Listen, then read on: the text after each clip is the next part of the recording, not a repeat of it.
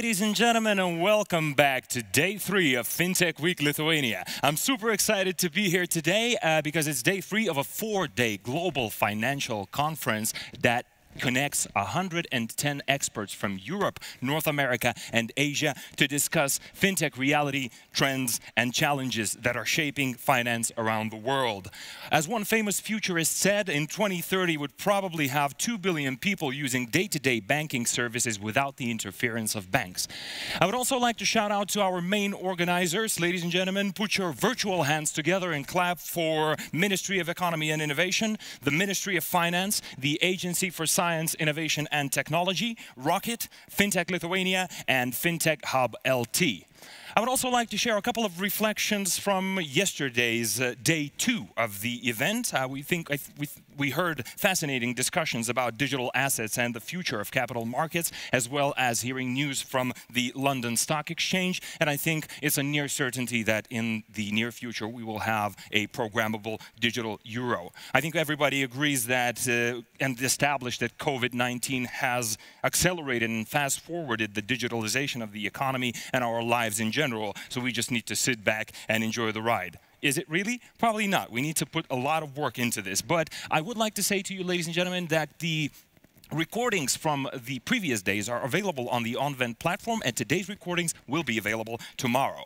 I would also like to share some guidance for you. Uh, so, conference agenda is available on the website www.fintechweek.lt and for registered participants on the OnVent platform. The live broadcasts are available on Facebook, uh, uh the OnVent platform, and YouTube. And follow our news uh, in social media like Facebook, uh, Twitter, LinkedIn, and our website, www.fintechweek.lt. By registering to the Participants Hall in the virtual event, you can visit the expo where you can take a look at the 52 stands and chat with the participants via chats or video calls. And if you access the auditorium, you'll see, that's right, us here in the studio having a lot of fun and broadcasting to you live. If you do have questions, please use the chat window to ask them, uh, but do make sure you ask them in a a timely manner as they are only available during the presentation. And if you do have questions in general, how to navigate the platform, please visit the info desk and the girls will gladly help you out. Other than that, if you do face any difficulties, please just follow the instructions on your PC screen. Everything is very seamless, spotless, and easy.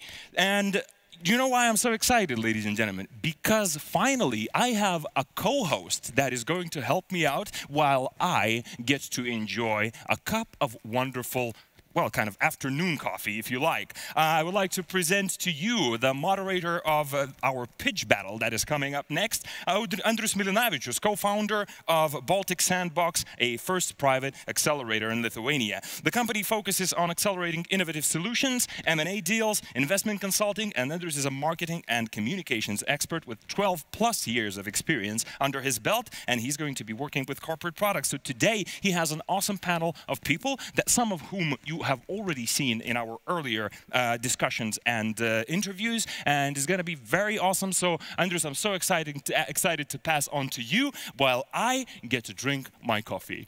Dear colleague, thank you. Thank you so much for such a great presentation, and I wish you to add some mayo, you know, to your coffee because it has to be tasty. Because you know, like the sugar, sugar is like it's so standard.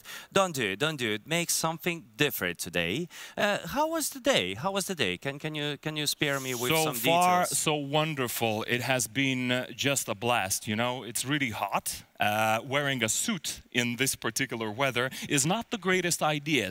29 degrees outside in the open. I'm trying to hide from the sun as much as I can. But I'll tell you what, Andrius, you go ahead with your discussion and we will kick off and talk a little bit more about uh, how it went after your FinTech pitch battle. Good luck. Thank you so much. And calling a fintech startup pitch battle a discussion, that's a bit an insult for me, but whatever, whatever, we can cope with it. So hello everyone, I'm really glad to invite you to the best part of this event. It's a fintech startup pitch battle. We all know that every crisis creates opportunities. We know that the fintech community is capable of thinking outside the box, and we can show you the real examples. That's exactly why we decided to have this pitch battle. FinTech Week Lithuania invites you to this short session today and short session tomorrow in order to actually show you the teams that created something significant, something really interesting, and something, some ideas that could be applied in every corner of this beautiful world, right? Okay, uh, what do we actually care during this FinTech pitch battles. We care about the pivots, we care about the growth during crisis, we care about the winning partnerships, and we care about the solutions that actually conquered the new markets. But before we start, I'd like to present the organizers of this FinTech pitch battles. So allow me to mention everyone. First one is Mita, second one is Baltic Sandbox, the third one is Startup Wise Guys. The fourth one is 70 Ventures. And last but not least, of course, it's Rocket Vilnius. So, guys, today we are going to have the pre-recorded pitches that will be three minutes length. But then we have each and every team answering the live questions. That's the important part. Because you can be really, really clever to read something from the paper, but then we have an, an amazing jury to ask you some difficult questions. Allow me to present each and every of our beautiful jury. Can I start with you, Sharune? Sharune Smolakite, the head of Rocket Vilnius. Sharune, how are you doing today? Hello, Andrews. Thank you for having me here. Yeah, so far, so good. Uh, a wonderful day, and I can't wait to hear the pitches that you have prepared for us. Thank you so much, Rune. Then we have Gytenis Galkis, the partner of 70 Ventures. And Gytenis, do you still do something at Litban? Hello, yeah, thank you for, for the introduction. Yes, uh, I'm still on the board of Lithuanian Business Angel Network. And uh, yeah, uh, trying to, to build the better ecosystem for Lithuanian startups, both uh, investing as a VC and uh, helping the angels connect with startups. Then we have Jone Vaitulevičiūtė, the partner of Startup Wise Guys in Lithuania. Jone, what's cooking at your kitchen? uh, a lot of co uh, is cooking actually. We are scouting intensively, so we have went quite far uh, digitally to now look into Armenia, Georgia, Ukraine, Turkey, and then we will come more to Europe. So it's a lot of work, a lot of interesting insights. Is there something hot that is coming up that you'd like to mention at the moment? You know, you can thank your mom if you want. Uh, I'll leave it for the later, but uh, yeah, I think uh, um, the hot trends that are coming from the regions that we're looking at right now, it's actually very interesting to compare to what we have here. And yesterday I did a keynote about what the trends we see in the West. So everything kind of follows a very clear tire system. So interesting to see how it develops. Great, great to hear that. And last but not least, we have Sandra Goldbrecht, the CEO of Baltic Sandbox. Sandra, how is your summer going so uh, far? Uh, hi, Andres. So far, my summer is going great. Uh, as you might know, we switched to online acceleration, and uh, now we have more and more startups, despite the summer, uh, participating in our programs. I'm really curious what are going to all those real estate owners are going to do while everyone switched to online. But I really think, really think that's a temporary trend that we're facing right now. And Jone and Sandra, of course, everyone is waiting for a chance to be able to meet live and to have a proper proper time together because this is exactly how the innovation starts. Nonetheless, we don't need meeting live to actually innovate, right? And for this, we would like to show you the amazing six pitches today. Just before we start, I'd like to note a few things.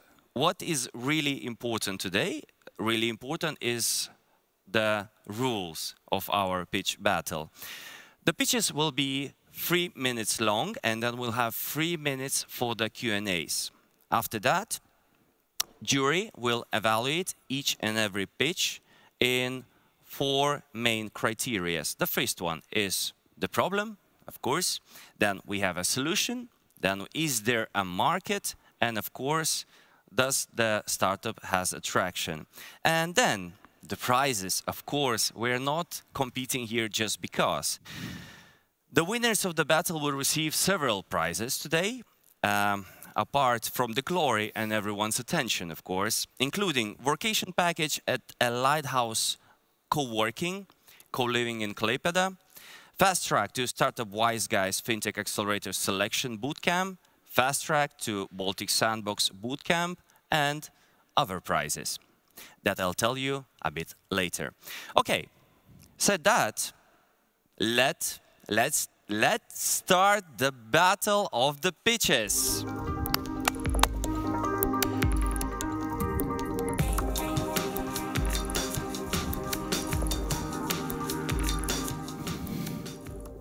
Okay, I invite the first team, this is Vim Money, and the representative of the team, Sofia Herbuzuk.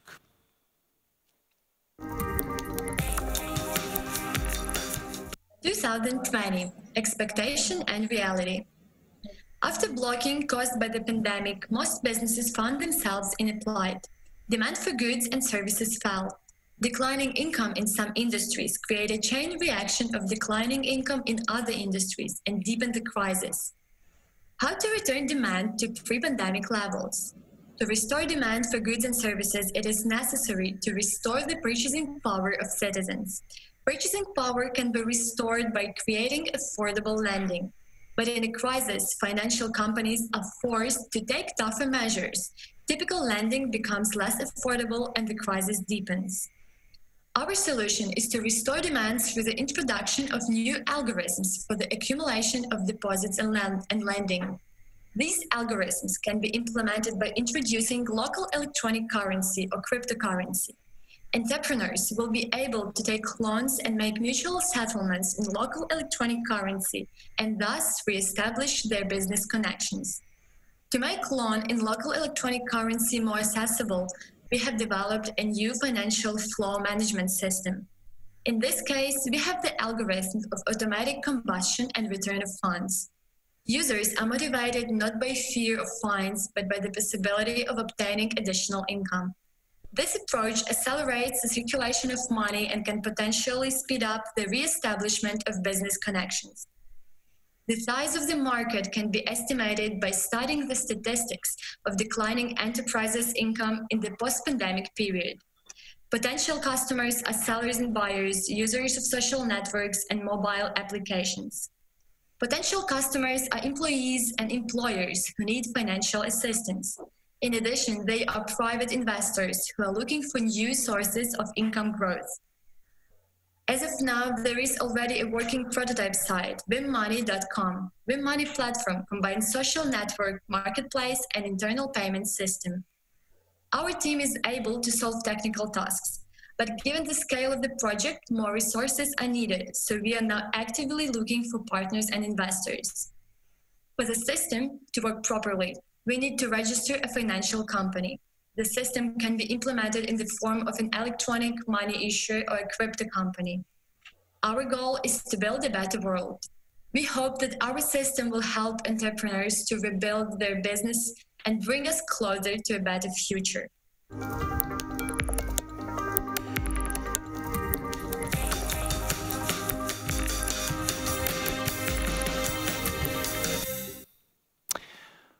That was the first pitch and thank you for that. Dear jury, do we have questions? Sure. So I, I can Dennis? So probably the first the first question: Why do you need blockchain for this? Why is it? Uh, can, why cannot this be done on a regular system? What what advantages uh, does it give? Uh, good afternoon. I'm, an, I'm, a consultant and assistant of the Money Company. Um, I'm right now uh, in contact with our CEO, uh, so I'll translate uh, your question quickly back to him and then translate back. So please hold on several seconds.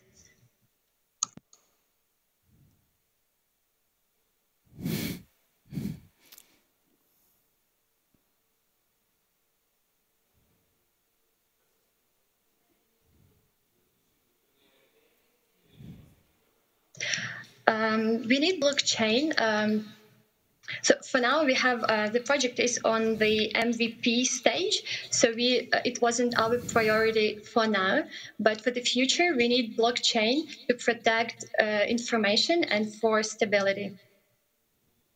So banks don't protect information and don't are not stable. That's the assumption, or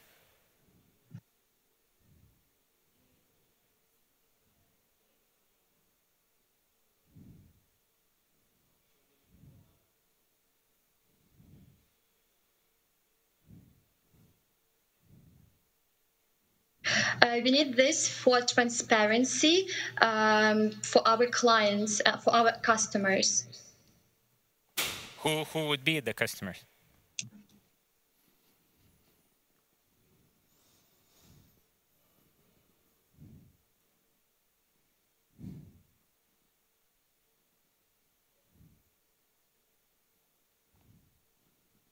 Uh, our customers are um, buyers, uh, entrepreneurs, uh, so mostly uh, these two types. And uh, yes, entrepreneurs, buyers. Anyone has any other questions? Yeah, I, w- I- I would like to ask at which uh, stage are you currently with your product? Uh, our product is on the MVP stage. We have already a website, so anyone can log in and test the system. Uh, you can find instructions on that website. So it's a working platform. You can find uh, all the details how it works there. You can try it. Um, you can see how everything works inside.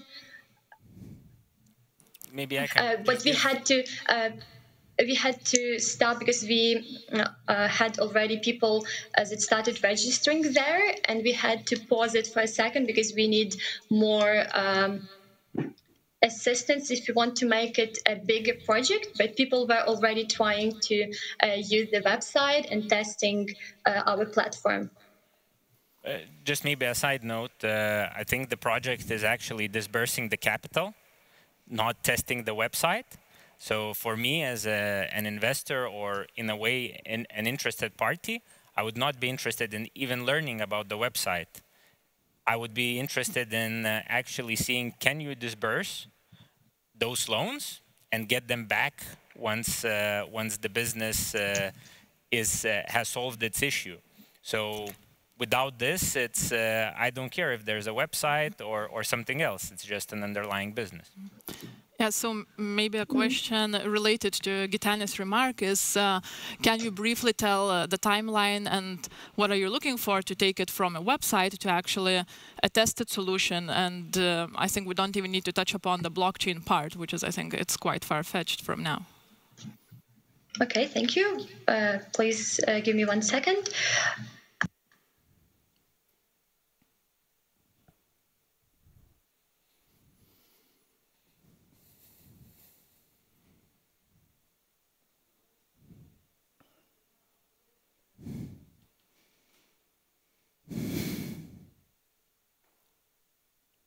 Mes ne per ilgai.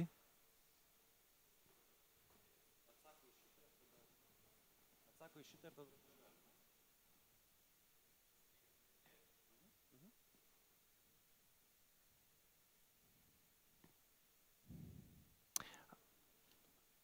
I'll just I'll just like to make a remark that Sophia is a translator of the startup founder. Just bear with us.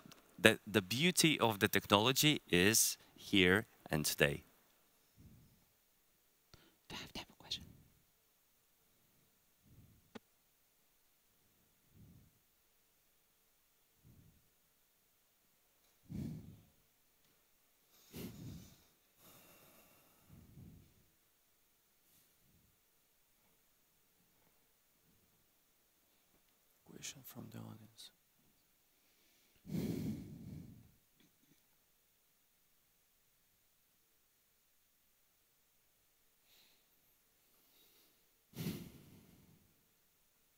You can smile. You ask a very difficult question. It's easy. It's easy, right?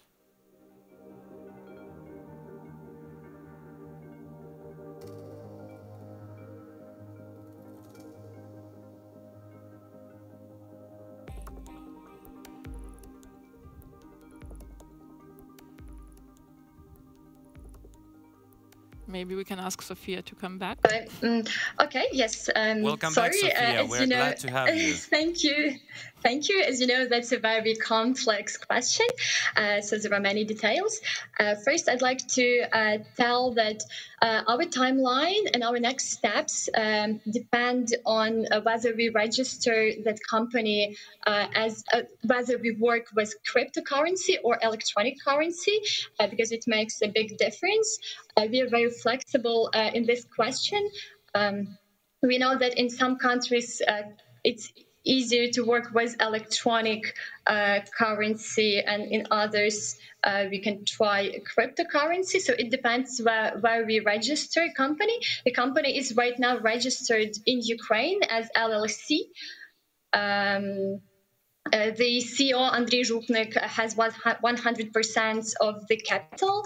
We have a team, uh, but uh, in Ukraine, uh, the legislation is not right now adapted for uh, cryptocurrency and um, companies of in this sphere. So we are looking for. Um, for uh, implementing it in the EU with the help of um, investors and our and our future partners. Uh, so we'd like to register it in another country so that would be uh, easier with the legislation and everything. Um, um, so yes, it basically depends whether it would be a cryptocurrency or electronic currency, but we are flexible to meet any requirements and um, wishes of our partners or inv- investors. Okay.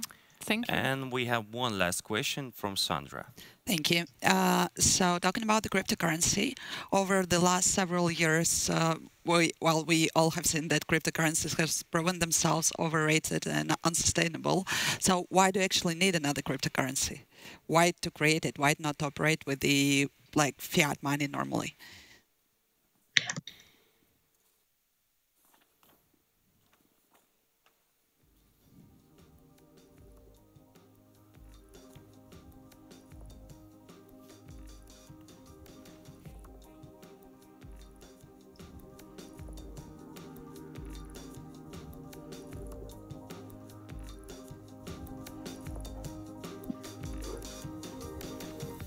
Mm-hmm.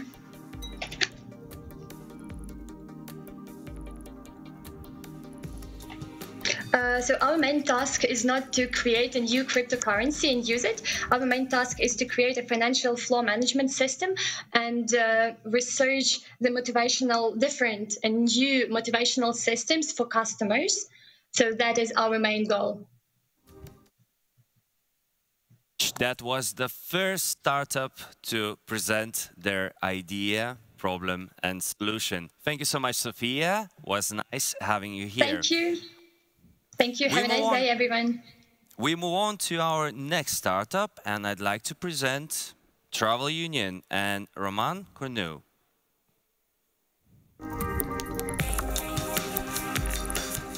Hello, my name is Roman, and I'm CEO here at Travel Union. No one would argue that tourism is experiencing the deepest crisis in its history. Hotels are empty, planes go stuck on the ground, huge tourism infrastructure remains virtually unused. The old problems in the tourism still exist. Did you know that 95% of revenue is kept by banks for a whole week and 5% for up to three months as fraud prevention deposit? For travelers, today experts worldwide have already stated that after the crisis, travel will be more expensive due to safety measures. Here Travel Union, we aim to break this deadlock. Our solution is travel-related digital banking platform, combining a bank, a payment system, loyalty system with a new travel currency time and a travel marketplace. Union means that we are going to unite travelers and travel companies, providing a direct channel for communication and settlement between them. Okay, you would ask me, what travel companies will get in the end? I think actually all they can dream of. All the regular banking services with below market commissions, instant settlements, and the most important, a new distribution channel to dedicated customer market segment, customers of Travel Union.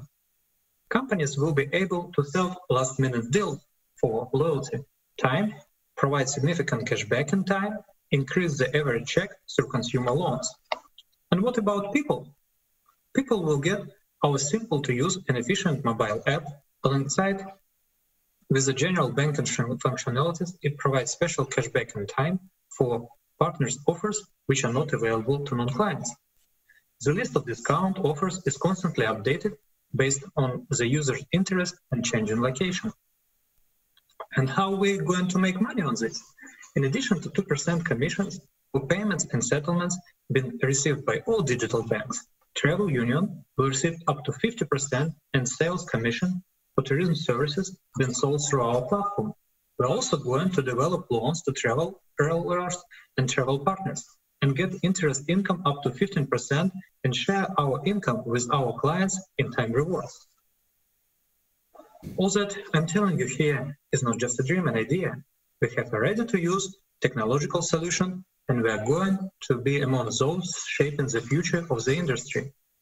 Time has come to revive the travel and banking industry. Thank you.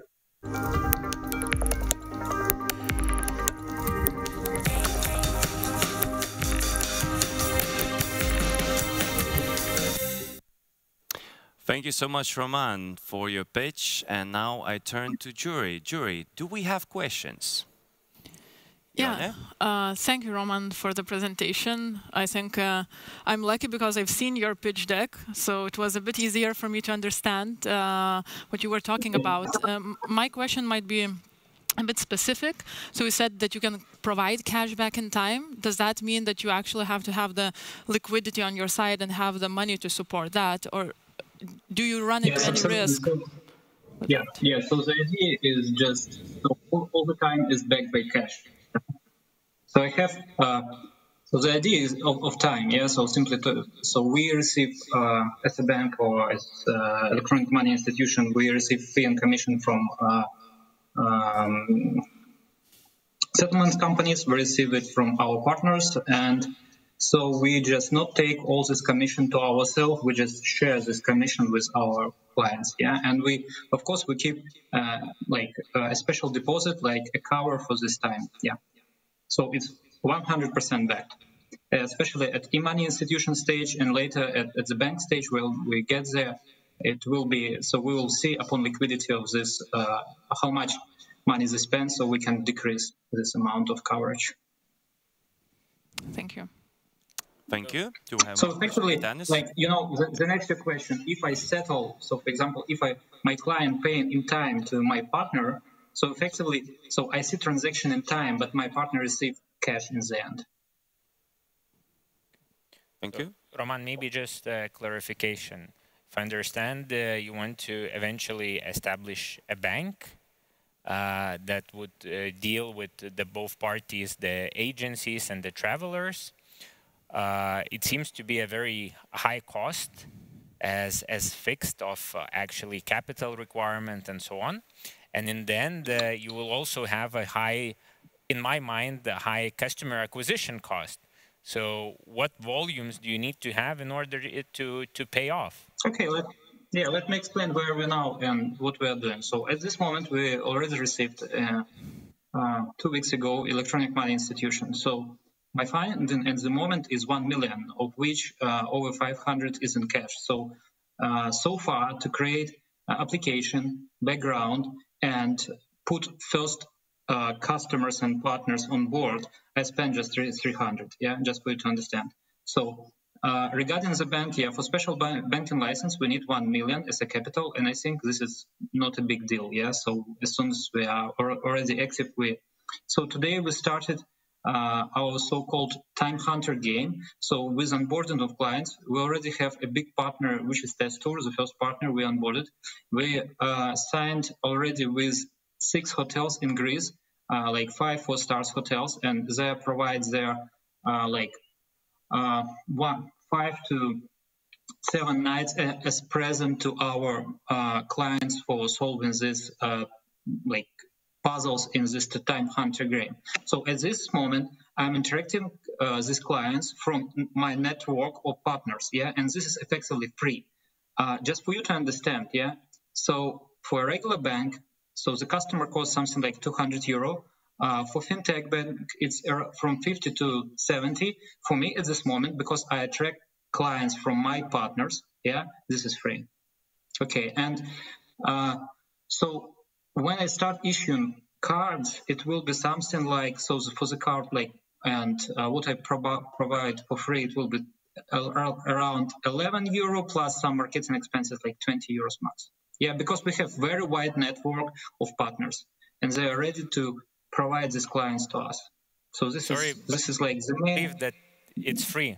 It's uh, Yeah. it can't be free because you'll It's need free. KYC costs and AML costs and So, checking verification. every, I explained, so every client, like for me, yeah, so the cost of one client is 11 euro. Yeah, so this is card, KYC, and you know, all the cost of one client.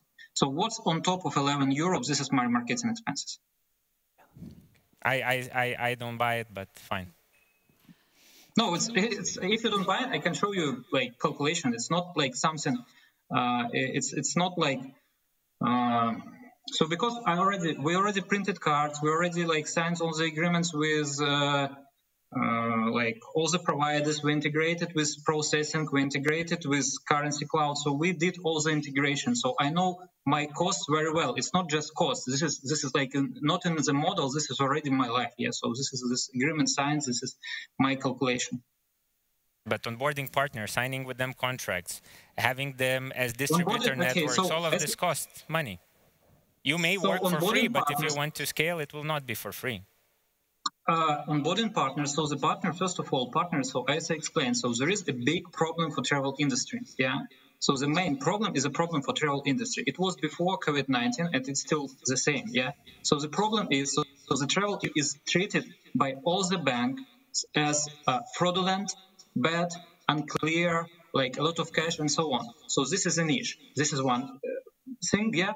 Another point. So travel industry has a lot of uh, services which is not sold today they will expire tomorrow so travel industry is ready to provide very high cashback and they need additional uh, additional way how to sell it so effectively through this time we create a special niche it's like you know you probably uh, um, the best example in in uh, microeconomy it's like uh, um, segment yeah? For example a businessman can fly in the same uh, in the same flight yeah for 2000 euro yeah and you will have a student for who is flying for 100 yeah euro uh, and they sit in uh, uh, like together yeah? So if you create a special segment like uh, in my case, a special segment are travelers, yeah, uh, who are clients of travel union and who can pay in time. Yeah, I mean like in special, in special not currency, but in, in, in special loyalty points. Yeah, so you receive this and you can help all the partners to sell what they are not able to sell. So the my my proposition for the partners, it's not just you know banking services, uh, verified clients, no fraud, but the most important is this niche which I provide access to. And they had So to much, jump Roman. in. I'm yeah, just for you to understand. At this Roman, moment, I Roman, have 12 Roman, hotels do you and I hear me? Jump and I Roman, do you hear me? That's a beautiful, beautiful answer. Thank you so much. Unfortunately, we cannot afford ourselves to have that much of time for answering the questions. And dear audience, yes, I see your questions. Unfortunately, we have no time. So thank you so much, Roman. We have to move on because we have other projects to be presented. So allow me to present our third pitch, and it's gonna be Oval Global and the founder, Ilya Kosolapov.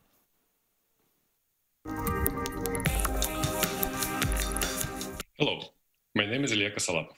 I'm one of the founders of InsurTech project Oval. Why every person, when hearing the word insurance, thinks about something bureaucratic, slow, and heavy? I remember my first working day in the insurance company in Vienna. I was in cargo claim department. A new claim declaration was received, and I asked my boss to help me to work with the claim.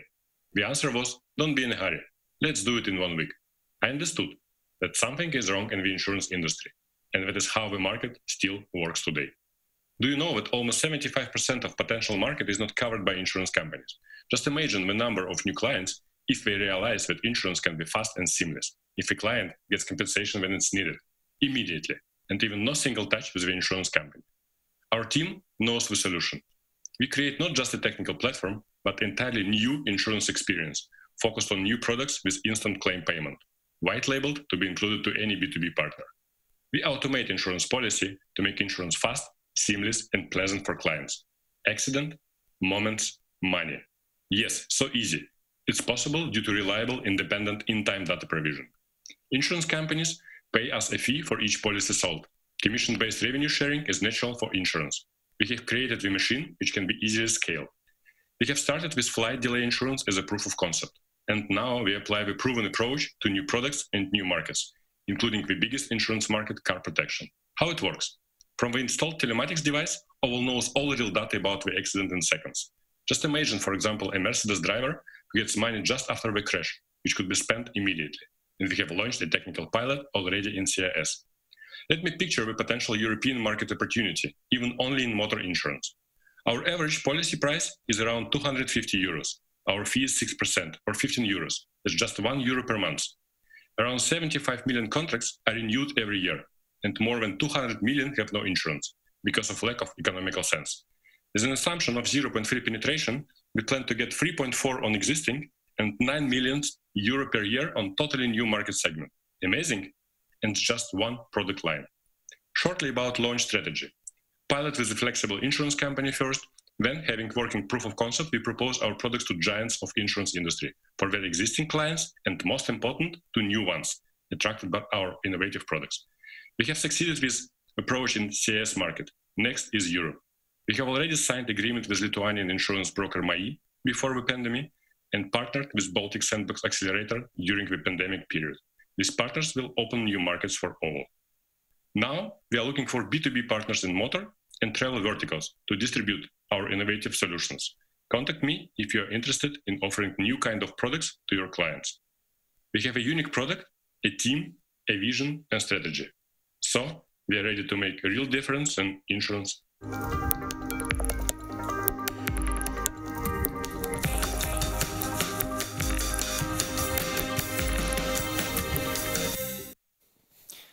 Thank you so much, Ilya, for your pitch. And now I turn to the jury. Jury, do we have questions? Uh, you mentioned uh, real-time data, so I'm interested. How is it compatible with uh, various industries? Uh, for example, automotive and um, uh, airplanes. Uh, how is it different? well, thank you, Andreas, for the introduction. Thank you, jury. I'm happy to be here. For the question you asked about the in-time data provision, it differs from every product. As I told, we started from flight delay. Uh, in this product, we are integrated with independent data system FlightStat or uh, flight in the air. And from there, we get all the information about the flights, delay or cancellation. And according to this data, uh, the insurance company agrees to make. If we speak about the car protection, we get the data from the installed telematics device on the car. And this device gives us all about the just from every second. How was the crash? What was the strength? Uh, and where was the impact? So repeating in every product, every independent uh, information. So are these uh, the two key industries you are current, uh, currently focusing right now? Uh, correct. The investor investors ask us to be focused, and these uh, two verticals, travel insurance and car protections, are our focus. In the travel insurance, it's not only flight delay, we add new risks also, like, for example, baggage delay. In the car protection, it's not only car damage, but also personal accident, for example. Yone, I saw you had a question. Yeah. Uh, can you elaborate a little bit about uh, how the testing is going over here in the Baltics? I, I heard it right, right? That you have uh, um, a deal with one of the insurance companies. How many users do you have using it? Uh, any statistics on that? Uh, we do not have at the moment the traction at the Baltic uh, market. We signed uh, first binding agreement with the insurance broker in Vilnius, and now we are finalizing the first product with uh, one of the insurance company on the local market. Thank you so much, dear jury. Thank you for your questions. Thank you, Ilya. That was a nice pitch and nice answers. We have to move on. I'd like to present Thank everyone you. our third and it's Raison AI and the founder, Alexander Zaitsev. Everyone, my name is Alex and I'm here from Raison.ai, a magic app for managing personal finance and investments. We started our project because of the problems which faced our customers like overflooded market of digital financial services, excessive information noise, lack of regulation, and of course higher ticket for pre-IPO and private equity markets. So in April 2019 we launched an app which solved the majority of those problems and the coolest thing we offered to the customers was the opportunity to invest in private equity and pre-IPO companies like they could never did before, starting with only 100 of euro and in a fully legal environment. Raison is available for users all around the world, but Europe is the target market for us. Our business model is pretty simple. We collect fees. We collect fees for for example, exchange operations, and of course we have a margin inside those investment opportunities we offer to the customers uh, in private equity and pre-IPO markets. Uh, our main competitors are the neobanks and the online platforms offering the investment opportunities. I'd like to benchmark us with Revolut, which is only five years old and is valued for more than six billion of euro. So who's and I'm sure and that we are going to be a unicorn in a couple of next years and for those who's looking for equity upside I'm offering to join us. Why I'm sure of success? Because of our key metrics. We have more than 4,000 customers on the platform right now starting from April 2019 and we have a pretty grow, uh, pretty cool growth rate uh, of the customers. It's something about 40% per month. Uh, also we uh, had a pretty cool and uh, growth rate of the customer presence on the platform, starting from 19,000 when we launched the app uh, to more than one and a half million of euro. We were also recognized by several well-known organizations like TechCrunch, for example. In 2019, we were chosen as top five EU fintech startups. And I'm also sure of success because of the team. Uh, we have a great experience in IT and financial sectors, uh, working in the major uh, companies in CIS, Russia, and Europe. We have already raised more than 700 uh, thousand of euro from private customers, from private investors, and now we are looking for an opportunity to uh, uh, offer this, the, the investors our equity up to one million of euro. And of course, we are looking for partnerships with banks and, the, and acquirers and additional financial institutions. Thank you very much for your attention.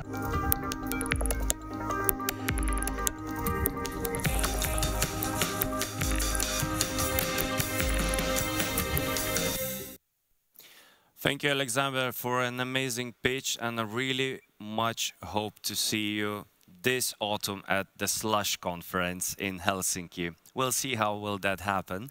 Now I turn to the jury. Jury, do we have questions? Sandra? We, yeah, we do. Uh, thank you. So uh, I have two questions basically. First of all, what's your customer acquisition cost uh, at the moment? And secondly, you mentioned that you are fundraising now. So how are you going to spend the money?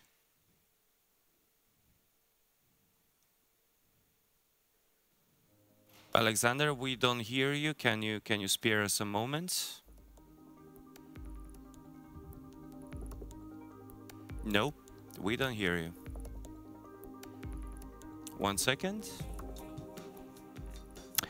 Jury, can you can you spare me with some uh, uh, more moments about the pitch then, since we cannot hear our founder speaking? Sharuna, what do you think about this project?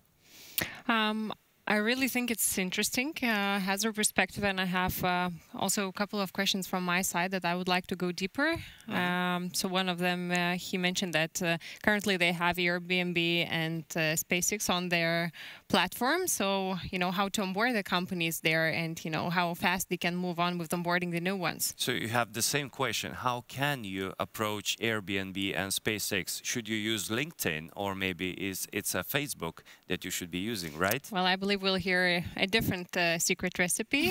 exactly. They, they actually know someone from those companies. Jonia, what do you think about this project? I hope it's not a project. I hope it's a startup, a company. That's a very good uh, but remark. Yeah, I mean, um, I'm always a little bit scared when a young startup compares itself to Revolut, and so this is not much that they achieved. So. Um, but there might be a good reasoning behind it. So I understand that the sound is on and we can back. Uh, yeah, Alexander, do you hear us? Yes, I do. Can you hear me? Amazing, amazing. So we uh, unfortunately sorry, we spend a lot of time. So Sandra, can you repeat your question shortly, and we have one minute for the answer. Yeah, I had this question. What's your current customer acquisition cost uh, comparing to your lifetime value, and how are you planning to spend the money that you're going to raise? Sure. So uh, the customer acquisition cost is 12 euro. Uh, we are going to spend money on the additional developments and of course on market on marketing it uh, to uh, scale the product because we, we have tested the hypothesis and we do understand that the customers do need our product. We are generating revenues right now. Uh, our revenue for the 2019 was something about 200,000 of euro. Uh, so we're just raising money to scale up. Do you have one more yeah, question? I, I yes, Gytenis, so, please. So, sure. how much uh, do you earn on on one customer on average, and how long uh, he has to stick around? It depends on the product uh, which he's buying. So generally, uh, if the customer is working with the private equity companies, we're generating something about uh, 12 to 15 percent from uh, the customers' uh, purchasing purchase amounts. So and uh, it depends on the volumes of the purchasing purchasing of the customers. In that the investment has to grow more than let's say 12 percent for the customer to be at least uh, in the money? Yes, yes. But speaking about the private equity markets, it's a, it's a normal uh, yield.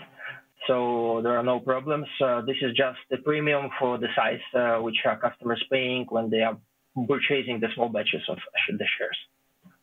Still, it's not directly. Uh, I have heard the question about the Airbnb. So we're not onboarding Airbnb, uh, Airbnb or SpaceX directly to the platform. We're using the investment infrastructure, uh, which uh, uh, is offering the customers the units of the funds, uh, which have the underlying asset of Airbnb or SpaceX, for example, and it's fully legal, managed by US SEC regulated investment advisor. And uh, it solves the problem with the legal issues, possible legal issues. Thank you so much. Thank you so much. That was Raison AI and Alexander Zaitsev. Thank you, jury, for your questions. We have to move on because I see the clock is ticking. I'd like to present you our next startup that is gonna pitch. It's Evervest and the founder, Stephanie Brennan. Stephanie, it's your time.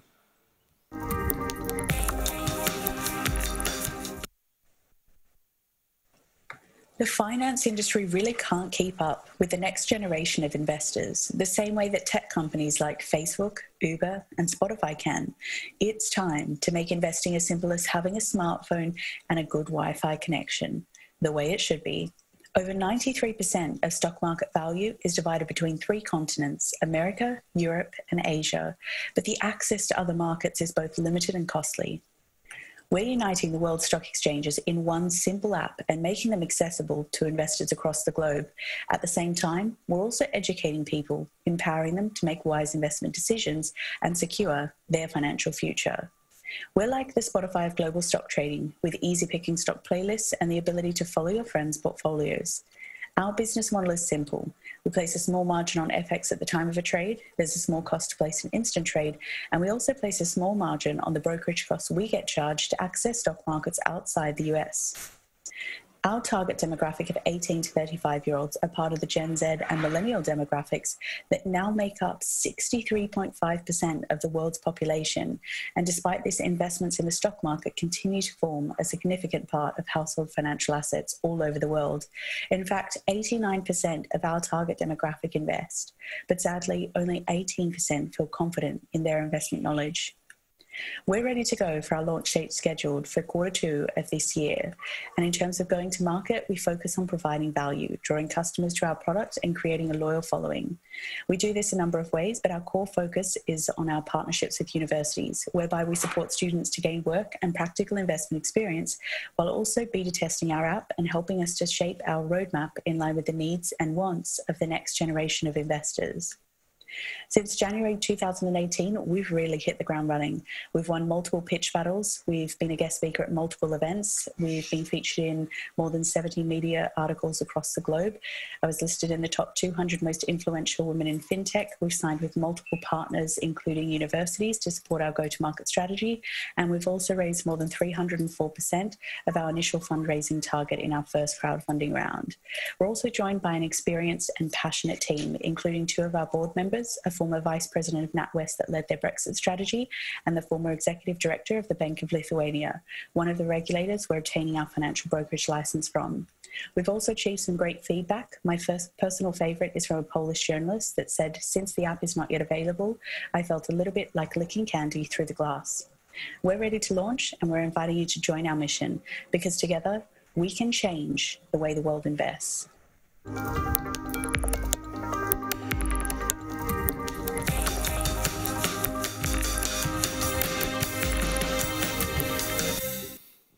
Thank you so much, Stephanie, for this speech. And now I'd like to turn to the jury. Uh, 12 points from Lithuania.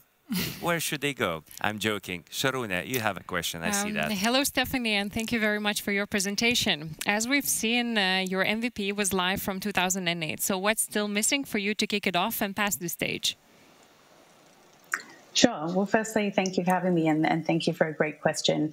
So, we started in January 2018, but that was when we launched our free investment education blog. So, uh, we have created our, our beta and we are waiting on our license approvals. So, we submitted our license to the Bank of Lithuania at the end of last year and we submitted to the FCA as of last week.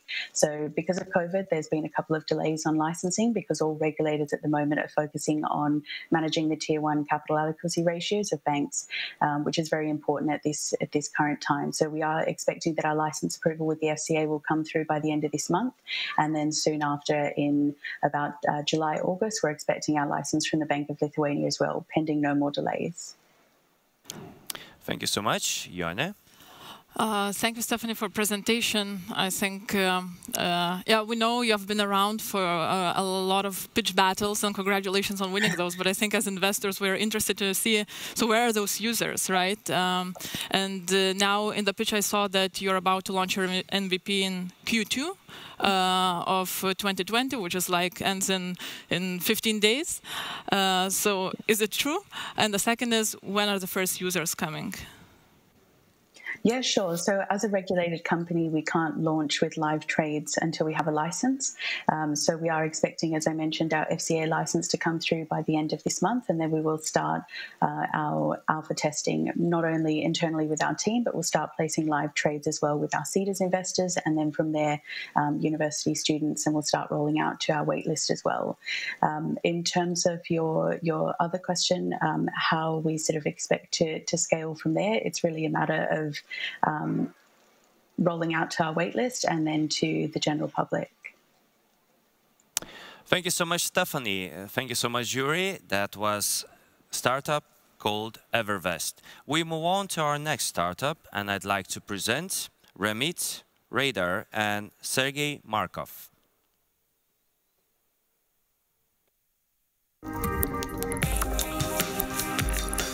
Hello, greetings to everyone. I will I present to you Remit Radar, a company launched in 2016 in the United, in the United Kingdom. Uh, it was launched as an aggregation and comparison service for senders and receivers of remittances. For these people, there are 250 million people, mostly migrant workers, who leave home and go abroad to earn money and send it back to their families. And on the receiving end, there's 700 million of their family members who depend on this money for their livelihood. Well, it is difficult for them to understand the commissions and the exchange rates and find the office locations and understand their working hours. So we have taken all the trouble out of this process and uh, we uh, show them the best deals. We run all the numbers. We show them the total amount received after all the deductions uh, by the recipient, and we show them the agency location. So they are very grateful to us, and they were using our service a lot. We currently have 350 1,000 monthly average users and over 11 million customers. Uh, so we, uh, in order to provide this free service, we aggregate data from over 360 money transfer companies and cover most of the market. The service is in operation since 2016, and it allows us to compile um, GDPR compliant data on our users. What can we do with this data? We can, our ambition is within the next three, three years to transform the industry in the same way uh, like hotels.com and uh, Skyscanner transformed the travel industry. Being right at the beginning of the customer journey, we can always assign to the transaction the optimal routing, even if if it is a connection routing. The direct flight is not always the best, not always the cheapest. Sometimes it is much better to send money via a connection. We have the technology for this and we will make money on this. What else can we do with this data? We can help the families of migrant workers access credit Currently, for the local lenders, their income is not very transparent because it comes from abroad in the form of remittance. We have the data from both sides of the money transfer, and therefore we can supply the necessary information to build the credit scoring. Our technology has traction. We are present in most of the countries in the world.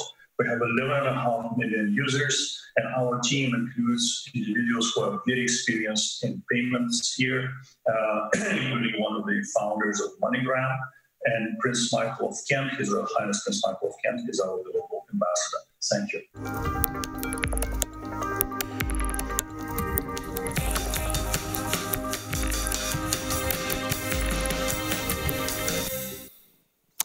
Thank you so much, Sergey, for this amazing pitch. And now I turn to the jury. Jury, do we have questions? I can. Gytenis? So, hello, Sergey. Uh, the, probably the first question is, who, who are your customers or ideal customers that you want to have, and, and how do you reach them? Hello, Labadiena. Uh, first of all, before answering this question, I would like to convey to you greetings from our CTO, Denis Kochubey, who is Lithuanian, but he trusted me to do this presentation. Uh, the customers for our free service of data comparison and aggregation are the migrant workers. 250 million people who send money and 750 million people who are on the receiving end. So that's a total addressable market of 1 billion people with $2 trillion um, income combined. Every year, they move uh, among themselves in form of money transfers, $600 billion. How do we acquire them? All our growth has been organic. Currently, we have 11.5 million users in our database, and our monthly average, we have 350,000 monthly average users. We have never had to spend even a dollar on marketing and promotion, because the clever algorithm that um, our CTO Denis Kochubey created put us always in the searches uh, because we are more relevant than one given uh, money transfer company. Uh, anybody who searches for a money transfer option would find us in the top three searches without us paying for this just because we are more relevant. So the customer acquisition cost, the fixed customer acquisition cost for the free service is zero. Now, regarding our monetization models, in different monetization models, paying customers are different. For example, in connected remittances, it will be the money transfer companies that will receive additional business from connected remittances. And we don't have to acquire them because 360 uh, remittance companies are already connected. In case of uh, the lending model to migrant workers and their families, our clients, of course, are the financial institutions. Once again, they are after us, not the other way around, because we are opening to them access to a very substantial group of people who, to whom they currently don't have access. Thank you so much, Sergey. And now I'd like, I see one more question coming in from Yone. Yone. A very related question. You mentioned you have your number of users in a database. What does it mean to have a user in a database? Are they using the product? Are they paying for the product? Uh, what is this category? The aggregation and comparison service is free to the user. Its purpose is to accumulate, for us to accumulate the GDPR compliant customer data. 350,000 monthly average users, and over the years that we have been around, The some, of course, drop off and some continue regularly to use our service. Those who continue regularly are 11 million people. Yes, and one more question from Sandra. Uh, hi. So, who are, you, uh, are your competitors, and uh, how do you compete with them actually? Uh, our main competitor is Monito.com. This is also an aggregation comparison website who came into being uh, after us. We were the first. We actually discovered this opportunity because one of our founders was also one of the founders of the entire remittance industry in early 90s. So we understood that with smartphone penetration into the migrant workers um, um, brackets, uh, to the poor people, we have this opportunity. So we were the first to start. Monito uh, raised capital last year and overtook us in number of monthly average users, but we are different in four respects. First, we have more money transfer companies connected to our service than anyone we know in the industry. Secondly, we have more API connections with uh, money transfer companies than anyone. But the most important difference is our business model and monetization model. Everybody uses this data to do lead generation and digital marketing. We also do this. Doing this this year, we have made $150,000 so far, but that's where they uh, start. We, uh, uh, where they end, we actually start. For us, much more interesting is to transform the money transfer industry by creating those connected routes. Before Skyscanner or Expedia, people, if they wanted to get from A to B, they had to take a direct flight. But now a lot of people take connecting flights because it's cheaper, even if a direct flight is available. The same is the situation in the money transfer industry. If you move, want to move from A to B, currently your only option is to find a money transfer company that has payment licenses in both countries. It's likely to charge you 5, 6, 7, 7%. But there's always a possibility to find a cheaper route if, it's, if it goes through cheaper corridors like A to C and C to B. Being right at the beginning of the customer journey, we can propose cheaper connecting routings for money transfers that currently are not present in the market. And by this, we are going to make dozens of times more money than just by lead generation that everybody is doing. Our financial model says that even if only 20% of the remittances in three years from now take connected routings rather than the direct routes, and if we have only 5% of that market, and if we charge only 0.2% commission on the transaction, then our monthly, our annual revenue will be $49 million in, in, in three years, which we hope is true. Thank you so much, Sergey. Thank you so much. We unfortunately we have no time left for your pitch.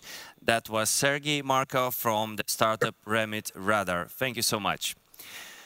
And with this, I would like to say that the first stage or the first day of the pitches has ended. But now it's the best part. We all know that pitching is just one thing because we have a lot of viewers. I'd like to turn to the jury to have a short reflection session. Dear jury, could you, could, you, could you just spare me with your opinion on what we just saw today? And maybe we could wrap it up into some hints for the other startups that are looking at the moment. Sharuna, could I, maybe I could start with you. How was the pitches and did you find something missing? Uh, usually I'm used to the live pitches when you see people in front of you and of you could course, feel the emotion. So definitely the, the vibe is different. Uh, but from uh, from the pr presentations themselves, um, I would advise practically for all the companies to, to work out more on the presentation, especially when jury has such a short time to evaluate you. Um, in uh, my opinion, it's uh, not only enough to talk about the big vision, but also to show uh, some numbers. So uh, we've seen it in a couple of uh, the presentations, but uh, many of the guys uh, just mentioned it briefly. And it would be nice to go deeper into where you actually are right now and uh, your future forecast, the, the milestone that you would like to achieve in the most recent times. Thank you so much, Rune. Gytenis, what's your take on the pitches that you saw and maybe you could comment it from the investor's perspective? So I, I truly agree with, with your comments. Um, the key key issue I see, and uh, maybe it's also because of the short time. It's it's very difficult for you to transfer the your idea and and uh, why are you pitching. So I think the first thing you need to answer for yourself: why are you on stage today? And then have this message go through your slides. So I missed it in in many slides then uh, in it's it's very likely that I'm not super brilliant or brilliant at all, and that's why it's hard to understand your idea. So in in in my mind, it's very important, especially in this kind of setting, to speak in a stupid, simple language. So so even with the last speaker, I didn't, I totally didn't get it uh, what he's doing when the presentation was happening I got it in his uh, third uh, third uh, question answer where it was much much more explanatory and much more straightforward. So in general, a business is what what do you do, where do you create the value, how do you acquire the customer, and what's the difference between the customer acquisition and the price you sell. So trying and explaining it in a stupid simple sentence and putting the cherry on the top, what are you looking for? Why is it a good investment? So try try this. Maybe maybe it will help. Thank you so much, Gytenis. Yone, can I turn to you? You represent an accelerator. So what would be your comment on the startups pitching that we saw today? Mm, I'm, think, uh, I'm glad to hear that I think we are all on the same page. So the missing things and one definitely that we will spot very on being an accelerator, an investor, an expert is the vanity metrics, is uh, the number of users or the number of users in a database, etc., etc. So there are a number uh, numbers of those metrics that startups usually use that don't convert in any business. So really forget about those. We will spot those immediately. And I think this, this is where most of the questions went to. And the second is for sure, agree with Gytenis, what's your ask? So why are you pitching here today? I know the prizes are great, but you could really leverage uh, us for probably much more than a prize. So. Or, or just tell, I came for the prize. Yeah. that would be very memorable, I think. Thank you so much. Uh, Sandra, would you like to add something? Uh, yeah, sure. First of all, I completely agree with the rest of the jury. And actually, there are two more things. Uh, we've done a lot of online pitching and I've seen a lot of online pitching. So can you imagine I'm the person who is looking at the screen at the moment and trying to listen to you at the same time. And you have 15 to 20 sentences on the screen. Uh, where should I focus my attention? Should I listen to your voice or should I try to read what's on the screen? Uh, this is pretty distraction, uh, like it's a pretty big distraction and it's impossible to understand what you're doing exactly. And uh, the second one, talking about metrics, I guess there were like zero companies where I have seen one of the two main metrics like customer acquisition cost and lifetime value. I can't judge by the amount of users uh, how good you are. Uh, I can't judge by the amount of the competitions that you won. Uh, but I, I, can actually see unit economics from two numbers, and those numbers are really important. So it totally makes sense. Thank you so much, dear jury. That was a reflection from our jury. That's a new practice that we like to apply to all of our pitching events. Because we not only we want to ask you questions, we also would like to give you some comments and something to learn from. And now, dear jury, that's the best part. We have three amazing prizes. I'd like to mention just few of them. We have Cloud Booster Prize, we have Rocket Vilnius Prize, and we have Baltic Sandbox Prize. But for us to be able to announce the winners, we would like to ask you to spare us some five minutes of time. Now, everyone who is watching us, you can, you can actually just get that drink that you really wanted already.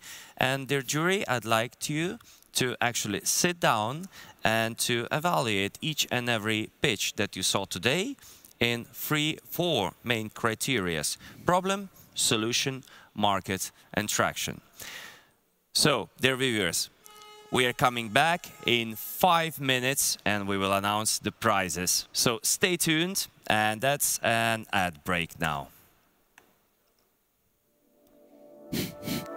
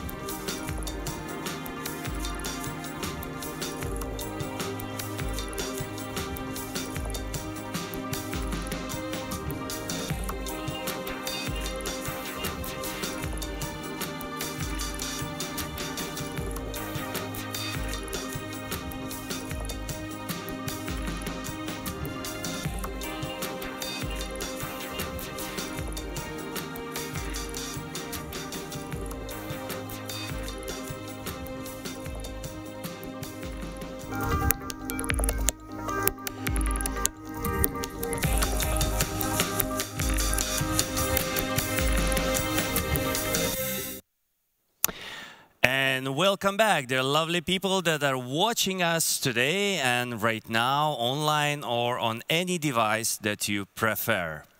So, the jury had a lot of discussions, but I already know the winners. Okay, no, no, let, let, let me begin again. I don't know the winners, but I'll invite the people that will announce the winners.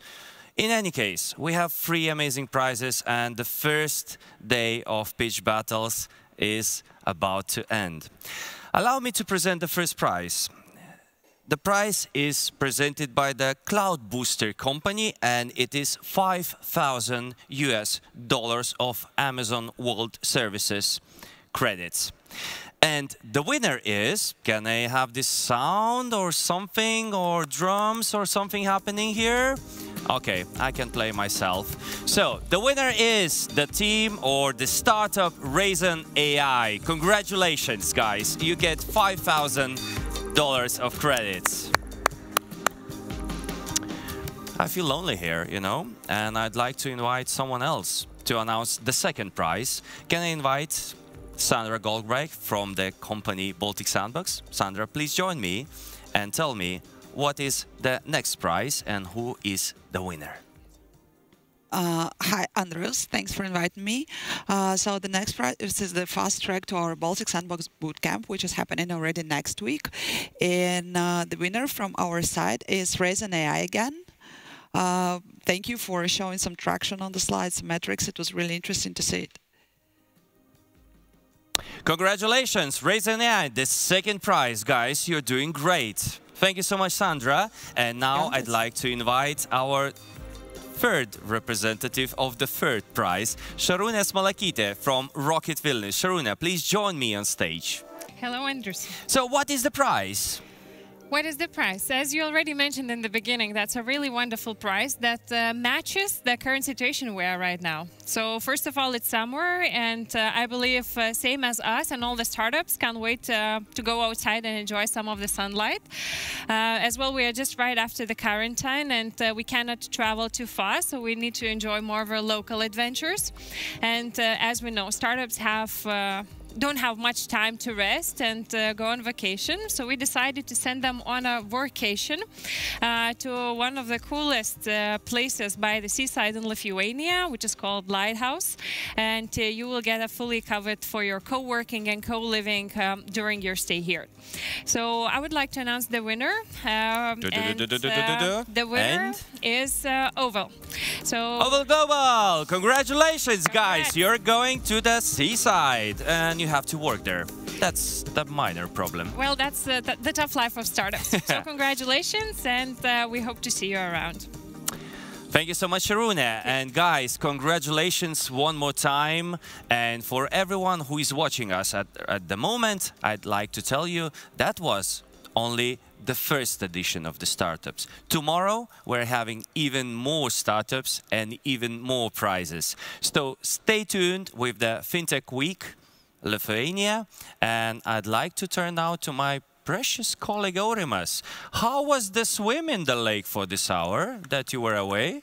Uh, well, absolutely. Uh, it was uh, very refreshing, uh, very delightful. I have way more energy right now and I would be very happy to kind of kick back and relax, actually, as a matter of fact. But uh, as I have you, Andrews, could you share kind of your reflections in general? Um, I'm sure this hasn't been the first time you've been doing this, right? So what are the kind of top pitfalls that startups doing pitches should try to avoid?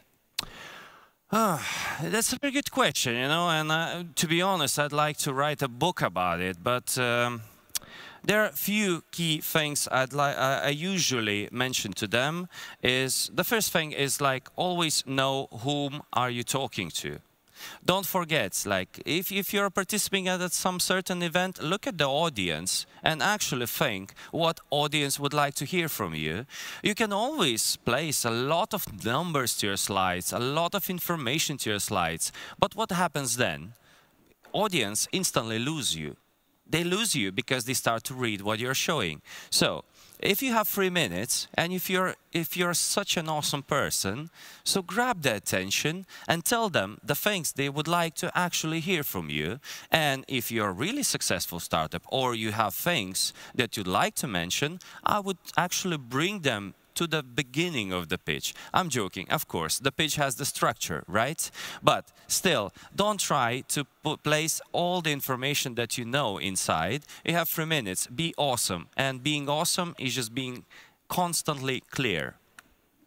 That's great. I think uh, that's good advice. Absolutely. Don't drown your audience in numbers, right? Because then they stop listening to you and start reading what's Absolutely. on the screen. Absolutely. Um, and uh, obviously, uh, what's interesting uh, Andres, could you actually join me uh, closer? Because we, we are having a conversation. I thought so it will apart. never happen. The quarantine was to be honest, I today. thought it we will have never to happen. celebrate Yes. that, and we, we don't have to have that big of a Yes, distance. yes, yes. It's good. Yeah, there you go. right, yes. Proper COVID hello. So yeah, ladies and gentlemen. Um, just uh, in general, uh, what do you think? Are, are you kind of excited for the second part of the FinTech pitch battles? Oh yeah, because because I do know uh, what are the other teams that are going to participate, and I really really much encourage you, all of you, to actually come back tomorrow because it's going to be even more exciting. How many pitches do we have tomorrow? Six. Six, uh, as much as we had today, Yes, right? of it's course. a really even split. Yes. Uh, do you already? Could, could you give us a sneak peek on what prizes can they anticipate to win? Oh no no no no! yet? You have to go to the FinTech Week Lithuania website and you'll see it all there. Yeah, ladies and gentlemen, please visit the www.fintechweek.lt website where you can find out all kinds of important information that will be available to you at your disposal. Uh, Uh, the agendas, the way to navigate, the stands, the chats, the video calls, everything is there, everything's available. And most importantly, whatever you watched or didn't have the time to watch, uh, don't worry, everything will become available on the platform the next day. So tomorrow you should see everything that was discussed today. And if you want to check, take a look at the um, previous day recordings, then certainly you can do that already. And right now, it is my pleasure to actually segue on, as much as I love having um, uh, your presence, Andres, it's, it's really nice. Uh, I will segue on to something really cool, because we have another uh, very interesting panel that is going to happen very soon. Uh, first of all, some facts. Uh, investors poured over $53 billion into fintech startups worldwide in 2019, according to Accenture. And let's hear the panel discussion about the most exciting COVID-19 innovations that will shape the future of fintechs. The moderator for the discussion is Paulius Tarbūnas, heading Fintech Lithuania, which is part of Infobalt Association. Paulus has uh, worked in the banking industry for more than 20 years uh, in Lithuania, Sweden, Ukraine, Estonia, and is responsible for a variety of functions ranging from financial markets to digital banking and taking CFOs and CEO roles. Ladies and gentlemen, panel, the most exciting COVID-19 crisis innovation that will shape the future of fintechs.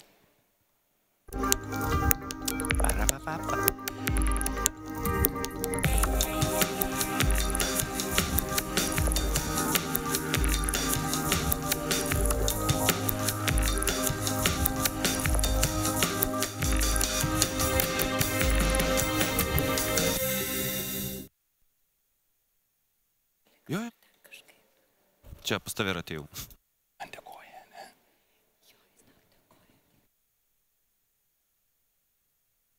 future of fintechs. Uh, the panel Lithuania, the Association of uh, Fintech Companies and Fintech Ecosystem Enablers. Uh, and I'd like to introduce my guests, starting with those joining, joining online. So uh, Jesper Carvalho uh, Andersen, he's uh, an investor and uh, serial entrepreneur with a lot of um, mergers, acquisitions, uh, turnarounds under his belt. So um, I'm really keen to hear how fintech industry looks like in the eyes of the investor. Uh, then we have Douglas McKenzie, who is a serious producer and host at FinTech Finance. So Douglas writes or actually shoots videos about fintechs and does a lot of top-level executive interviews. So who else, if not Douglas, knows everything what's there to know about fintechs from a holistic perspective and I, am really looking forward to hear your observations today. Then in the studio with me we have Vytautas Karalevičius who is a, a co-founder of a number of companies, Bankera, I would say digital challenger bank, uh, SpectroCoin, uh, which is a cryptocurrency exchange, uh, licensed electronic money institution Pervesk. And recently, Bankera has won uh, one of the six categories in the hackathon organized by European Commission, EU versus Crisis, with uh, their funding solution for SME. So I'm sure that Vytautas will tell more, more about the solution uh, for us today and Kęstutis Gardžiulis, who is the founder and chief innovation officer of um, award-winning financial um, software company Atronika, most famous, I guess, for your omni-channel banking solution and and loans origination system. And I know that you are very keen observer of uh, fintech industry trends. So very much looking forward to hear your views. So without further ado, let me start. And I'd like to kick off with the kind of warm-up question. Um, before the crisis, I guess it was kind of common belief that fintechs are kind of more flexible, more adaptable, uh, quicker to adjust to different uh, situations in the market to shift their business models. Now, looking back into the COVID-19 crisis, would you say that that's the, that's the truth? That's, that's the fact which we could uh, confirm? Maybe I'd like to direct this question to Jesper in the very beginning. Thank you, um, and thank you for allowing me to be here. I think it's uh, it's an excellent question because uh, in these uh, in these complex times where we all face uh, limitations, uh, new limitations on a daily level, um, the digitization of the world has definitely given a an incredible opportunity for for fintech um, in comparison to the banks. Uh, I think uh, yes, the answer uh, is um, yes to your question. I think uh, fintech, in, in many ways, in many situations, has taken this opportunity, has proven that they're they're ready for it. Um, uh, and especially, uh, it's always easier with a good comparison because we have over these last three months seen the panic um, uh, within the traditional banking sector um, and, and, and seen the bank really abuse situations, especially for SMEs, um, where uh, they have suddenly come out and questioned long-standing loans and asking people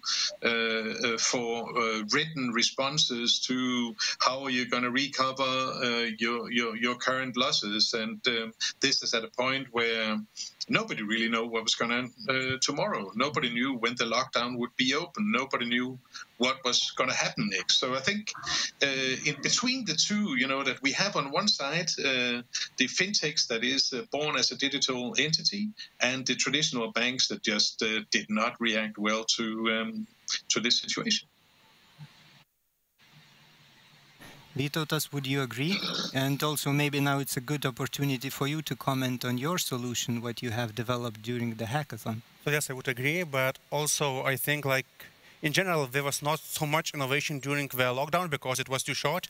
And for innovation, especially in finance and technology to happen, you need more than three or two months but I think the fintech, as we know it, not like because fintech is a very wide area, but like fintech, as we know it about the business who are facing the clients online and they avoid the brick and mortar uh, chains and so on. Uh, they actually were already prepared for the kind of a lockdown scenario when people don't need to have a physical presence, they don't need to visit a branch, they don't need to use cash.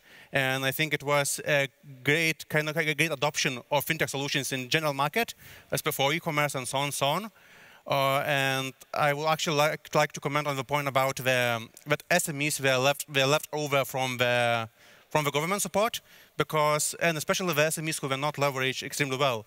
Mm -hmm. Because, because uh, like if you look at the, all the most of the stimulus packages to help society, uh, economies to survive their uh, lockdown, it was more or less given to prolong the existing uh, outstanding debt obligations, uh, like not to help, uh, like, and also help the banks to actually not to have like a bad debts at least for the next six or three months. And actually, the companies who actually were not were not leveraged, were not didn't get like the outstanding debt, they actually fell were hit the hardest because now it's very hard to get a new loan because the financial institutions are neglecting to get a loan. And I think that's the place where fintechs can come in and actually coming in uh, despite from our solution, we also like solutions when people are issuing their prepaid vouchers online on the fintech platforms, when you can actually come back to the restaurant or bar later on and use that voucher to to buy a drink while giving the cash now, like uh, now. And we, are, we also looked from Bankera side, we also looked for a similar solution. So we wanted actually to fix the potential breakdown of the supply chain at the earliest phase, where the retailer is actually not able to pay the suppliers, and the suppliers are not in the motivation to do that, but we cannot give a, provide a cash to them because they're also like a short of cash. So we should we develop a solution when we issue the loans by the guarantee of both the supplier and the buyer, trying to fix the supply chain at the earliest phase, and like giving motivation of all all the participants of the economy to actually to try to wait and prolong until the lockdown is over, or we transform the economy which is sustainable in the case of lockdown, if we have to say for let's say next like two years or five years, because we still don't know. Okay. Thanks. So is your solution which you have developed for this hackathon, is, is, it now live and kicking? Are you kind of, was it developed only for the purpose of the hackathon or, or do you plan to to go live with it and to keep so, it running. Yeah, so the hackathon was actually a good uh, exercise for our company to make things quicker inside inside our inside inside our house because the lending, especially for the SMEs, was always in our roadmap, the next thing to come. And the hackathon of the situation was a, it's a good opportunity for us to enter the market. So actually, I think we saved at least a couple of months by building the solution, and we're expecting to be live in July. Uh, so the hackathon of the situation actually was a good pressure for, for us, for the company, for the team to focus and to deliver it quicker than we were planning naturally. Okay, okay, thanks. All right, so I guess uh, SME lending was one of the areas which uh, popped up during the crisis where, where fintechs could uh, innovate and develop their solutions. What else? Uh, Douglas, I mean, looking, you meet a lot of executives, you do a lot of, of interviews. What else do you see? Have you, have, what, what sort of innovations or new business models, new products have you observed uh, during these, uh, your meetings with, with executives? Yeah. Um, so from my perspective, I, I, guess it wouldn't really be so much as as new technology, rather finally putting in place existing technologies that maybe should have been leveraged um, a couple of years ago. I've seen a lot more um, impetus in cloud-based technologies um, and customer-facing. Um, customer experience technologies and fintechs coming forward, um, and that's kind of pushed itself as well, I'd say, into a, a lot of the, the, kind of smaller fintech banks as well. Um, moving into uh, going back to the, the, lending solution as well. We start. I've started to see um, a couple more fintech banks like uh, Varengold um, look into actually starting to create lending suites that are uh, uh that are far more capable and uh, based off cloud-based solutions and marketplaces um, that maybe should have been leveraged by some of the high street banks and and other fintechs earlier. Um, so I'd definitely say from from that perspective, cloud-based technologies and, and uh, machine learning, um, especially to to really mitigate some of the risk that the fact that numerous um, organizations around the world are now working from home, um, especially payment uh, organ- fintechs. Um, and so the KYC and A- AML regulations, they still need to comply. So I think we're going to see a, a stronger um, kind of investment in terms of cloud-based technologies um, and and KYC technologies. Okay, thanks. Kestuti, would you like to elaborate more on that? What what are your observations? Yeah. Actually, it's it's very interesting if we are comparing the previous crisis, which was in year 2008, actually, mm -hmm. all the banks were blamed after that that they built this this crisis. Now the situation is quite is quite difficult. Banks have a lot of liquidity, and they are much more prepared, of mm-hmm. course. Mm. But uh, but I see that in the nearest future, the banks will be judged um, by by their actions. Uh, because now mm. now we see the rise of overdrafts and uh, and and other fees for for for services, especially directed to those companies which are which are in trouble, and especially SMEs. But SMEs in in previous times as well uh, was was something that everybody were were talking about the SMEs as a segment, but nobody had right tools or right right approach or how to serve those those SME companies. It was quite a difficult actually actually segment in the in the market. And the same is now especially when they face a lot of a lot of problems. But um, if we talk about about the uh, readiness and preparedness towards um, new crisis or this current crisis, yes, all the all the fintechs and all those smaller companies are much more prepared from the organizational structures, maybe from the mm -hmm. organizational part of their of their of their business, so because they are agile and they are fast and they have new new mm infrastructures, but they are lacking. Uh, um, trust maybe because we saw that uh, a lot of clients during the um, this current crisis moved back to, to incumbent banks and to the safe haven because they they they are still alive and they are big and they will not fail actually. Mm. So uh, we see this part uh, of of of movement, and and when when it comes to innovations, we see a lot of interesting stuff, actually. Those small startups, of course, jumped into the lending space, um, or helping governments to, to, to, deliver new funding packages uh, and, and etc. But, um, but on the other hand, big players like like Amazon, Google, now entering the same fintech space, and they are not targeting uh, the banking sector actually they will not become banks mm. but they are going to become and they are becoming actually now a new banking technology vendor and there will be a dramatic shift in the coming years i guess that when google amazon and others will start to provide and they already are doing this providing technology and platforms for banks there is a very interesting topic to talk about these big players as well. Okay. Okay, thanks.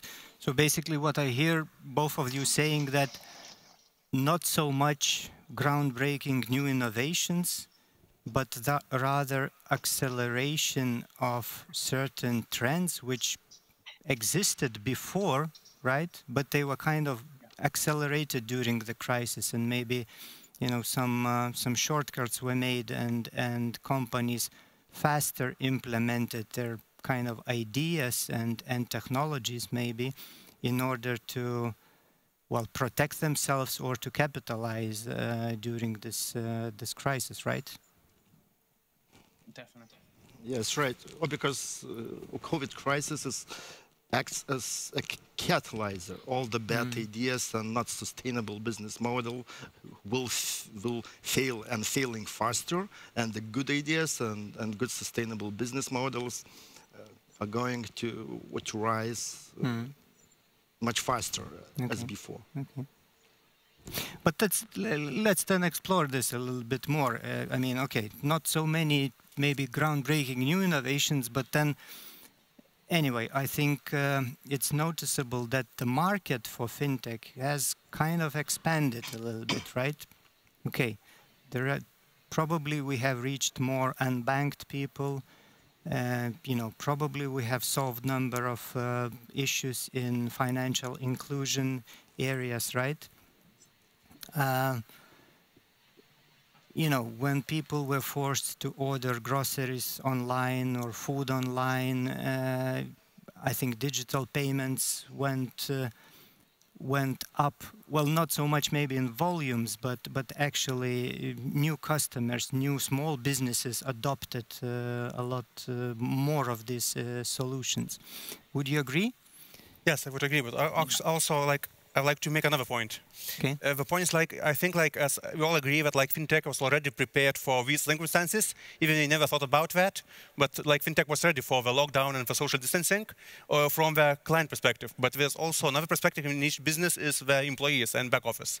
And I think like at least like from my company's experience, and I think it's for all the companies, what was the biggest kind of challenge and the change in the in the culture was actually the remote work, okay. because fintech was not the, the the area in which you actually can uh, allow the remote work at like at high scale because of the security issues.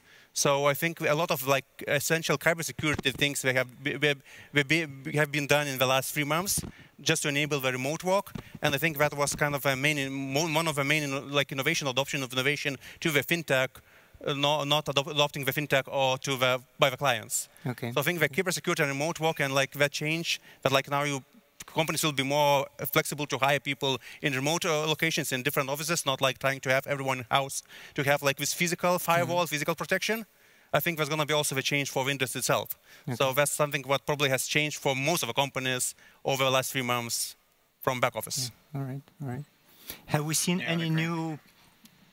Douglas, would you like to comment more on that?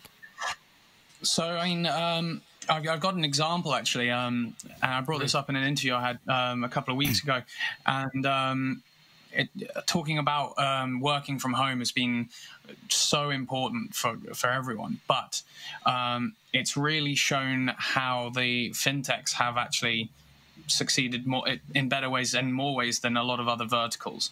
Um, I was speaking to a Mexican Mexican fintech bank, Klar and they were able to um, completely put their entire company working from home within a day.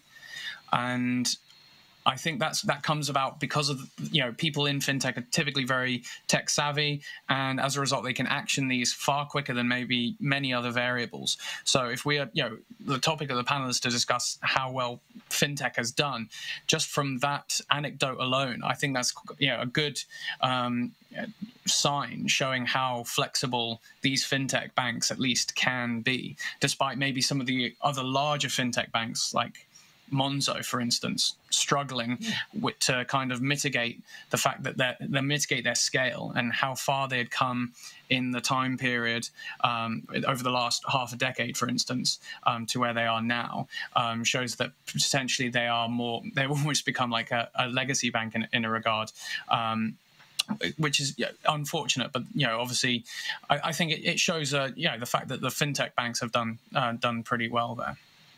Okay, that that brings us to maybe slightly different question, slightly off topic. But but Jesper, I wonder if you could um, um, help me to to understand. So, you know, before the COVID crisis, money were kind of pouring into the fintech industry. It was enough to have uh, fintech uh, written somewhere. Um, okay. uh, pouring into the um, fintech industry. But uh, now the situation is um, uh, now the situation is uh, what I hear different. We've seen a trend already slightly before the crisis that both volumes and number of deals um, in the fintech industry was going down. Now, I wonder how this COVID-19 crisis will affect investors' um, mindset. And um, Jesper, would you say that in the future we will see less of the fintech startups and only those who have already developed substantial customer base and, and probably have uh, uh, sufficient income will survive? No, I think um, I think uh, as uh, as you also just talking about uh, just before I fell out. But um, uh, what has really what has really happened uh, in this, what I find uh, as a dramatic change, is the, not only has market shares uh, changed in terms of consumer loans, etc., but um, it might not be many percentages that we're talking of now, but it, it's really a dramatic change in terms of uh, tendency, and especially in terms of trust. Um, as you also talked about, this um, symptomatic change of now suddenly it is uh, politically correct with uh, remote work, which was uh, before COVID-19. It was something exotic for us in, in fintech, maybe, but uh, for the general consumer, it was, um, and uh, you know, in B2B, it was something that was considered um, not not normal, and suddenly now it is normal. This trust to fintech and other entities um, has really has really changed. so that means that um, with the manifestation of market shares, with the change of uh, uh, behavior. Um, and uh, you will see that this this will drive more investment into fintech for sure. Um, personally, I'm looking at more maybe maybe long term um, opportunities um, such as where do we see the next credit bureaus uh, popping up? Um, and, uh, um, you know, I, I, see it both in Asia and um, in Europe and, and US tendencies to, to data driven um, uh, businesses which uh, are, are, fighting to take that space. And I just think that this has really given uh, a, a, further strength to um, what uh, before might have been generally known investor crazy, you know, investor circles that um, you know fintech uh, is still to come, and I think with COVID nineteen, it is here. Okay, thanks. Can I um, follow on from that? Sure, Douglas. Just in terms of the um, uh, following on from uh, Jesper's uh, talk about trust, um, I actually got sent a study earlier today uh, literally today, um, which was uh, brilliant for me, shall I say. Um, but uh, within the study, they found that um, a lot of technology companies had found that by working from home uh, religiously and unanimously, they'd found an increase um, of a rise of productivity in software development of 30% um, within their organization. Um, and I mean, that is a huge, huge increase um, in three months. Um, and I'm, I'm, sure a, lot of other organizations and a lot of other industries and verticals would be jealous of that. Um, the one thing that they did find um, is that new software, um, big kind of releases, suddenly became a lot harder to do. Um, but it was uh, what I found really interesting was that that notion of trust and the fact that people didn't have to commute or spend energy going to various different places or interacting with other people, being distracted by other people, led to this 30% increase um, in in software development times. Um, so I, I, think that certainly uh, was a really interesting stat I pulled. Mm. Okay, thanks. So. Um, so it sounds uh, optimistic, I would say, what, what you guys are saying, that uh, we should not see any freeze of funding for fintechs in the future due to the, due to the crisis, but rather on the contrary, probably this, uh, this area is very attractive and as it develops, it will attract continuous investment. That's good to hear. um, maybe a question to Vytautas. You know, you are fintech company. Um, what sort of um, opportunities you still see in the current situation, or kind of you maybe have certain regret that you have missed? Maybe you know if you knew that this would continue for another half a year, this lockdown. Would you do something different in your company? Would you would you go into certain new product areas, new partnerships? I think regarding the uh, product roadmap, I think it would be more or less the same because still like there are things you want to do quicker, but just because you have a bottleneck in development and so on, you cannot make faster. But I think uh, regarding the remote work and the office culture, but I think like, like especially like this beginning of this year, we had a lot of like of how to say the efforts put on the finding new office and so on. And like when we had the, the lockdown, we eventually found out that like it was just like more or less a waste of time because we actually work, uh, are also working much more efficiently from from home because we, as I say, we have more less office drama because usually when you office you have like small things, you have like you know something is missing from the kitchen, etc., etc. Mm. And when when everyone's working at home, you actually are more work focused, and I think people are happy because they can spend more time with families, so on because I think like you, you want to spend your time with your colleagues professionally, but usually they, they shouldn't, not, you're not always seeing them your best friends. So actually having this mix when you have like a coffee break with your family, with your kids, but you actually you have your professional environment with people who are very competent and you can just switch on your, your, on, your, on your computer and just lock in your room, mm. and then you can just leave in one second back to your family. I think that's, that's actually what empowers people and makes mm. them love the job more and makes them more effective. Okay. On the other hand, yes, I think like what what the opportunity which was probably missed by us, but just missed because of uh, you cannot do everything in one in one mm -hmm. day. It's actually more about focusing about online payments and payment processing, because the lockdown was actually a huge, huge potential for the new e-commerce and so on. Especially in March and April, we saw a lot of mm. uh, e shops getting online and getting online in, let's say, very old school ways when we're just taking the orders on Facebook and then we're, we're trying to build the e-shops in parallel and which are rolling down now. So I think yeah. that was one of the opportunities we missed. Okay, I see. Thanks. I'll take one question from the audience. So um, the question is as follows: that uh, most innovations, especially tools which help dealing with COVID-19, need a lot of data. Have you noticed any progress in opening up or providing more data across Europe and other regions? Kestuti, maybe you'd like to Actually, take that. Actually, yes, and there are a lot of examples. Actually, I I still remember it was almost a month ago, maybe, when NASA uh, launched uh, a new hackathon, Space Apps, uh, which was dedicated to COVID.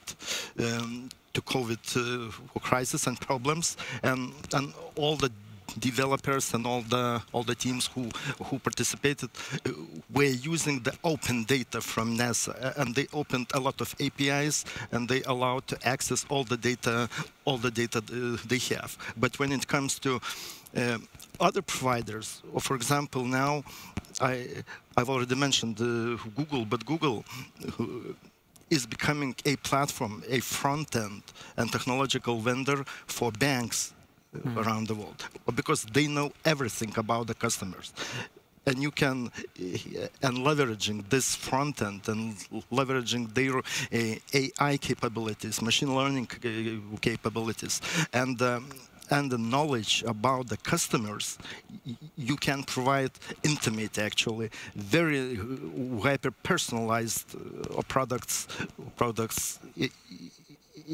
in the future.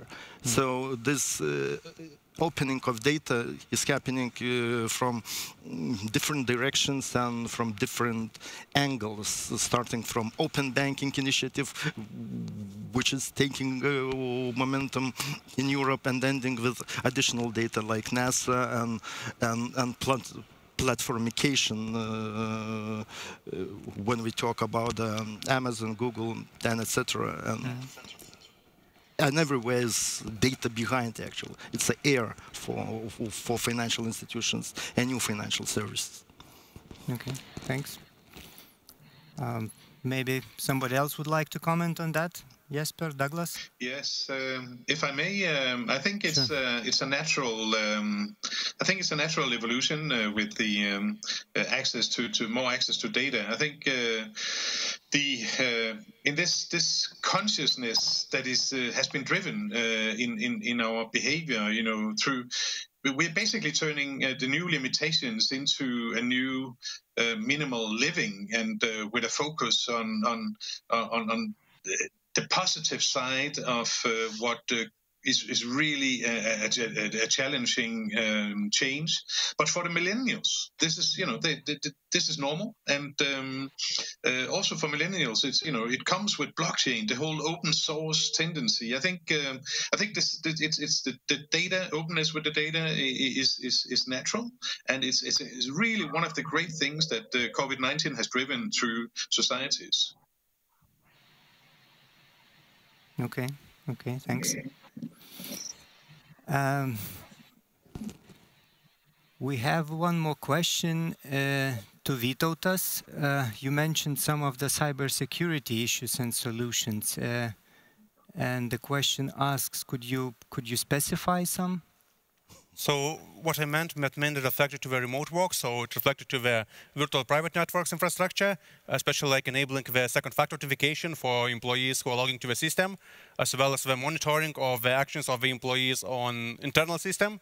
So it's more or less about the the security measures which most companies and we had before that, but we're not uh, uh, using them at, let's say, the full capacity because the, like, the, the, potential risk was smaller than having like all the employees, especially employees who are working with sensitive data, working remotely.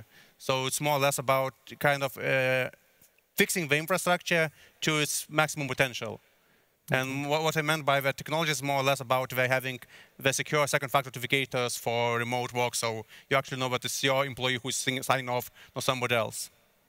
Okay, okay, thanks. Probably that that brings us to maybe another interesting topic uh, uh, from regulatory perspective. Of course, there are already a lot of um, rules and regulations, directives on on financial industry, right? But I think this uh, COVID-19 crisis brought up a new um, or refreshed the the uh, question about uh, you know um, contingency planning, uh, things like you know like you mentioned now working from home and having full access to your um, uh, systems, and and probably that would uh, bring another wave of regulatory if not new regulations, but then at least checkups on, on the fintech industry from regulatory perspective. Douglas, would you like to comment yeah, on that? I mean, uh, there's an, an example of that um, that that came about within just because of the pandemic, and um, the SCA regulation or the strong uh, strong customer authentication regulation that was going to um, take place back in May, um, the FCA um, over in the UK actually delayed it um, because it was going to put unnecessary strain, security strain on uh, retail businesses in the UK during a time where they've all been told to shut up their bricks and mortar stores.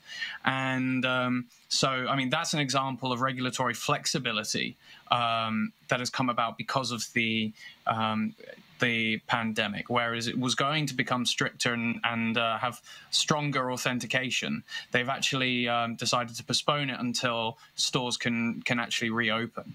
Um, so I think that that's actually quite interesting, where you would assume that the regulations would become stricter. Um, they've actually well, they're not going to be uh, relaxed. They're, they're just uh, certainly waiting until the, the pandemic is over. Um, but I, I, assume that there may be um, movements in terms of online payments, and, and you're certainly still, um, I believe, the the verdict on whether the the transformation from TARGET2 payment. Um, over in Europe, from the, the Central Bank of Europe, I think, and SWIFT is going to be made um, some point this month. So that will be really interesting to see if, if those payment um, um that if that, that that changes. Okay. Okay. Thanks. Let me take one more question, probably the last question from the audience, and then we will slowly move to the conclusions. So, um, seems that what we're discussed so far looks kind of positive for the fintech industry. So now we are asked to name what was the negative for the fintechs during this COVID crisis. What uh, what was negative impact? Negative. Well, for example, when we talk about the fintech, when we talk about financial technologies, there are a lot of areas where financial technology, payments, and etc. Are, are embedded into other businesses. For example, uh, in the in the retail stores, which mm -hmm. are uh, available in, in, different countries, or small small shops, convenience stores, and etc. When uh, during the lockdown, they lost almost all the customers because they were not able to go online.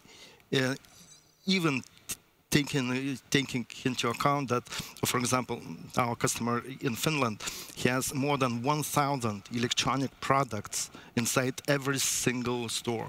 You can buy physical goods, but also uh, more than 1,000 um, e-products like replenishment of iTunes accounts, bill payments, applications for passports, railway tickets, and etc. But when they lost this uh, this stream of, of, bypassers in these stores, okay. they, it, it, was a negative impact actually in technologically technologically advanced retail. Okay. Any it's, more? It's, eh. it's just one of the examples. Any more negative examples? Well, I mean, backing yes, up that uh, point, I, I believe. Oh, sorry, Jesper, you go. Go ahead, Doug. Well, I, I was just, um, yeah, just uh, backing up that that, belief, and I, I think McKinsey, uh, McKinsey's um, global payment uh, report uh, reported that there will be an eight to ten percent uh, spending decrease um, worldwide, um, which I mean is is going to dramatically um, affect obviously lots of retailers, but also a lot of the fintechs that were facilitating these um, these payments, which had become. I, we often talk about the movement from large batch payments to uh, low value, but um, uh, low value but high volume payments. And obviously, when people aren't paying anymore, um, that's a significant profit margin that's going to affect uh, not just retailers but fintechs alike. Okay, thanks. Yes, yes and I think um, yeah, the the uncertainty uh, was really bad for everybody, also for fintech. Um, fear paralyzes, and um, we've seen uh, a lot of delays. Uh, we've seen um, a lot of uh, you know, in terms of investment, uh, that uh, people just, just suddenly did not see how the world would um, evolve. And uh, in, in, in, a lot of circumstances, uh, we have lost negotiations, we've lost opportunities because uh, we did not really know what was going on. In spite of the fact that we um, that the capital is available and uh, people are ready to move uh, because of this uncertainty, uh, both in terms of seller and buyer, everything just stagnates because of the uncertainty and the fear that it um, that, that, that, this whole pandemic has generated. Okay. Okay, thank you very much. So um, now I'd like to do a quick round and um, ask from all of you some closing remarks. What are your main conclusions and takeaways?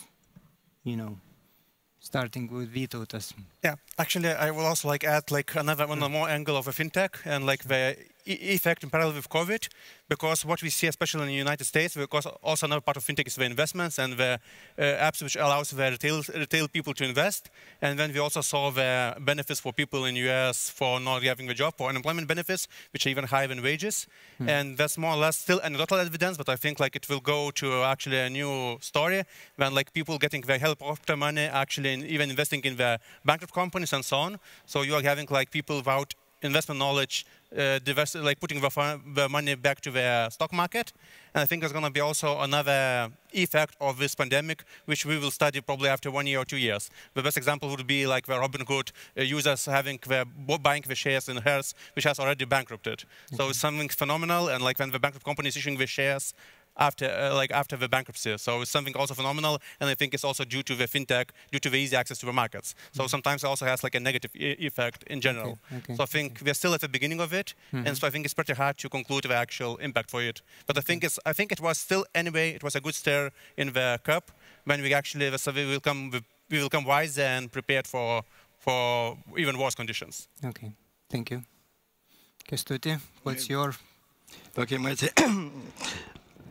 I would told that uh, now it is it was a very good exercise and, and especially a very good uh, background now to, for the future to choose for every fintech and, and for every new financial institution or financial institution uh, which uh, wants to remain afloat actually to choose the right partners the right tools mm -hmm. to to move uh, and digitally transform the businesses. Stop talking, but just start start doing this. Because if you're not uh, changing, then you will die you will die in the future and i personally just wait and believe a lot that one day the or semantic web and semantic banking the banking and web with the conscience uh, behind will emerge finally mm. finally and we will have this uh, smart web and all the smart and hyper personalized banking applications and, and real approach towards me instead of having those uh, just banking products. I want to live my life and just don't think about the banking banking products. I want to see this embedded uh, invisible banking services, okay. which complements my life. Okay, so you're hoping for major transformation here. Yeah, sure. Okay, thanks. Uh, Douglas, what are, what are your final comments and conclusions? Um, I guess mine are, are slightly more negative. Uh, basically, I think that the uh, in my in my opinion, the uh, the virus has caused um, a lot of uh, what was going to be collaborative approaches between the fintechs and the large institutions, the banks, um, has actually been scuttled.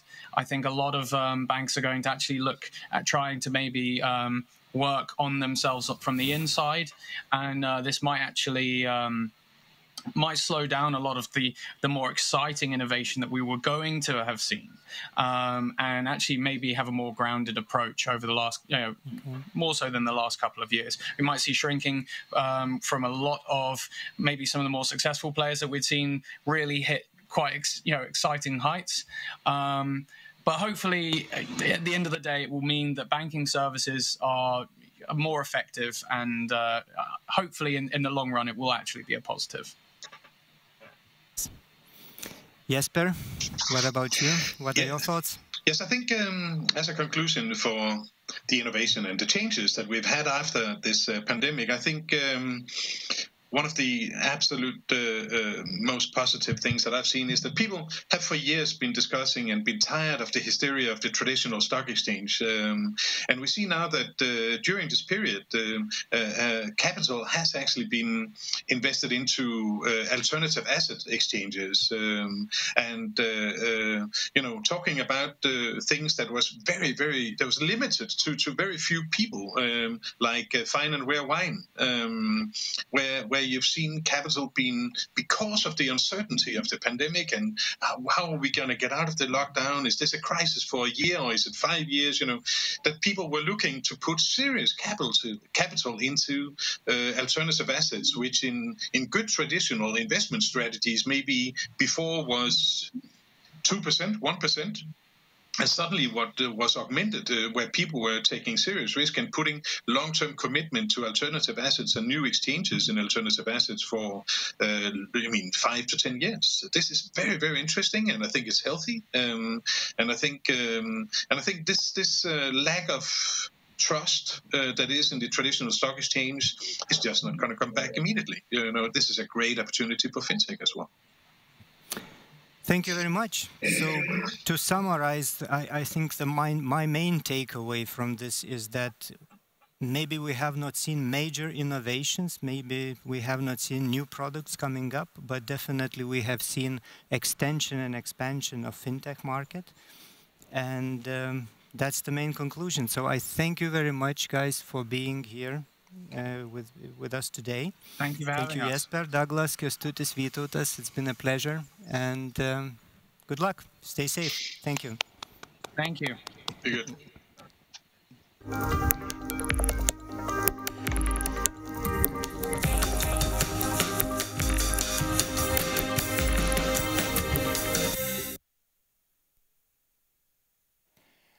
Thank you very much, Paulius Tarbunas, and uh, the uh, fun panel that, for the discussion that you just had. And right now we will move forward to a new uh, subject for conversation. Uh, it is AML and KYC. Are they the new king? Uh, our moderator for the next discussion is Alexandre Pinot. Uh, uh, he is an anti-money laundering and anti-financial crime professional with over 10 years of practical experience within the financial services uh, business in various countries uh, across Europe, managing the AML CFT unit and the EU office of Sonect and a Swiss fintech, founding member at ACAMS Baltic chapter. Alex, uh, it's good to see you. And right now, we cut over to you.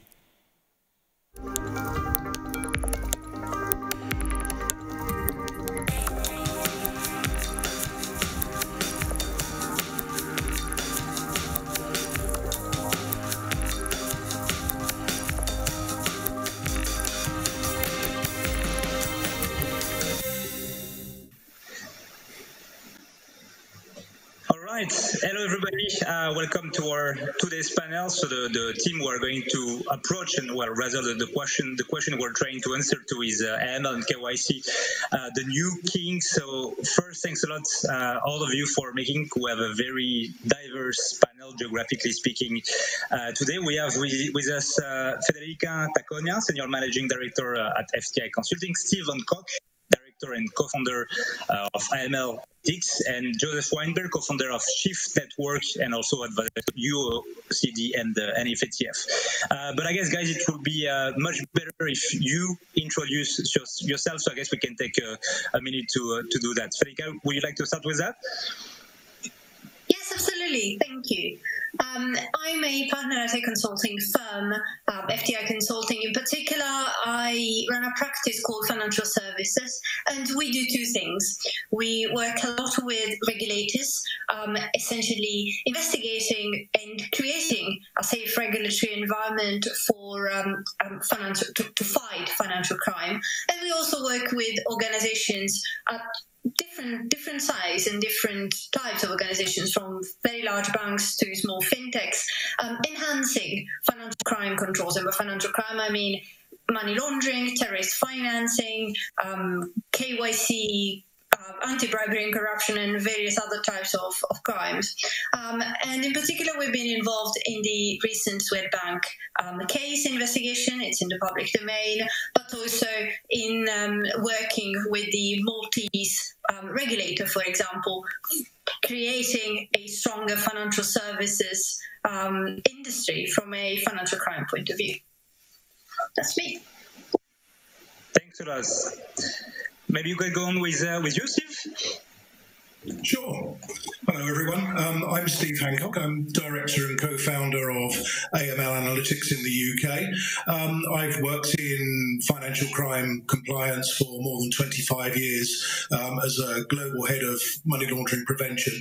Um, when we set up AML Analytics it, back in 2010, um, it was uh, done so that we can stress test the PEP and sanction screening systems that financial institutions have in place because lots of institutions um, buy the, uh, the, the screening systems um, and use them without knowing how effective they are and also how accurate they are. In addition to looking at those, we also um, validate transaction screening systems as well around the globe, um, and we have a global presence. Uh, we, we work with um, all sectors uh, who are, um, have to screen their client databases. Um, that's me. Thanks a lot, Steve. And uh, last but not least, uh, we can go with, with you, uh, Joseph. Uh, special thanks, by the way, for connecting from the Canada, uh, where it's especially early for you. So thanks again for that. No Thank you for having me. Um, yeah, so I'm Joseph Weinberg. I'm the co-founder of Shyft Network. Um, I've actually taken a bit of a differentiated uh, turn into the kind of KYC and AML space. Uh, I was an early pioneer in the Bitcoin uh, ecosystem, so started in Bitcoin in 2010. Uh, I started working on regulations in about three years ago um, as we started to realize that you know digital assets and cryptocurrencies had a, a greater requirement for clarity on the regulatory side. Um, at Shyft, we've been working on identity infrastructure for governments around the world, um, and most recently been working on solutions to the Financial Action Task Force uh, travel rule requirement for the digital asset space. Um, so we've been working on infrastructure kind of across a, a variety of spans of different areas, um, and have been kind of advising the OECD um, and the Secretary of the FATF uh, for kind of the last two to two and a half years as well. Great, thanks. So that, that's really good and I guess valuable for our audience to have uh, all of you guys with uh, kind of cross experience between the private and public sector within the, the, the MLCFT area. Uh, as to me, very quickly, I'm Alexandre Pinot. I'm uh, acting uh, money laundering reporting officer for Sonect, which is an EMI license in Lithuania. I'm also a board member at the FinTech Hub, which is the, the largest association of licensed FinTech here in Lithuania, which is gaining weight on the, the ecosystem. and I'm the, the, the, the co-chair and, and founding member of the ACAMS Baltic chapters, which is getting increasingly involved as well with the, the, the, fintech ecosystem here in Lithuania and in, in the Baltics. All right, so now that we uh, know a little, bit more uh, about each other, we can we can set the scene quickly. Uh, we're talking fintech, we're talking AML. Uh, obviously, uh, uh, avoid talking at least quickly about the fintech boom. Lithuania, it's been a few years now that the, the policy of attracting foreign companies and attracting fintech companies in Lithuania is extremely successful. Lithuania is now the first jurisdiction in terms of number of licensed fintech in, in continental Europe. Uh, I'm saying continental Europe, but what is happening uh, with the Brexit at the moment uh, might make us, Lithuania, the, the leader in, in, in, Europe in general. Uh, all these new entities, uh, obviously, which for a lot of them are, are young startups, need to get acquainted with uh, often heavy and also numerous uh, regulatory requirements, uh, ever evolving regulatory requirements as well, which are tied to these, uh, these licenses that they acquired, among which, obviously, AML CFT requirement. And in parallel to that, we have obviously all the, the AML scandals in the region, in the Baltic, generally speaking. Uh, so just to name a few, we, have had uh, Danske Bank, we've we've had Swedbank, as as Federica was approaching. We've got uh, Heavy, a bit earlier on, uh, and many of these were, were linked to a different type of, uh, of uh, deficiency in due diligence process, uh, in, in, monitoring process, and we, we, will be approaching that. But the, the consequence, uh, in short of that, is that a lot of these companies which were arriving on the market uh, have been facing and are, are still facing uh, a lot of challenges when it comes to opening bank account and basically get an access to the traditional financial system, which is very paradoxical uh, at a moment where this fintech ecosystem is, is flourishing.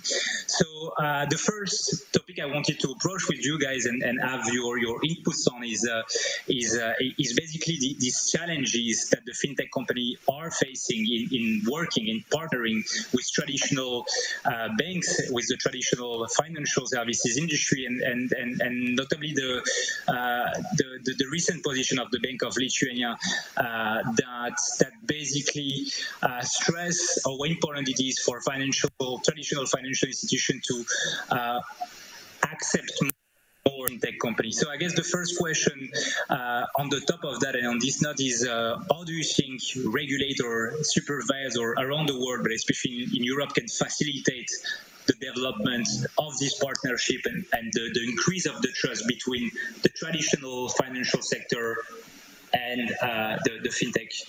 Maybe we can start with you, Federica.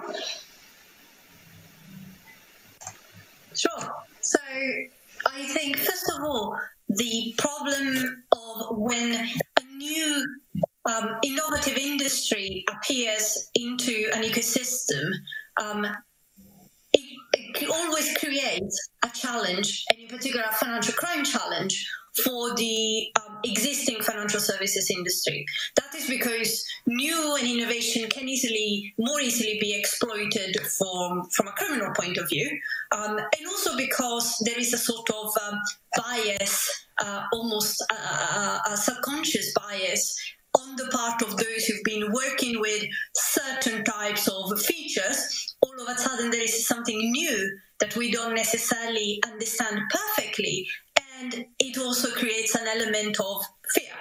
So there is an element of it um, of the novelty which represents a greater risk, but there is also an element of lack of understanding. Lithuania is no, in no way alone in this. I spend a lot of time in Malta, where I am helping the regulators and the industry fix this type of problem. In, in Malta, it's been the gambling industry. It's called the gaming industry in Malta, but it's, it's online gaming, online betting.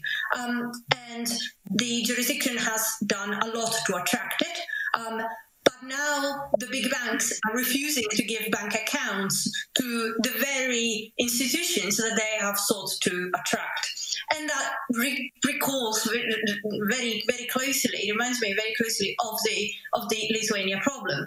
Um, there is one single solution to that. It's knowledge and understanding of two things.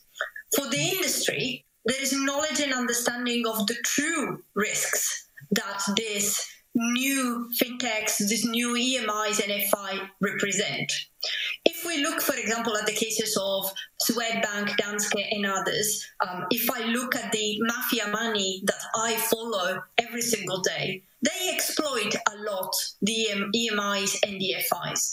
But I am pretty sure that if I ask a random person in an EMI, or if I ask a random person at the regulator, they will not be able to articulate to me how that is being abused. So the first element is to really understand how the, the financial crime is operating through those networks.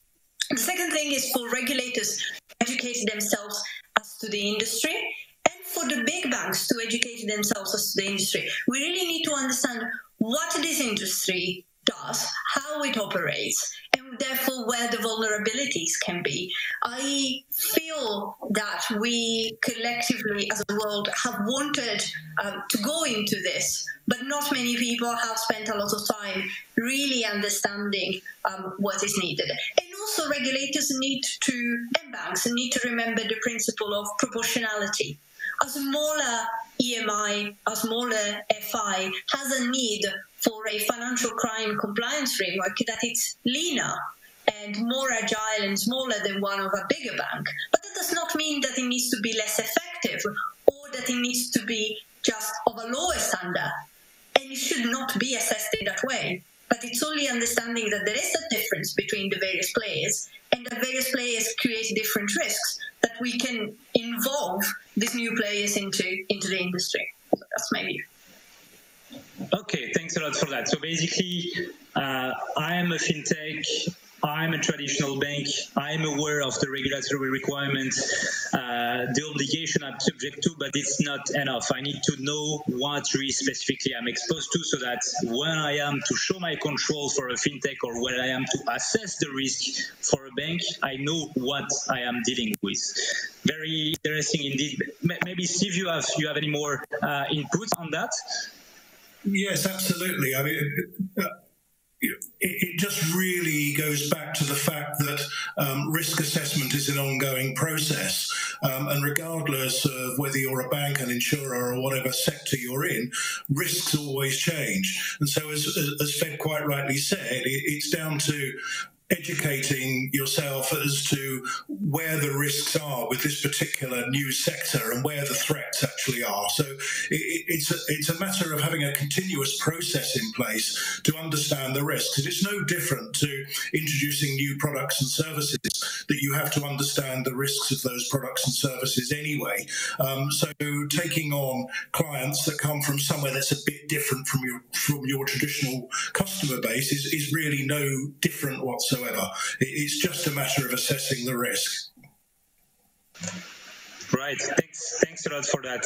So really going into it rather than saying, "Oh, it looks risky. It must be risky. I'm not going for it." Uh, Joseph, to to add on this uh, on this topic. Yeah, um, I mean, I think it's a very timely topic. Uh, the digital asset space, in particular, has been going through this um, in many different facets, and and I think the the hardest thing has been is a few different things. Is one is how do you even figure out what the risks are because it's just such a different paradigm change in terms of you know how money is transferred, who your counterparties are, uh, and so I think that that's coming with its own challenges. Um, I largely think that that's what the Financial Action Task Force is trying to do right now is give us some guidance and, and, and some initial kind of you know understanding of saying, hey, startups, it's no longer the wild wild west. You need to start you know thinking about you know risk uh, and compliance in these different ways.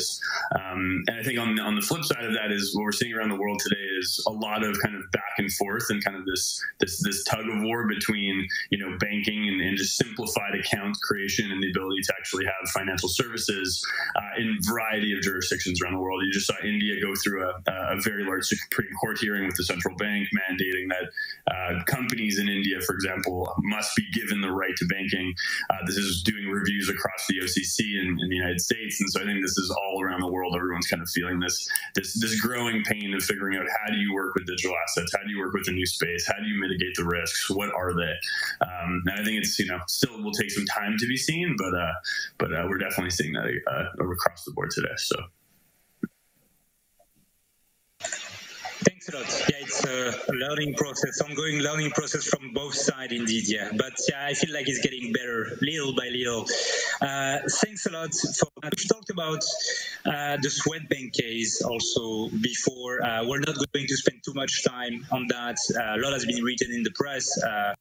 This has been doing a lot of noise. This is still making a lot of noise, but I, I think it's quite reflecting a lot of uh, these different examples we've seen with more traditional uh, financial institutions, more traditional banks, uh, and and and the, the, the whole mood uh, in the region uh, in regards to what has been happening in the past and what is re resurging at the, at the moment. So uh, I wanted to start with, you, Federica, since you've been working on this case, and, and ask you uh, if very quickly you could tell us uh, what, what, what went wrong, uh, if this could have been avoided, and, and how is this being corrected uh, at the moment. And after that, maybe we can bridge it with the, fintech uh, ecosystem.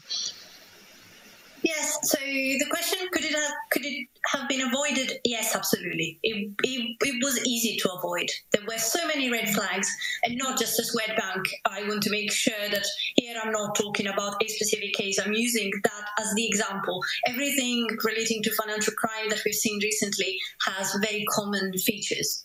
Um, the second thing that um, strikes me is that there were very simple things that failed, very small things that were extremely important. And the size of the catastrophe that's happened is so disproportionate compared to the little things. You know, the type of things that failed is people asking, for example, who really owns this company?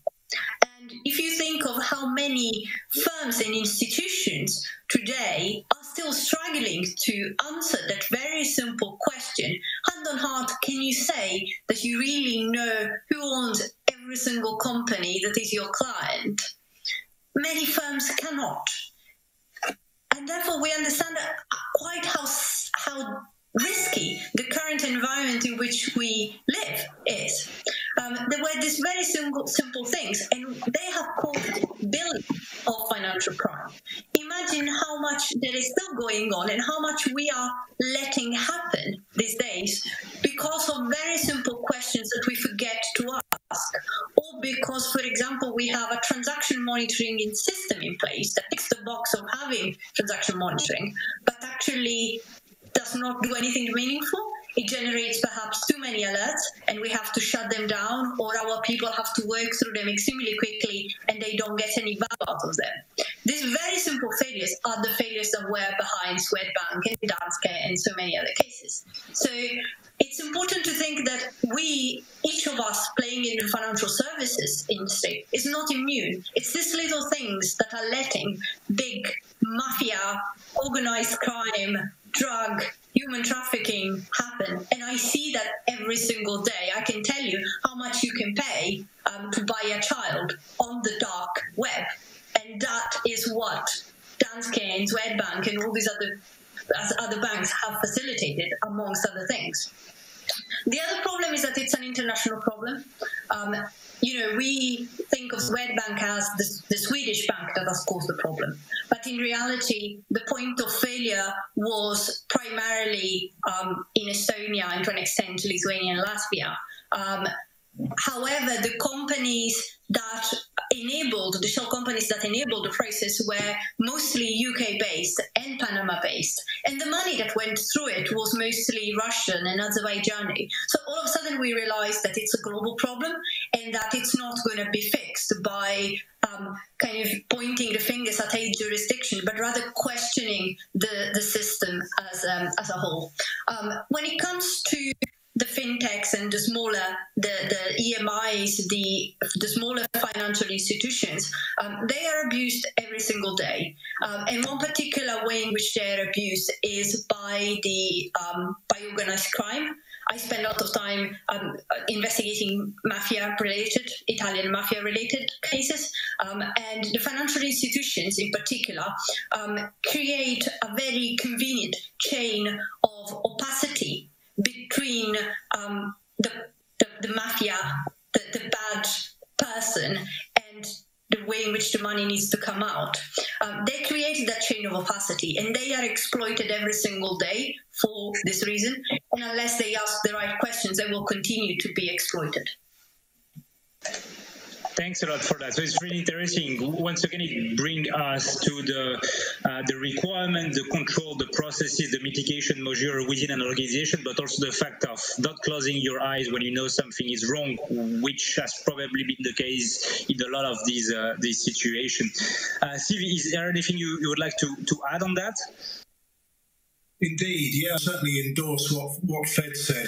Um, the, the, common thread here is um, either lack of or poor systems and controls.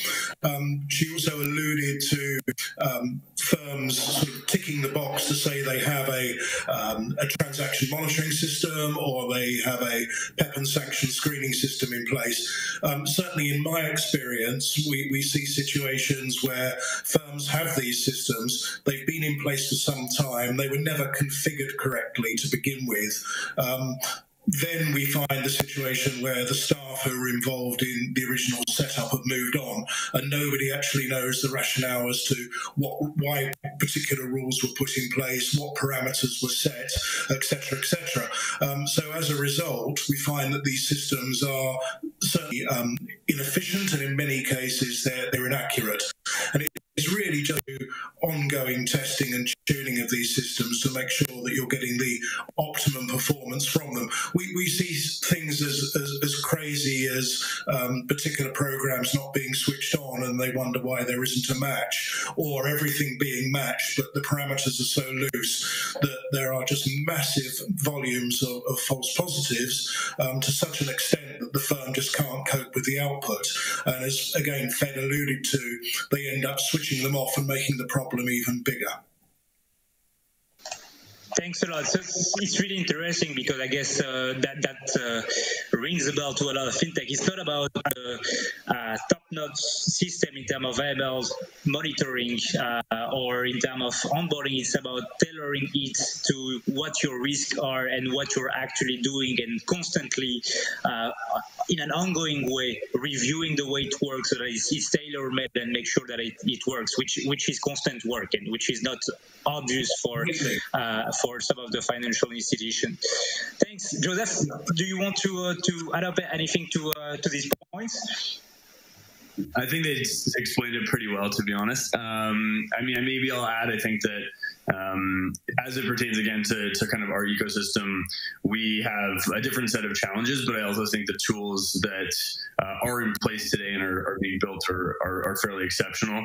Um, you know, it's the, the question is really around how do you do proper transaction monitoring, and, um, and of course we do have new challenges around pseudo anonymity and uh, and understanding who counterparties are uh, across transaction flows. But um, but I would say that if you if you're looking at the digital asset space broadly, um, our transaction monitoring capabilities are are are definitely up there, if, if not in some cases more advanced. And so, um, although most people have not been enforcing um, up for the last few years, I would say that that'll start to change, and I think we should start to see these tools also both develop and advance in, in really really interesting ways, and and probably intersect with the existing infrastructure that's used uh, by traditional financial institutions today. So, keep it short. Thanks, a lot for that. Uh, so I'd like to bounce back actually on, on what you've just said on the uh, the increased capacity for financial for well anyway uh, more broadly speaking any subject entity to leverage technology uh, to meet their requirement. But even I would say beyond that, uh, to manage the risk, which at the end of the day is, is as important, if not more important, than just meeting the requirement and ticking the, the box. Uh, there are a lot of discussion uh, at the moment, which I, I personally love. I, I, find that really passionating uh, about supervisory technology, SupTech as we refer to it. So basically the use of technology directly by supervisor to enhance, make better their risk-based approach and their uh, efficiency in supervising the market participants. Now we, we have a lot of regulatory in Europe, but also throughout the world uh, that have access to much more transactional data that they uh, used to have, either because they have a direct view on the uh, payment system of the market participants, like as in Lithuania with controlling, for example, uh, or because uh, they receive much more data from the market participant. And although in the past that was something we could not conceive because the volume of data, the volume of transaction was simply too gigantic to even consider acting on it. Now, this is something that technology enable us and the regulator to do. So, uh, what I wanted to ask you is, uh, is first, and I mean, to be more specific, if we speak about transaction, do you think regulator and supervisor in Europe, but around the world, are ready for that, ready, ready to use the technology for directly uh, supervising the market participant. I guess we, we can start with you, Joseph, this time and to change a bit the, the, the round, the, the third of the table. Yeah, I mean, I think that that's already happening today in, in most cases, at least. Um, Chainalysis and other tools like that have been widely used by law enforcement around the world. Financial intelligence units are, if not integrated already, fairly well close to integrating. Um, I mean, I think some countries have a bit of catch up in, in, in, in trying to figure out how exactly to use these tools, but, um, but I would largely say that they're in place and being used today. Um, I think anything outside of on chain transaction monitoring is not quite there in its development yet. I think it'll be, you know, a little while longer as we the market mature before we understand what other tools are really needed. Uh, Um, and that really depends on, you know, what aspects of the industry you're looking at. Um, but I think for the most part, we've been focusing on, you know, on-chain analytics, public blockchain networks. And um, from that perspective, I think they're fairly well advanced and that most people are using them. Uh, and we've already seen cases of, you know, people being caught by the FBI and, you know, uh, departments and agencies around the world uh, for you know, actually uh, money laundering and terrorist financing. So uh, I think it's happening, and I think it's the right approach, and I think that we'll see more of that in you know the the, the mid to short term. So hopefully, I hope so too. Steve, anything to add on that? Yeah, I mean, I would say you know financial institutions around the world are already providing a vast amount of data to regulators, um, and they're using automated systems to actually capture the information. So it, it makes perfect sense for, for, this to be the next step. Um, certainly, from my experience, regulators are, are certainly getting there.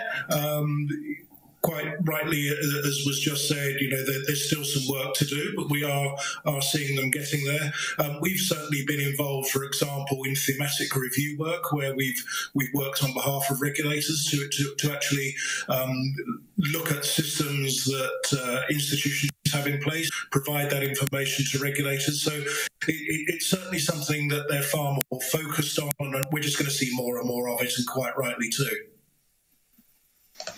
Thanks a lot. Federica, do you want to add an, input?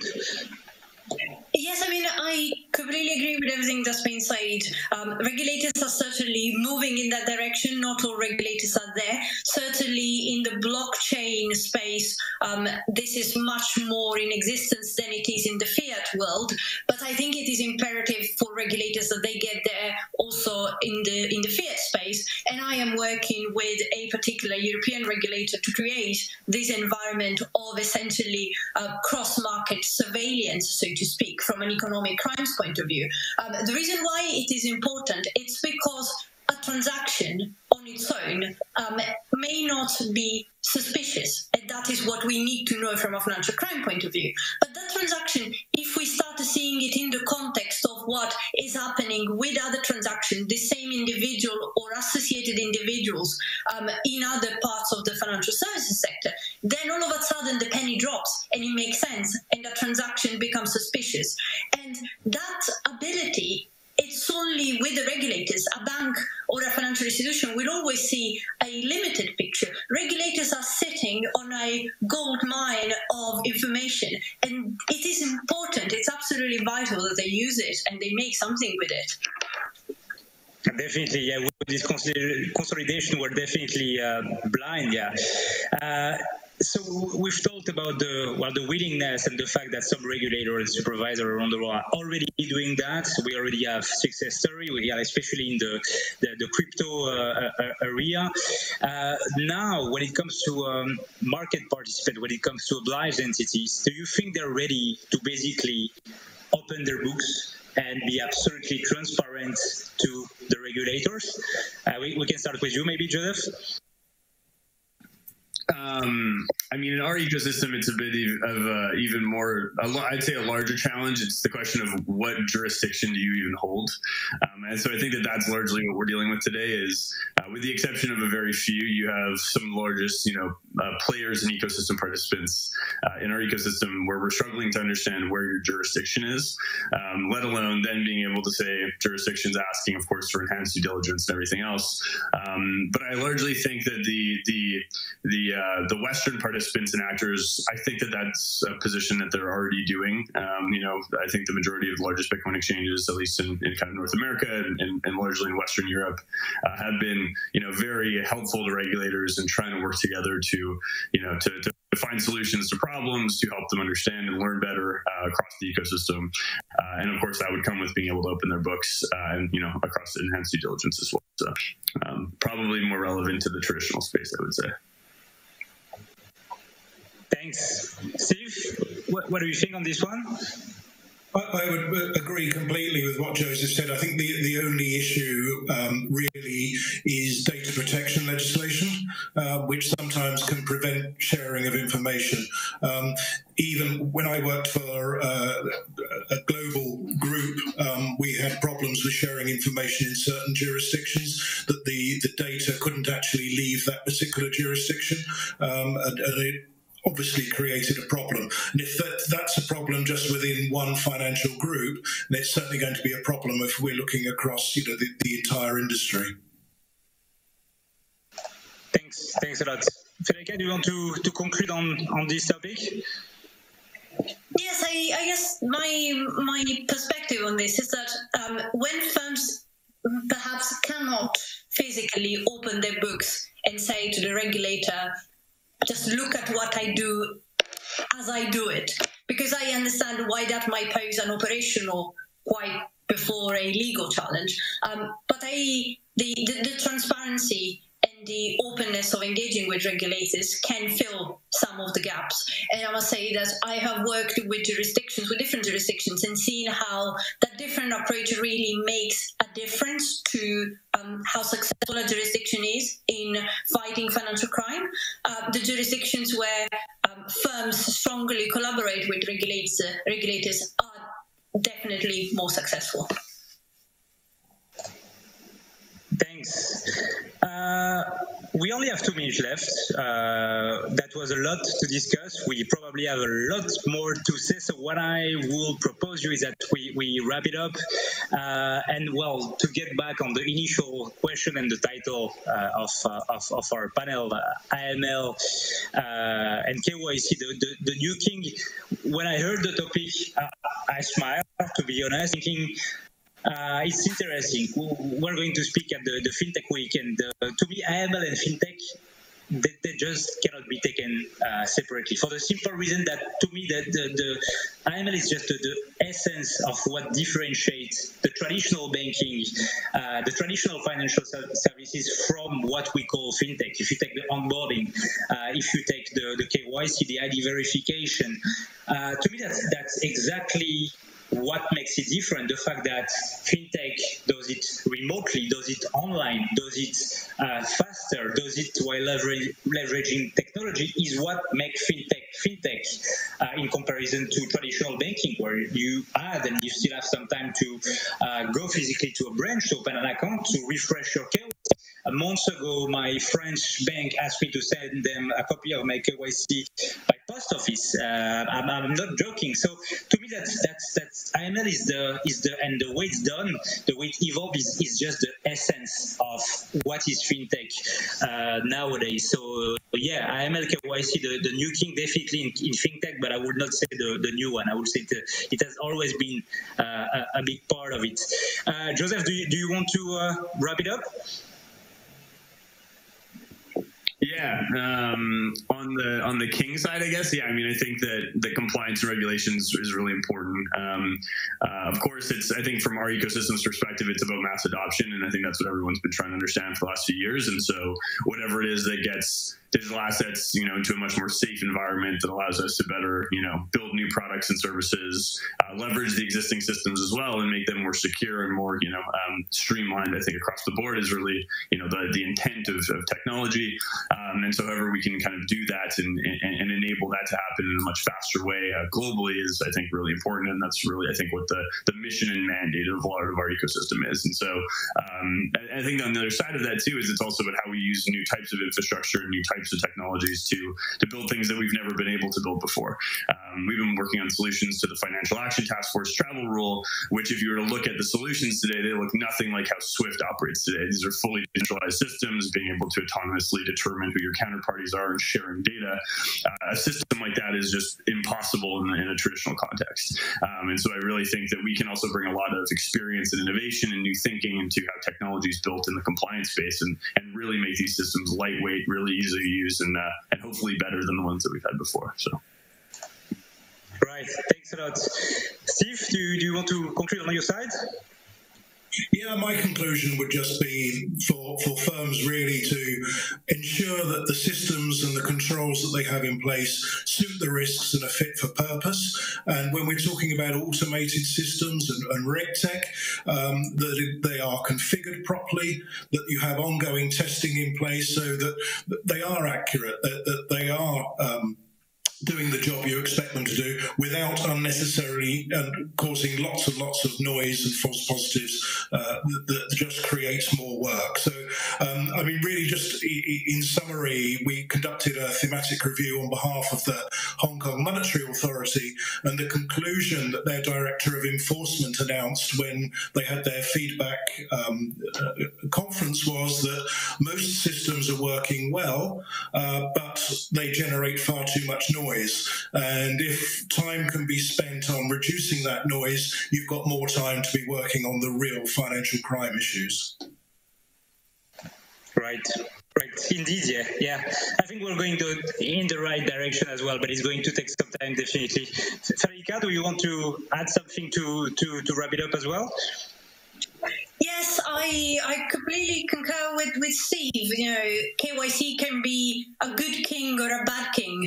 Um, KYC could be us spending a lot of money and time and resources on a lot of convoluted, complicated process and just wasting money, ticking a box, patting ourselves on the back, saying yes, you're doing the right thing, but actually leaving the financial crime environment unchanged.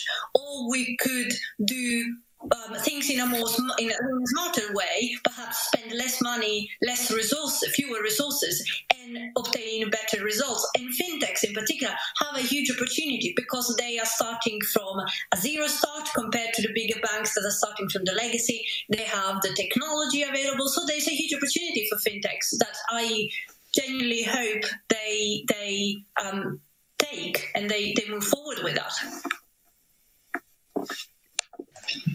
Right. Thanks a lot. So yeah, AML KYC more of an enabler than a, than a roadblock. If if uh, if well designed, is smartly thought. That's that's yeah, definitely the, the way forward.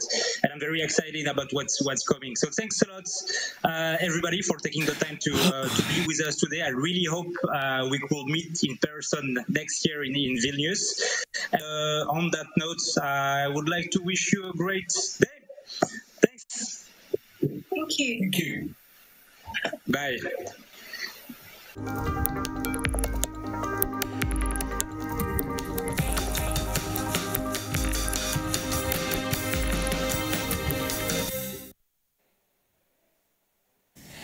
Thank you very much to Alex and the panel for an interesting discussion. I do have a personal commitment to Alex. I still owe him a bottle of wine, so when we meet Alex, uh, this is a public commitment from myself that I give you back your bottle of white wine. And right now, uh, it is a pleasure because I have a guest in the studio joining me today. Uh, the CEO of Idenfy, Domantas Čiuldė, is with me here today. Domantas, good to see you.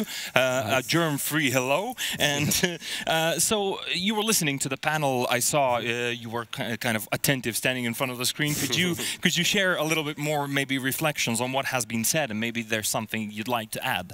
Yeah. So firstly, I would like to say thank you for uh, for the great discussion. Um, actually, all uh, great topics was already discussed. Yeah. Uh, I don't uh, see what I can add on the top of that, um, but I guess I can uh, a little bit elaborate more on the know your customer process, what the challenges we currently seeing in the market. Um, so I guess it would be great to to standardize, uh, to make the standard of a customer process um, in the European Union. Uh, because currently in every country uh, we, we have the different uh, customer process. For example, in the Germany, uh, we have uh, only live agent identity verification process. Uh, for example, in the United Kingdom, we have only a photo verification process. That means you can verify your customers doing the sending the, uh, the, image of your passport through the email. Uh, for example, in Lithuania, we have real-time identity verification process, uh, which means you have to take the picture of your ID document um, in real time, take uh, your picture of your selfie in the real time.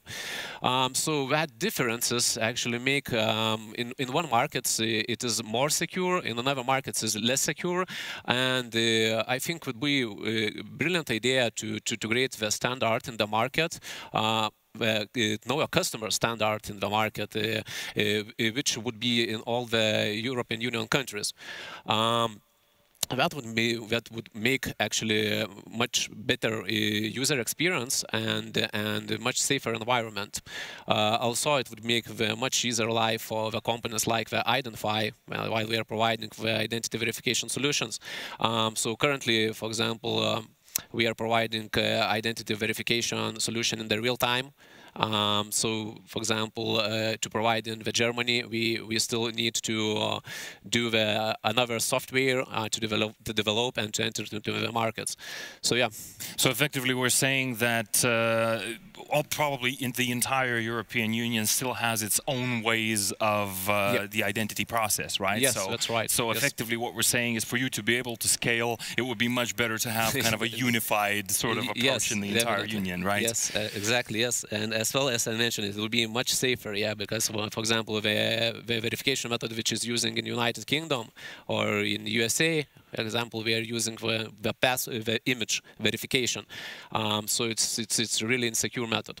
So, and we're also saying that we can't really issue uh, a single instruction to, to an, an, end user, an end consumer, right? You have to click on your own country and follow the exact same procedures yeah, that yeah, you need exactly. to. Yeah, Perfect. Um, just a yeah. quick move, kind of slightly, uh, as you specialize in uh, AML partly as well. Uh, I understand uh, uh, there are two key kind of pieces of legislation, AML D4 and AML D5. What are the main differences between the two, and how do you stay compliant with AML D5? Yeah, so actually the, the differences, uh, I would list the main differences would be that uh, AMLD5 introduced that the cryptocurrency ex exchange companies and virtual currency companies should comply with AML uh, requirements. Uh, that means that we must monitor their uh, users, monitor their transactions, fill the SARS, suspicious activity reports, um, also to verify their customers. Um, so yeah, so um, to, to comply with AMLD5, it's actually, you, as I said, you have to monitor the users, uh, monitor, the, monitor their transactions, um, spot the suspicious transactions, um, monitor the politically exposed persons um, and sanctions uh, lists. So do that, uh, recommendation to do that is uh, per every transaction. So if a customer is trying to top up their account or to transfer uh, money to the friend, yes, yeah, so the recommendation is to do the political exposed person check and sanctioned person check where every every transaction. Um, also, uh, not, not mentioned it that uh, no customer uh, process is, is necessary, so you must to verify your customers. Um, so yeah, so compli completing these steps, it's actually enough to comply with AMLD5. And uh, are we saying that AMLD5 is actually uh, a kind of segue on to a kind of better approach than we used to have? Uh, sorry, can you? Uh, so yeah, just a kind of uh, uh in the general kind of uh, view of the AMLD5. Is it? Uh, do companies find it more difficult to comply with it?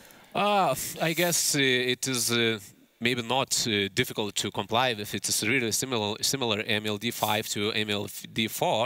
Um, as I said, the main difference is maybe it's that the, cryptocurrencies has to be uh, is forced to comply with it. Um, also, the, um, the transaction amounts was reduced uh, on MLD5. Uh, you you must perform the ML check on 250 euro per transaction. Um, on, on MLD5, uh, the, the, the, amount was reduced to 150. if you do the online transaction, so you must verify the customer if you do the 50 euro transaction. So yeah, so it's not not not not very not big super changes. difficult, right? okay, understood. Um, so Lithuania Financial Crime Investigation Institution, uh, from remote identity verification recommendations, has officially removed the requirement to take photos of the passport cover. Do you think that was a uh, was a good idea? Yeah, yeah, definitely. I think it was a good idea. We also have the, the discussion with FNTT about this uh, requirement uh, because we followed this requirement maybe more than a year, um, and then we, uh, we detected that the users uh, do not understand clearly what we have to make the photo of. And in, more, in most cases, we were um, taking the photo of a visa page uh, or we take the photo of a main passport page and in such uh, in such verifications we, we, even the verification was legit uh, everything was all right but we must to decline such verifications to, to comply with FNTT requirements um, so yeah, so we had the discussion. Also, the, the FNTT uh, arguments that uh, was that uh, actually you can recognize either the, the passport from which country it is um, from the passport cover. Um, but also there is really many many places how to identify from which country the passport it is uh, from the main page of passport. Uh, so yeah, so I think it was you know to too much additional uh, additional requirement um, and just to additional click for the users. We know that the additional clicks right now for the users is it's, it's, something that everybody strives to eliminate. Yeah, right? exactly. So the, okay. it was a great idea to remove it. Understood. And then, uh, what are the main reasons why remote identity verification fails, and, and what are the main challenges in this area? Could you speak to that a little bit? Oh, very good question. Um, actually, I can list maybe um, three main reasons uh, why uh, identity verification um, fails. Um, so the, the first one, I think, would, would be that the user is still using the old computers uh, with uh, low quality cameras. Uh, what drives to actually, when we make a photos of your ID documents and of your faces, um, so we cannot uh, see the security we cannot see the uh, information in the document quite good. So in such cases, we, we must decline the verification. Um, in second maybe place, uh, I would list that uh, um, human error, I think, uh, because uh, most of people when they're doing verification, uh, we just, and sometimes we place the finger on, on their name or surname or on their passport photo uh, and and and we cannot extract the main information. And that also drives to the declined verification. Um, and I think the third would be the lightning. And the, uh, most of users think that uh, when you take for example the face picture, making your selfie, uh, most of users leave the lightning on the behind them. Actually, what you have to do is to do the, the lightning uh, comes from the, from, from the front side. So our face recognition systems then can easily identify your face and make the face recognition. So that is, I think, the main three reasons why why verification fails. Well, there you go, ladies and gentlemen. Donald is, Donald is giving you uh, real, actual tips on how not to fail the IDNV procedure, which is great, I think. And uh, let's just move on to another question. How hard, uh, and this is actually going to kind of the dark, uh, deepest, darkest issues with identity verification. Um, uh, kind of, how hard it is, do you think, to get uh, and use another person's identity? Actually, it's uh, yeah, very good question. Um, it's actually really easy to get uh, another person's identity. Uh, you can just log into the black market and you can buy uh, it starts uh, the, for example the passport starts from 5 uh, euros to 10 euros the prices so you get the image of a real passport of another person um, so you get the data the real data of uh, another person. Um, of course, uh, such images is quite uh, hard to use, for example, in Lithuania, because we have real-time identity verification. but such images you can easily use in the UK or USA, because we, we approve uh, image verification, one image verification. So uh, effectively, just a picture of the passport is sufficed, right, for me to take a small loan or something like that, right? Yeah, yeah. For example, yeah, yeah, yeah. So you can that you use in the USA, yeah, in, in or in UK. Um, but yeah, but it, it it won't it won't work. For example, in Lithuania, that I, like in Idenfy, we easily detect such um, uh, fraudulent activities, and we denied it uh, instantly. What do you think uh, stops countries from actually moving in a similar direction that Lithuania, for example, is, right? Where you have the kind of, what, what do you call it, two-factor uh, authentication, right? Or what have you? Well, not necessarily that, but mainly meaning that uh, you verify the person's identity from two different sources, from two different channels, and other countries don't. What's, yep. do, do you think there's a particular reason behind that? Uh, yeah, I think it's because uh, the AML re regulations was, um, know your customer regulations was introduced in, in, for example, in USA and in UK um, many years ago, and they still have such um, we are still using the old uh, methods. Uh, what uh, was maybe many years ago was effective, um, but for example, in Lithuania, when we uh, we got the uh, remote identity verification uh, recommendations, um, it was already developed that it is it is much more secure to use the real-time identity verification. That's that's that's that's why there is a difference. Uh, to move uh, to move uh, from the old methods to to new methods, I think it is you know just um, just uh, uh, just you need to accept the laws in the in the yeah. country and and just to train the uh, customers train the, the users to, to, to, so, to, so, effectively what we're saying is that legislation sometimes struggles to keep up with the progress of technology right technology moves much faster than uh, than, than than the legislation because it's difficult it's a part of long deliberations and it requires a lot of people to get on board whereas small companies can develop something really quickly and that's probably uh, where the fruit of their labor is being used by fraudsters and fraudulent yep, activity yep. seekers yes, right? Exactly. Yeah. So, and, and uh, if we spe specifically uh, turn to fintech, um, how do fraudsters, uh, do you think, attack uh, fintech companies? What are the most popular methods? I think the most popular method is when the fraudsters um, gain the access to the credit cards, stolen credit cards, and also it is uh, quite easy method to get it uh, in the black market. Um, credit cards which doesn't have, uh, for example, verified by Visa and 3D Mastercard secure codes um, cost from 1 euro to 10 euros. Uh, so we buy that credit cards and we are use uh, we are targeting fintech companies, uh, e-wallets, payment companies where you can top up your account with a stolen credit card and, for example, transfer the funds to your friend in the same account, for example, in Revolut, yeah? Yeah. We can just uh, top up and try to transfer, and then, and for example, we try to cash out the, the money from ATM or to buy some goods.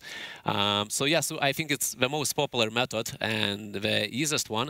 Um, but in these cases, identity verification is actually is stopping such fraudulent uh, activities quite well.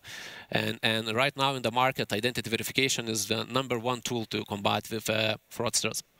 And for a final question, how can fintechs partner up with Idenfy to help them out with and avoid any kind of fraudulent activity? Oh, just to just uh, drop us uh, drop uh, drop in our website and just drop us a message. We are open just uh, every day to to consult you and and to find the best solution for you. Thank you. Donatas Čiulda, ladies and gentlemen, from Idenfy. And right now we move on to our uh, next panel, uh, Driving the Future of Sustainable Finance. Uh, moderator Alex Gibb, partner at Katalista Ventures, private equity firm with a range of investments across Europe.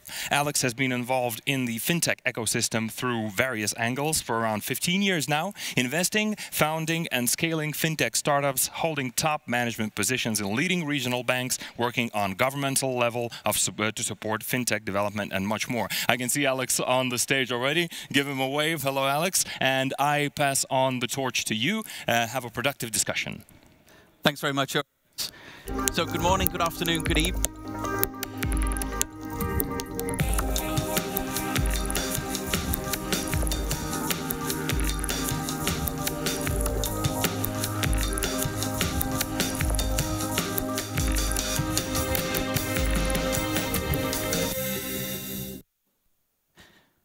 So, Good morning, good afternoon, good evening, and a very warm welcome wherever you're tuning in from around the world.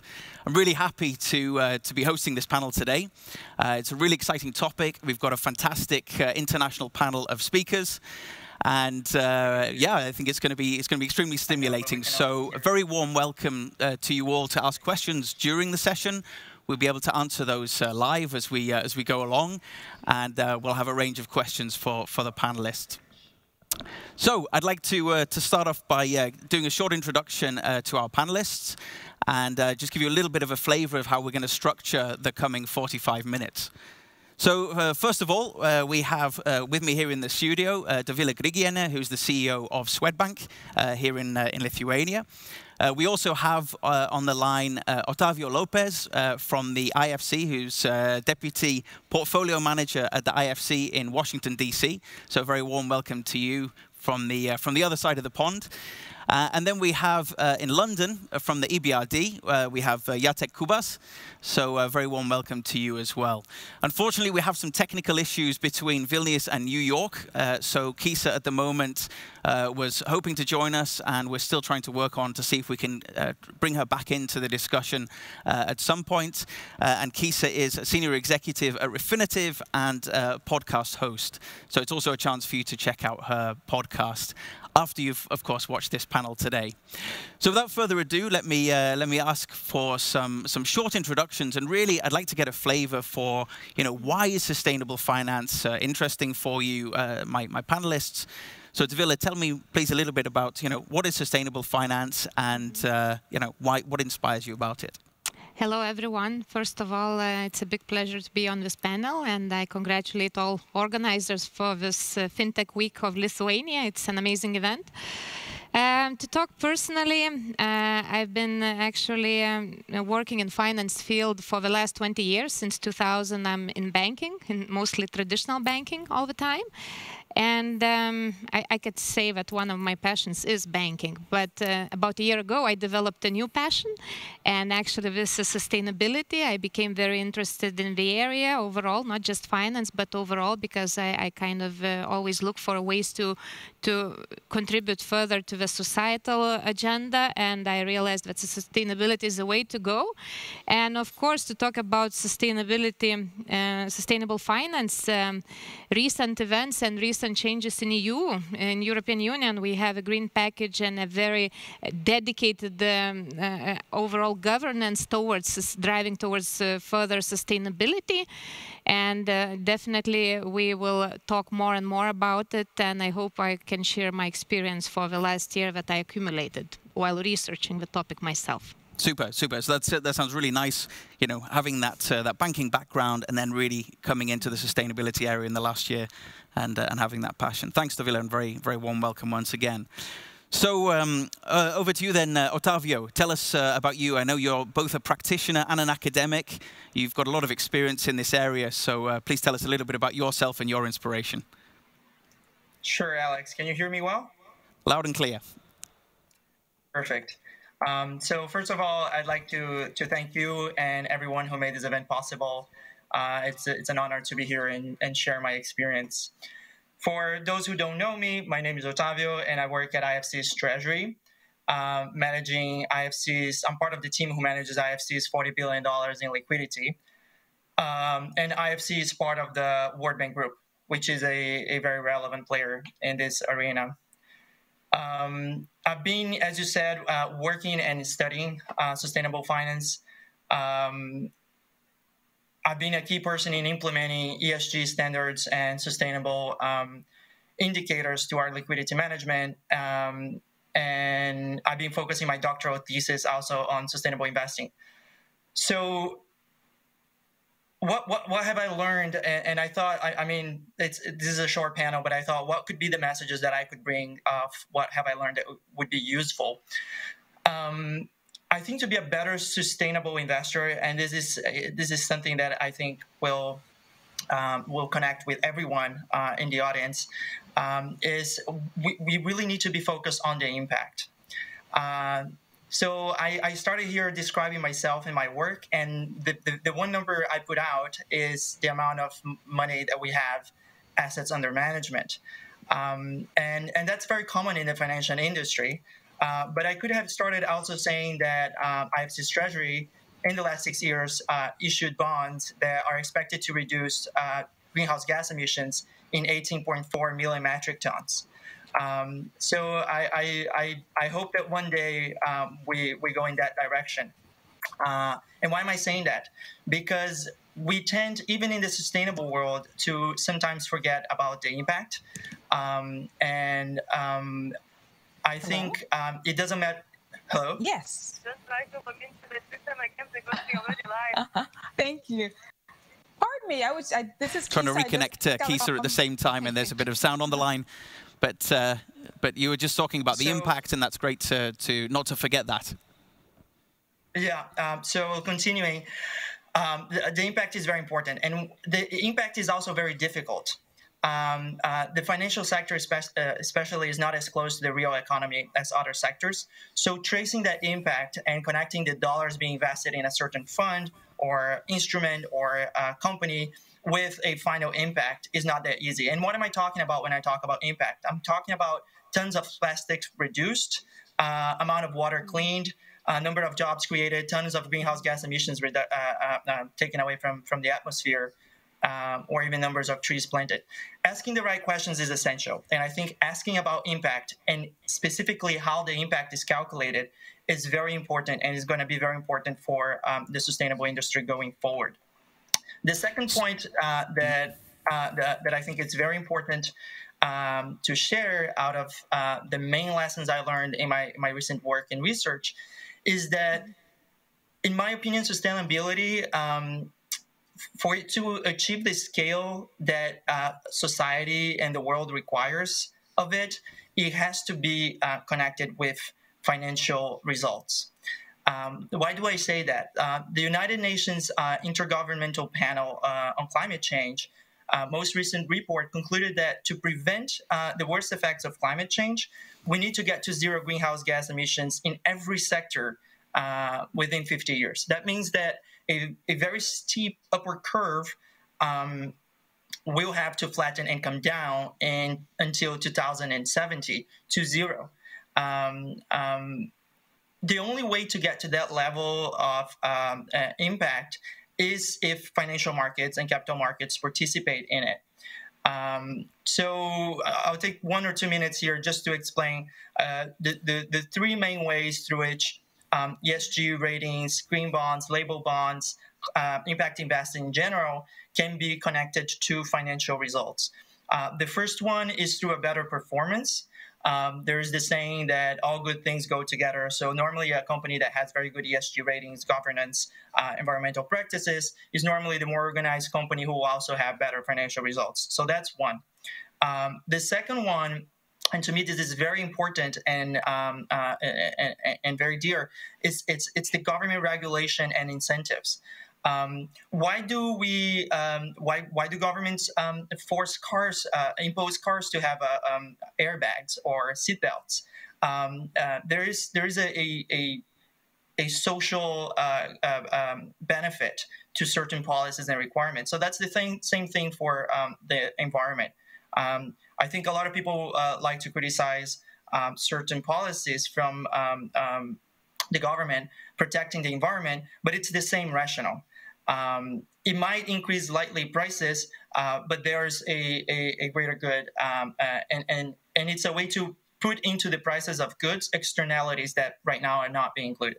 So the last one I mentioned two already. The last one is it's a growing idea in in the sustainable uh, and impact investing world, which is the idea of climate value at risk. So how will your company or what will the issuer uh, be affected uh, by the increasing um, um, uh, temperature in the world? Um, so with statistical levels, um, we use the value at risk. I don't need to, to explain this in detail, um, but it's basically a econometric uh, measure where you can come to a value of a certain likelihood of how many losses a company may have. And that's also a way to put a dollar sign into um, the issues related to the climate. So Otavio, that's uh, that's a really, uh, really no, really impassioned, uh, you know, sort of call to action. Uh, you know, fantastic that you're laying out some of the ways in which we can actually achieve this, and uh, you know, uh, I can you know really sense that passion. So that's that's great. Thank you, thank you very much for, for kicking us off. Let me jump over to to Jacek in in London and, and and just do a short introduction there, and then we can come back and and just have a quick review of how we're going to spend the next half an hour together. So Jacek, very warm welcome to you. Just tell us, you know, very very briefly, you know, your story. What is it that inspires you about sustainability? Hi guys. Uh, hope you can all hear me and best regards from uh, London. I thought I'm going to sit under the palm tree in London to send a message about the climate change in a way. So that's where the background is from. I'm an associate director at the European Bank for Reconstruction and uh, Development, focusing a lot on capital markets and fintech, and started the journey a couple of years ago on the green capital markets as well. You know, EBRD is a development institution, and I'm personally very passionate about uh, positive change. And what I think really, if I would say it very personally, what I really think helps me to wake up every morning and force myself uh, to go for the morning run is really the thinking about not only more positive or let's say positive year, but also greener change. And that's what I'm really trying to look at across the project that we are doing as EBRD, including the one that we are implementing at the moment in Lithuania, which I hope we'll have a chance to talk about uh, during the panel. And then one thing that really inspired me to look much more on capital markets and the green business in that regards was a very simple life story that happened to me three years ago. You know, I did my workout and I went to buy a smoothie. So I'm getting a smoothie and I ask a question that now no one of us would ask is, can I get a plastic straw? And I got the look at saying, look, plastic straws are bad for the environment. You're not going to get a plastic straw. That was three years ago. But I got that smoothie in a big plastic cup. And that made me think uh, what is the perspective we are looking at the finance and green finance? Uh, how actually much broader we should addressing that. And that's what I think is important because Otavio told you a lot about the investment side and the business side, which is great. But there's also much more policy side that I hope we'll be able to emphasize and discuss today that uh, should support that and create a incentives for development of green finance and b also uh, eliminate any barriers that there are. And obviously uh, as we could see with the EU level EU Green Deal and the EU taxonomy there's a lot to now look at and uh, and discuss as well. So I look forward to our discussion. I'll, I'll stop here and waiting for your questions. Back to the studio guys Super, thanks, Jacek, and uh, uh, that's been wonderful to hear about. You know, a very personal story. You know, going to the going to get your smoothie and uh, having the whole plastic uh, straw experience, and then being able to take that up to the the policy level, uh, where you can make a real sort of positive change and a greener change, as you said. So uh, let's let's dive into this. So the way the way I'd like to structure the next next half an hour together is to to jump back a little bit and just to touch for our audience to make sure that the concept of sustainable finance is is simple and clear. I think we've got a a, very wide, uh, very broad audience listening in today. So it would be great to, to get a, a simplified uh, understanding of what sustainable finance is to get us on the same page to start. Uh, and then if we move on from there, we can actually explore some of the key trends. And then I'm really looking to the panelists to provide some, some great examples, some very concrete examples as to uh, how sustainable finance is being lived and, uh, and delivered today. Uh, and then we'll move on then and ask you to gaze into the crystal ball and, uh, and tell us a little bit about the future of sustainable finance and what does that mean. So can we really achieve these targets in the next 15 to 20 years? Uh, can uh, debt and capital markets uh, make, a, make a real difference here? So let's, let's jump into to, to the first question. And I think uh, you know, some of you have touched on this already, especially Otavio, uh, in terms of affecting the bottom line. So, you know, how what what are business attitudes in, in for your target audience and, and, and how do they really relate sustainable finance to a company's bottom line? So maybe Jacek, let me throw that back to you uh, from, from, the, from the perspective in London. Uh, sure, thank you, thank you for that. So if we start at the perspective from London, let me then start with the words that Mark Carney, the former governor of the Bank of England, said, which I think resonated with a lot of us. He said, the businesses or companies that are not looking into addressing climate uh, change or climate risk in their business at some stage in the future, if they neglect it, they're going to go bankrupt. And it really is the statement that I personally adhere to. Why is that? First of all, investors are looking much more towards the ESG element. ESG is environmental, social governance. We're looking at the European Union at the moment with a number of policy initiatives. So you set up something which is called EU taxonomy, which now indicates the line of business that can be classified as green uh, and be financed through a number of instruments, including um, green um, green bonds and green capital markets. If we think about the green capital markets, last year we saw something which I haven't seen in any of the other segments of capital market. Green bonds was the fastest growing market uh, in 2019 with 250 new issuers coming to the market to issue green bonds. We are sitting in Lithuania. You guys issued the uh, sovereign green bonds, and there are also energy company that issue a green bond. So you know that this part of the business is becoming, in a way, the new normal. Obviously, we have to understand what and how we use the proceeds for uh, for the investments that are being financed and how we are actually improving the environment coming to towards eliminating the climate change and being a carbon carbon neutral and that's something that also comes with element of um, of uh, green finance that not very often is brought to into discussion which is on um, on the reporting side so how the company can report to investors that actually their activities are green or greener, and how those investors can be made aware whether their money are actually going to that side. For us as a bank, so we invest across 38 countries, uh, and last year we invested 10 billion euro, and out of that, 46%, so 4.6 billion, we did in uh, green investments. So we have our internal committee that uh, assesses our investments and uh, and classifies them as um, as green. Uh, obviously, we really hope with uh, with the future that this number will will also and the target uh, increase uh, uh, as we see also the client demand. But for this to happen, we also see a lot of need for the policy action to really underline the business to be able to create incentives and barriers, and that's something uh, that we are doing at the moment at uh, Lithuania, and I know our head of office in, in the Baltics, Ian Brown, is also listening uh, to this panel, where we are working with the Ministry of Finance to support uh, creating the environment that will help a the creation of incentives, legal, regulatory, tax related, for development of green finance, which also includes green capital markets, and elimination of any barriers and transposing the EU taxonomy to the domestic level. And I think this is really, really important. On the other hand, and this is a bit of a provocative thought, uh, one of our clients, you know, in a conversation said something which, which also resonated with me, and I haven't had a, yet a thought about addressing. He says, "Look, please do create incentives for green because we are really interested in uh, fostering that agenda." But please don't punish us for investing into brown. And then the question now means, okay, what it really is and going to be the brown investments and are they really going to be punished going forward? Or sustainability really be going to become the mainstream?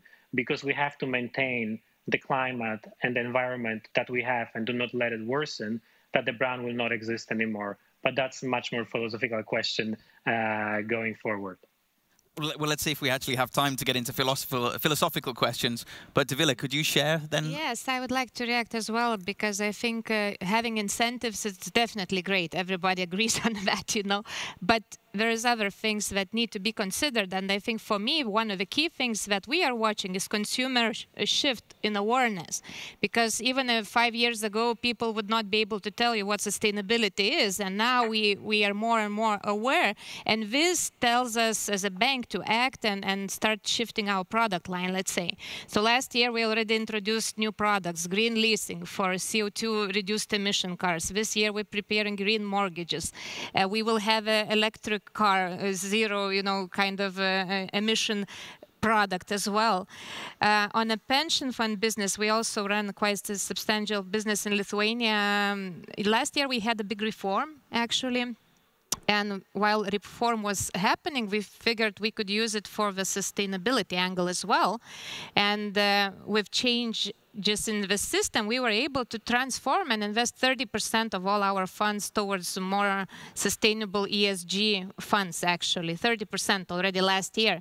And a very important thing that I checked yesterday as well, that they still keep performing better than regular funds, so to say. So this is also a very tangible impact to the bottom line fantastic example, and, and maybe also just for the uh, for the audience, just to give a sort of uh, an explanation of the mechanics of the green leasing product. So, what does that really mean? If somebody comes to the bank and says, "I would like a green lease from you," Yes, you know. uh, the cars have to classify by CO2 emission level. If it's below a specific number, it classifies for the product. So basically, and then you have an additional incentive in terms of interest rates. So this is great Super. and working out. Mm -hmm. So then the client is actually saving money, they're getting a, a sort yes. of a cheaper lease, and they're doing a positive thing for the planet. Yes, fantastic sure. example. Mm -hmm. Super. And Otavio, what about from from your perspective? You know, you've talked a little bit already about the ESG focus on on, on investment funds from your side. You know, how do you see the sort of the global change? Is there this consumer shift that uh, that Dovile was talking about? Uh, is is this you know filtering through for companies and their bottom line?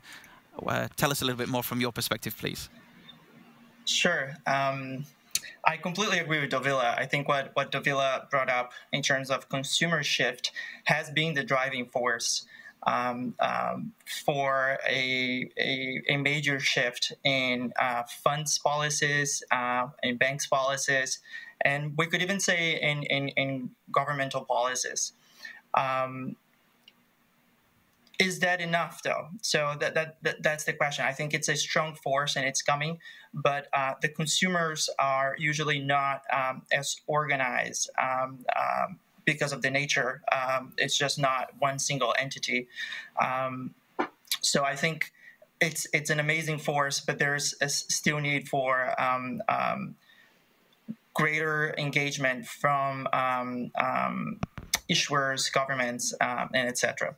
Uh, as you notice uh, in my in my open remarks, I, I already made a few comments where I think what what will be the future of sustainable finance. So I do think that the sustainable finance will be more and more related to um, um, financial results. Uh, it has to, um, and um, it will be more focused on impact. Uh, so um, at IFC, we've been a key player in issuing green bonds, uh, social bonds. Uh, more recently, during the the, the COVID nineteen crisis, uh, the World Bank and IFC announced. Um, $14 billion of aid uh, to fight against coronavirus. Um, and, and IFC uh, issued uh, um, social bonds, uh, including a $1 billion um, social bond um, to, to address that. Um, you, also, you also asked, um, Alex, uh, something which is what is more tangible. So I don't know if it's very clear for everyone, but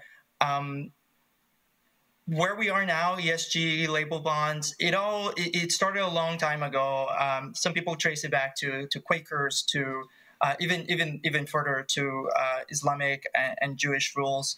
Um, but uh, the, the, the what we have today was basically uh, born um, in the 1950s with the social responsible investment, uh, the SRIs, that has developed uh, into um, the ESGs uh, label bonds, and SDGs. And the World Bank has been a key player um, in most of those events. Uh, green bonds, for example, um, uh, Swedish bank, uh, Swedish funds, uh, pension funds, if I'm not mistaken, connected the World Bank Treasury and said we want to invest in projects that are green, um, and we don't have those projects. And the World Bank said I have those projects. So that's how um, um, green bonds were created. So I think this this is a clear example of what is happening. So, uh, uh, someone who has resources, has money, has liquidity, um, buys these bonds, which will then uh, create an impact. And it's very important to have reporting requirements and and um, clear connections between uh, the investment and the impact, as I said. Uh, finally, um, I, would like to make a, a, a, point that there has been there has been research showing that uh, whenever there's an independent auditor uh, an independent independent pair of eyes um, evaluating um, the real impact of green bonds or labor bonds, um, results uh, seem to be uh, uh much more effective. So um, uh, there is a correlation between having an independent auditor uh, and the actual impact of such a label bonds. Super. Thanks for that. Uh, thanks for that summary. And if I if I sort of sort of wrap up this first part about what is sustainable finance, it's been really interesting to hear sort of three main parts there. I think. Um, so first of all, on the product side, from talking from the green bond perspective, right through to pension funds, right through to green leasing. Uh, we've talked a little bit already about government policy, the need for incentives or the role of incentives in, in promoting sustainable finance. Uh, and then also, very importantly, I think consumer shift and, and how our consumers, perhaps less organized, but also uh, shaping the dialogue around the demand for, for sustainable finance. Uh, we also have a, a, a question uh, online, which is uh, around uh, supporting sustainable startups. So, so yes, that's that's also something that that I'm I'm personally doing at a practical level, and we're really encouraging startups to either either think about creating a triple triple top line, so positive people, planet, planet, and profit. So sort of ESG thinking uh, or even to pivot towards that direction as well. And Dovile, you're active. You're active there as well, yes, right? Yes, actually, Rockit is one of our uh, sustainability uh, fintech hubs in Lithuania, supported by Swedbank. So proud supporter. Super. So I hope uh, hope we answer Frank's question there, and uh, we can we can uh, of course talk about that more offline uh, as well. Okay, if we move on to the, the second part, then having talked about what is sustainable finance and getting that sort of broad understanding at those those three levels, let's look at the key trends or, or these other these other drivers. So you've also talked about um, uh, some examples uh, in terms of the products from from yourselves. Um, unfortunately, uh, as Kisa is not able to join us uh, again due to technical issues, uh, it would have been great to hear from uh, to hear from her about the the whole Black Lives Matter movement in the in the US. I know she also has some very good examples of of sustainable finance and financing marginalized communities in the US. Uh, but again, maybe we can we can just hear a little bit from from our panelists uh, in terms of some some really inspiring examples uh, that that you've seen elsewhere. So so Jacek, why don't you kick us off with with that? Great. Um, thanks for this. I would like to first say that also on the green fintech startups, I wanted to say two things. One is we we are uh, working uh, on the one with one of the accelerators at the moment, SWG, for the cohort of fintech startups. So if there are any sustainability fintechs there, please you know you can Google us on social and apply. Mm-hmm. And we're also happy to work with uh, Rockit as well. So I think that's uh, that's something at the start that uh, really is important um, to us. We as a bank look at the really wide range of, uh, of green activities. I think one important bit is the green bonds coming from, from our markets uh, in our countries of operation, mostly Central Eastern Europe at the moment, where the framework seems quite um, uh, sympathetic towards it. Uh, what we see there actually, and this is an interesting observation, is that if you look at international investors like EBRD or others, they really are a interested in green finance and green assets, green bonds, but also they see that there is not yet a supply of green assets coming to the market at the level that we would like to see. So this supply element has to be worked on. So there have to be more issuers uh, coming to the market. But what we see talking to domestic investors, so let's put international versus domestic, domestic investors at the moment, they are not really differentiating green versus non-green because there is no also price differentiation. That comes to the issuer side as well. If the issuer has to do the green bond, and Otavio alluded to it, we have a third party opinion and we put extra cost to this, this is not yet coming back to in terms of uh, better pricing when those bonds being issued. But hopefully, this is something that's going to change in a minute. But as a bank, we run now really a lot of interesting, and because we are at the FinTech conference, I'm going to say cool examples of, of green finance. And by cool, for example, we have the program which is called Green Cities, with 32 cities sign up, and hopefully we're going to have 100 cities uh, sign up to this very soon, which going to make our cities greener. What does that really mean in practice? It means A, the bank supports the financing of greener infrastructure or other investments in the cities, and on the other hand, also cities sign up to an action plan to implement the greener policies. So it's a win-win uh, solution that we see, which is very, very beneficial. The other element which I really uh, like and was uh, mentioned before, the green mortgages. So housing actually, and housing stock is one of the biggest uh, energy consumption user um, globally. So how can we make this more efficient? So by giving the green mortgages, to banks, the banks can also issue an instrument that has become quite important for us as investors, which is called a covered bond. It's a financial product, it's a debt capital market product that you issue and is secured, bank issue, and it's secured by, by pool of mortgages. If those mortgages are green, then we can have a green covered bond, which allows us to actually finance better and as much of uh, of interest uh, in the mainstream there. So I really, if I look at capital market side, which is something which is uh, close to my heart and uh, and my skills, I see much more green examples uh, of products coming into play.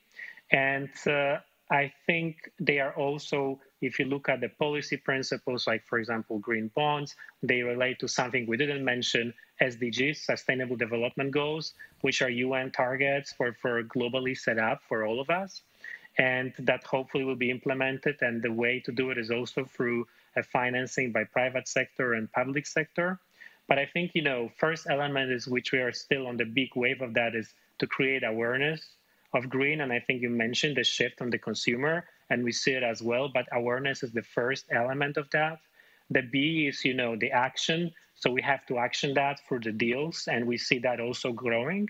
And then the third element, and I'm not sure it's for us, but it's also for politicians, is accountability. And are we having enough accountability? I will leave that question unanswered but I think the big shift now going to come with the post COVID 19 economic recovery, where we will see that sustainability and the other and two and another element of it, which was mentioned by Otavio or IFC, that's something really interesting is the social bond element. Because at the moment we're talking about the green part a lot, but there was not much focus on the social bonds that could go for a number of programs like youth unemployment, or for example, women in business programs that we are providing across uh, countries of operation.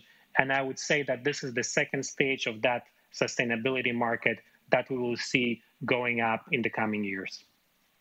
Super. I think that's uh, some really good insights there, Jacek, and uh, you know, particularly uh, uh, like hearing about the policy aspect from the from the accountability and promoting accountability, and also you sharing some some really good examples of the the instruments or, or financial tools that you actually have out there on the market to, to make that shift. So, Otavio, let's uh, you know uh, hear from you.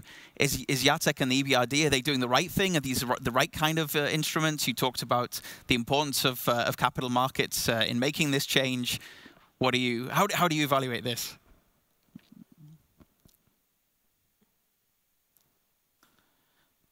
Okay, we can't hear Otavio. If we can get some sound I cannot him, hear you, Otavio. Okay. I'm sorry. I'm sorry. I was, I, I, was on mute. Um, uh, let's put uh, Jacek on the on the spotlight here. Um, no, I'm just kidding. Uh, I uh, we're all multilaterals. Uh, we we work together, uh, um, and I completely agree what, with what Jacek. Um, I think when he touched on price differentiation, that's a key discussion when it comes to capital markets. Um, and and that's where I believe uh, um, we need to develop still. So you asked you asked us to speak about um, the going forward. Um, I have many thoughts, and, and it's hard to know exactly where, where the industry is going to go.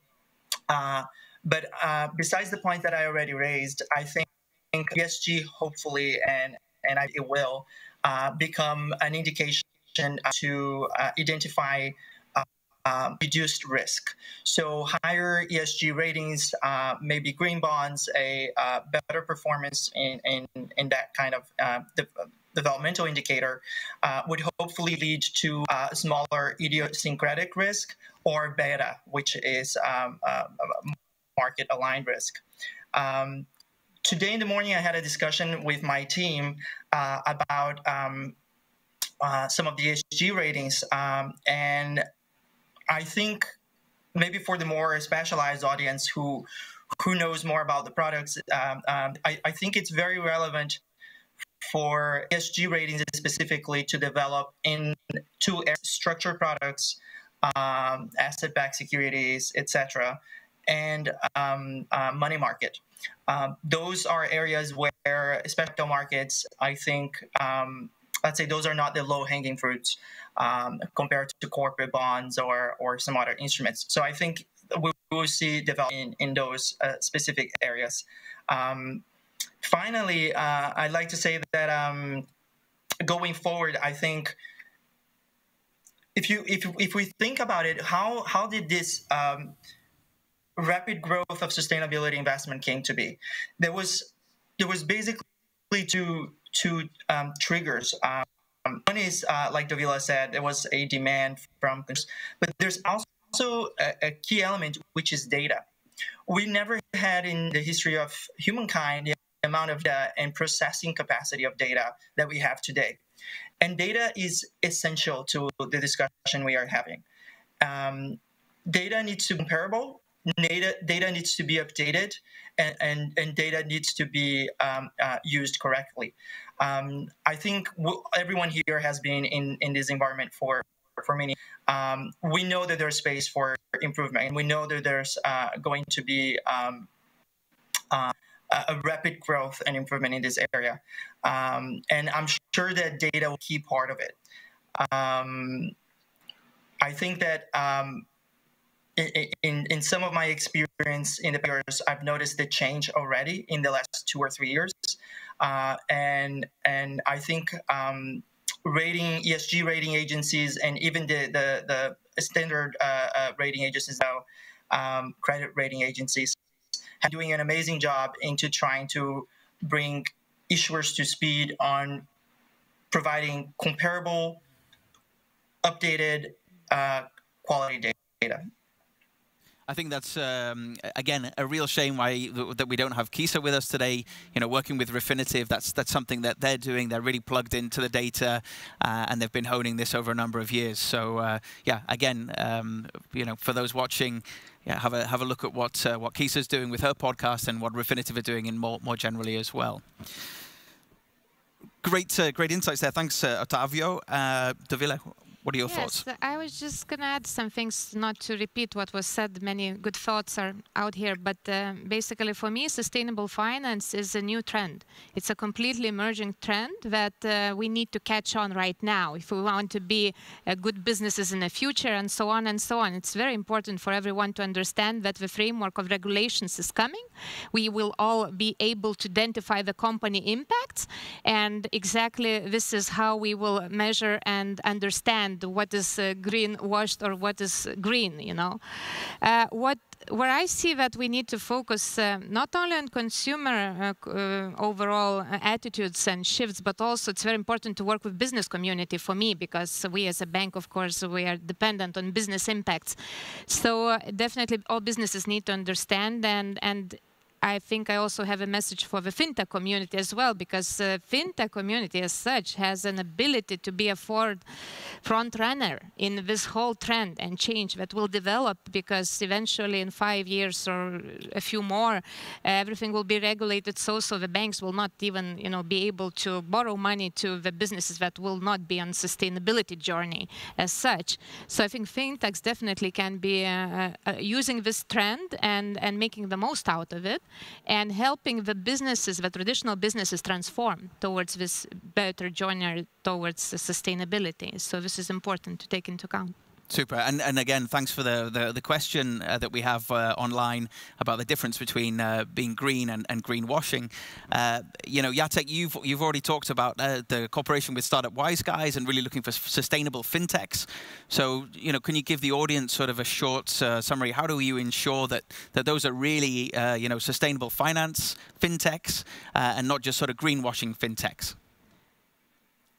Sure. So, first of all, for SWG participation, you know, we welcome all fintechs. Obviously, it's not only limited to sustainability. So let me let me be clear on that. Uh, so welcome all fintechs from from BRD countries of operation to apply. Uh, you can look at the announcements on SWG or our website. We also partner with Rockit, um, and uh, that partnership went live last week. So I'm very happy that you know we find a way to do it. And then you're asking a really, really valid question because uh, I'm glad that this term was was was was was mentioned, the greenwashing, right? In a way. So can you a little bit, you know, dust it off or window dress and sell it as a green? So when we talk about the more mature markets, when we talk about the green bonds, we have a green bond principles. We're now going to have standards from the EU. We have the EU taxonomy. So we will, I think, especially in the European Union, be quite safe to say what is green and what is not green on the big business side. And I think having all the companies that can be a third party or a third opinion or third party opinion provider, that's going to bring us to this, which is good. But then comes to the fintech scene when I think, you know, it will be much more discretionary to, to identify what can support uh, or not sustainability. Uh, and I think it's very hard to define for the startup that is about to be developed whether their solution truly is green or not. And I think that's not only for people like me to look at it, but also engineers and others that are green and ESG uh, ESG uh, specialists. And that's a really uh, really interesting element. On the other hand, because sustainability, and we all agree on this, is I would say not only a new trend, but it's really going to be the mainstream uh, sooner than we actually expect. I would say that a lot of fintechs will go that way. And then if I were to be a fintech, to be honest, uh, which I'm not because I'm working in a development organization, I would connect to something that Otavio said, the data, because we want to have the data and the understanding, etc. Can we find the better ways to to develop something new that will help us with the data? And then can we get that and link that to actually making the investment greener or more visible that is green? Again, that's just an idea that came a second ago to to my head. But I think it's going to be really hard, at least at this stage, to do it. I think FCA, for example, tried to do it. So Financial Conduct Authority in the UK, they ran the world most famous regulatory sandbox, even a little bit more famous than the Lithuanian one. So I'm so sorry to the Bank of uh, Lithuania for saying that. But your, your sandbox is also amazing. But the FCA sandbox did something really cool. They organized this cohort of green startups.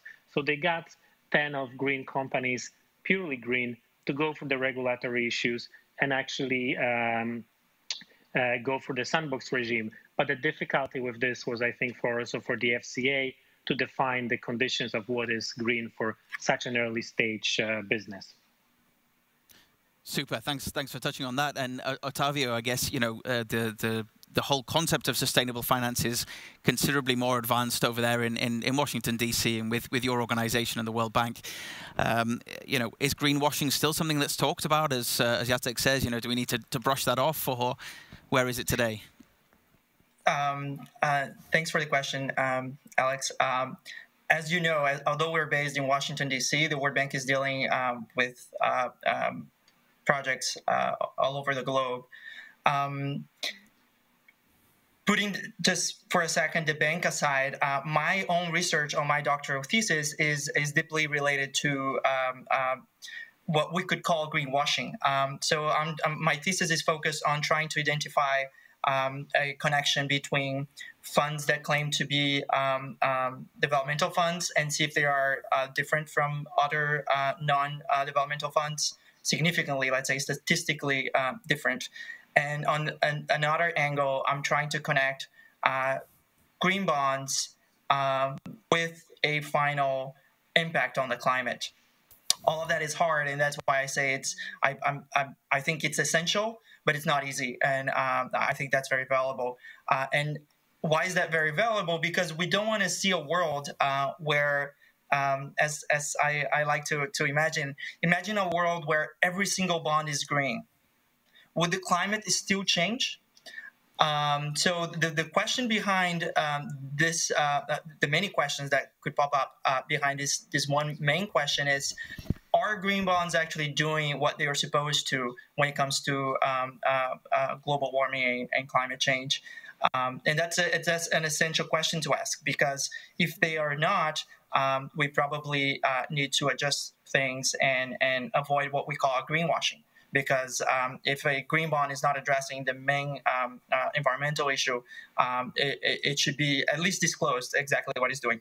To that point, I'd just like to, to add, yeah, sorry, go ahead. No, just uh, I'm sorry that we're, we're running out of time, and I think that was almost sort of a very nice uh, sort of uh, summary and conclusion into into greenwashing. Um, sure. I, I, think it, it would be great just to just to sort of uh, wrap up with a with a couple of summary points, and then to go back to each of you for sort of a quick, uh, you know, short one or two words. The, the, the future of sustainable finance to bring this all together. So so again, you know, we've talked uh, considerably around green products, different. It's been really good to hear all of your examples on that. Uh, so, so thanks to all of you. Uh, we've talked about government policy, incentives. Uh, we've talked about the role of data and how we're moving to a much more data-driven uh, uh, life where we can actually really measure the impact of, of, of, sustainable impact of sustainable finance. We've talked about consumer shift. We've also talked about pricing uh, and how we need to have more issuers, uh, more strength on the supply side. Uh, and, it, and all of this, of course, is, uh, is in terms of having a real uh, positive climate impact. Mm -hmm. So uh, last couple of words, um, you know, the future of sustainable finance. Um, in my opinion, just two words, partnership and green recovery. So what do I mean by partnership is put all forces together, governmental institutions and um, the partnership between business and, and non-profits will start to happen and between governments and international community, we will have better results and green recovery is an excellent wish and we have a chance to have it in a greener way. So this is my wishes. Fantastic. Very upbeat uh, way, to, way to end. Thanks, Dovile. Uh, Jacek, from you, final uh, quick, uh, quick comments? Absolutely. I think, you know, let's think about AAA. AAA is the highest rating in capital markets. And I think let's translate it now to awareness, action, and accountability. And let's make it personal. We've all changed, been, our life has been changed in the last two, three months so much. We started walking more, we started using bicycles more. And every change starts within us first. So let's change and continue having that change with us as persons, humans, and that will in the future also transpose to the thinking of us as professionals supporting the development of green green finance. So that will be my message. Let's do the AAA. Sean Sharp, AAA, fantastic. Thank you. And Otavio, last uh, last word from you.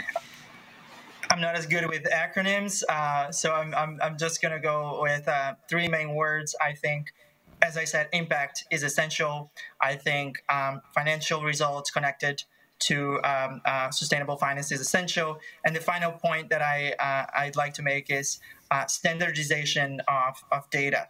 I think um, standardization in this industry is going to be key going forward. Fantastic. I think, uh, ladies and gentlemen, you heard this first here. The future is bright. The future is sustainable finance. We're, we're, we're on the right trend. Uh, it's been wonderful to have you all today. Uh, thanks to Jacek uh, in London. Thanks to Otavio in Washington, D.C. Dovile here in, uh, in Vilnius, Lithuania. And uh, back over to you, Arumas. Many thanks to, for watching. Thank you.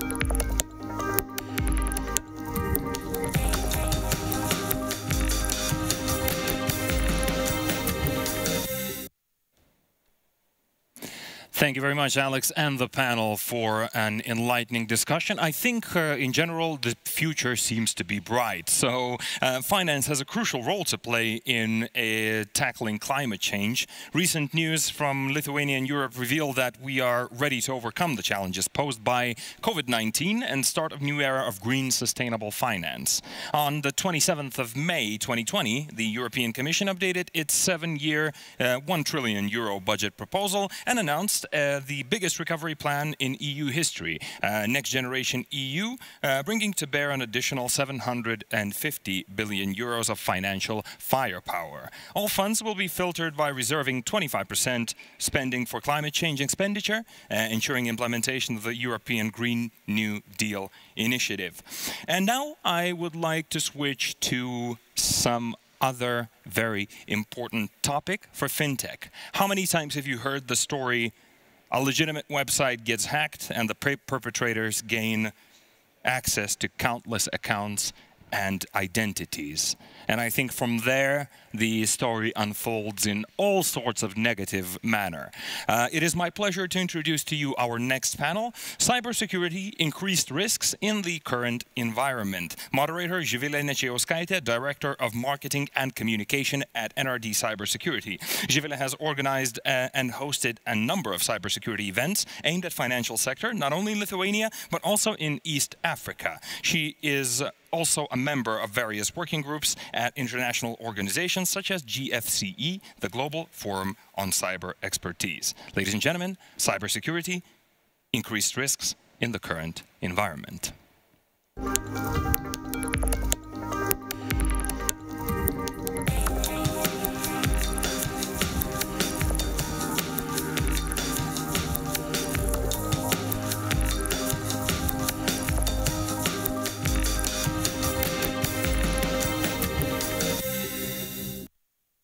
So hello, everybody, and please welcome uh, our panelists for today's uh, panel discussion.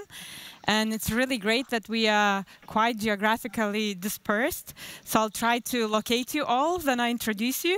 So meet uh, Ma May Michelson, who is now in Israel. Am I correct? Yes. Yes. Yes, so Tel she's Aviv a- City. Jaime. So she's a senior director of global sales at uh, GK8, a cybersecurity company that offers a high security custodian technology for managing and safeguarding digital assets. Um, please meet Malte Pollmann, um, chief security officer at Utimaco, who is now in Germany. Hello. Right? Uh, a hello, company. hello from Germany. Hello, hello. So Utimaco is a company which has uh, been developing hardware-based high-security appliances and compliance solutions for telecommunication pro provider regulations. And it's Thomas Kurv in Austria. Yes, streaming from Vienna. hello, hello. So Thomas is team lead uh, or principal security consultant at SEC Consult, one of the leading consultancies in the field of cyber and application security. And last but not least, we have uh, Dr. Rytis Rainys, who is in Lithuania right now. Hello, everyone. And uh, Dr. Rytis is director at uh, National Cybersecurity Center of Lithuania, which is the main Lithuanian uh, cybersecurity institution responsible for unified management of cyber incidents, monitoring and control of the implementation of cybersecurity requirements. And we have a very interesting topic today, cybersecurity uh, meets fintech. In, the, in terms of cybersecurity and uh, fintech, there have been two great trends recently. Uh, so the first one is that with the emergence of new wave of internet users from rural and semi-urban areas, digital financial inclusion initiatives are most susceptible to data breaches uh, that involve consumer frauds such as phishing, for example. And secondly, it's the COVID-19 after uh, crisis aftershock.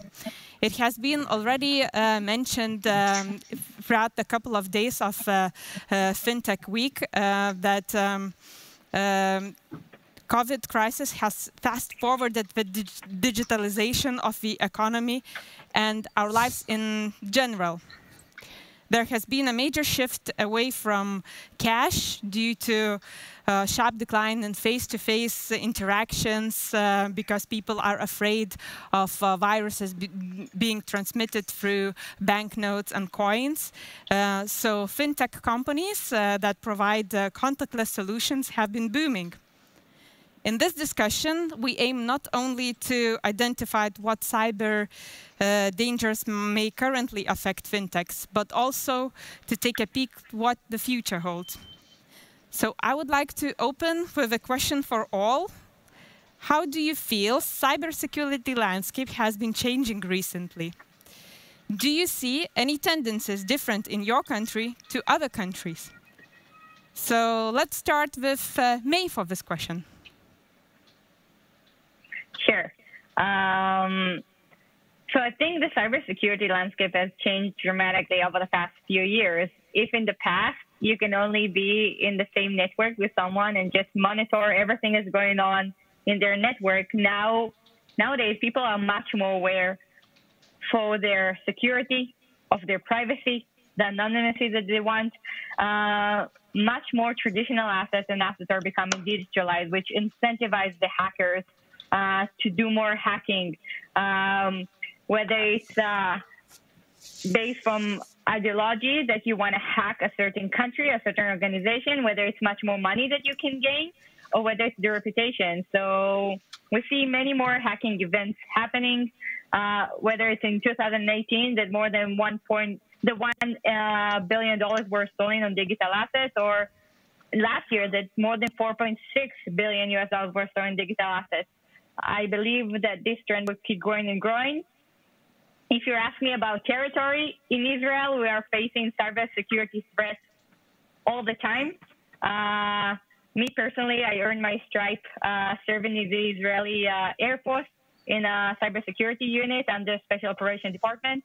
Uh, I can tell you that for us, cybersecurity was always on top of our priority, uh, whether it's because of national security or uh, whether it's to protect uh, any kind of asset that is exposed to, to terror uh, attacks.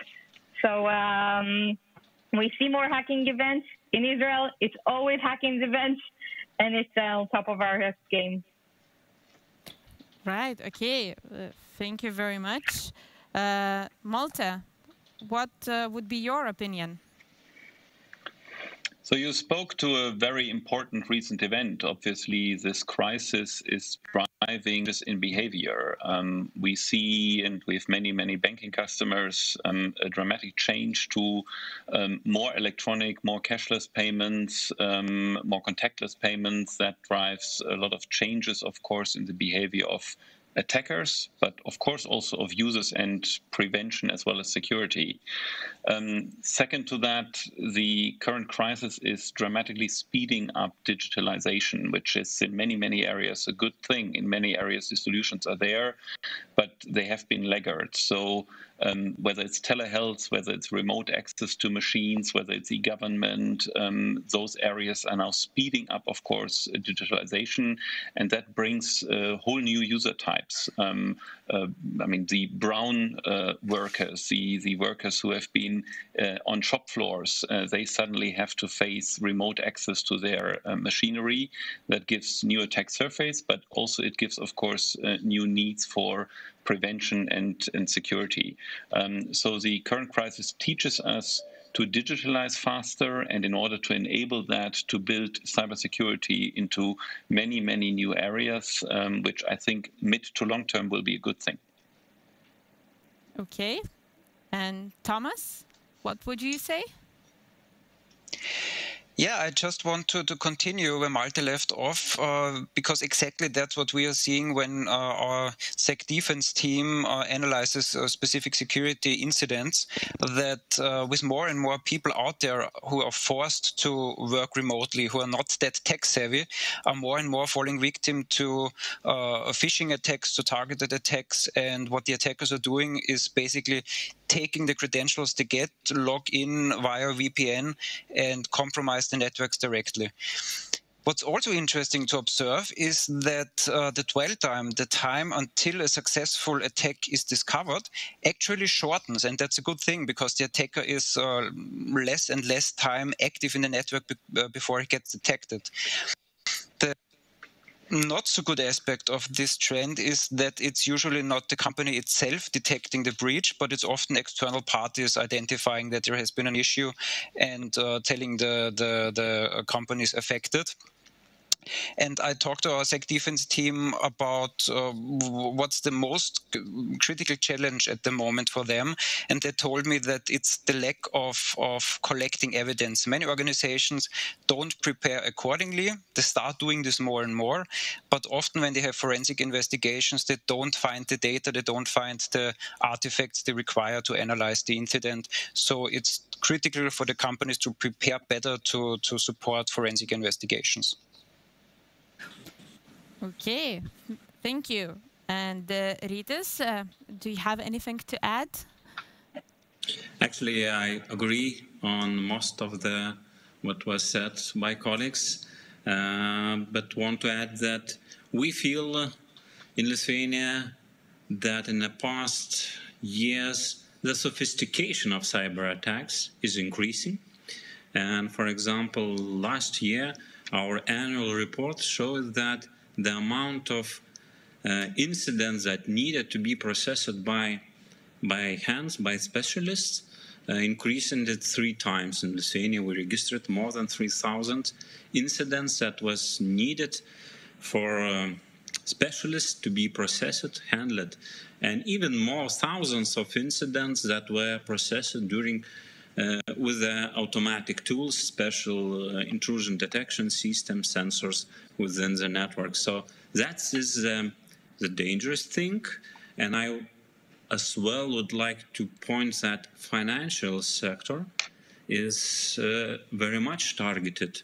Only last year, we in Lithuania registered uh, cybercrime incidents that our citizens in the country lost 1.5 million euros, and it's only what was registered uh, officially, I believe, uh, much more. Cyber incidents uh, on financial sectors are not registered and processed. Mm, and answering on a, on a question how is different between the countries, actually I believe that is similar to most of our countries that we are talking because internet is without the borders. So the incidents uh, that are detected in the internet, in a network, global, is spreading around the world. So should be common for all of them, for all of us. Thank you. Right. Okay. So we well, we all agree that the number of uh, cybersecurity incidents is increasing, and there are more and more uh, hacking incident, hacking incident related incidents occurring.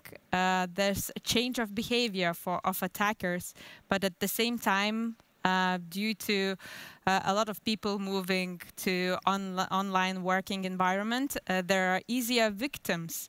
Um, and there's lack of data for investigation from companies. Right, let's focus on um, fintech then.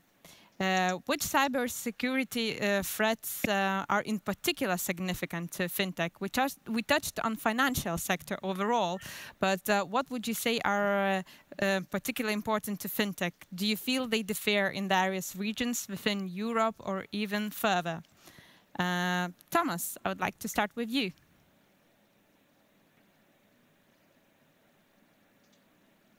I think you are muted, Thomas. Yes, you're totally right. I was muted. Sorry about that. Um, no I fully agree that the um, internet is borderless, and I don't see a real distinction when it comes to cyber threats. But uh, what at least here in, in Austria I have been been seeing during the last year is that the regulators definitely stepped up their game a lot. Uh, it's probably also the case in, in many other countries but they became way more stricter during their audits. They are taking cybersecurity much more seriously. And uh, if your security posture is lacking in this regards, you will definitely have a bad time when it comes to, to those audits. Talking about the cyber threat specifically, I don't think there's a, a difference between the different regions, but uh, we see a, a, steep increase in targeted malware against uh, smartphones. And when we're talking about online banking and we're talking about strong customer authentication, if this important factor is compromised, uh, yes, this this has a huge impact, and therefore this would be the the highest rated change when it comes to fintech, in my opinion. Okay, brilliant. And uh, May, do you have anything to add or contradict maybe to Thomas?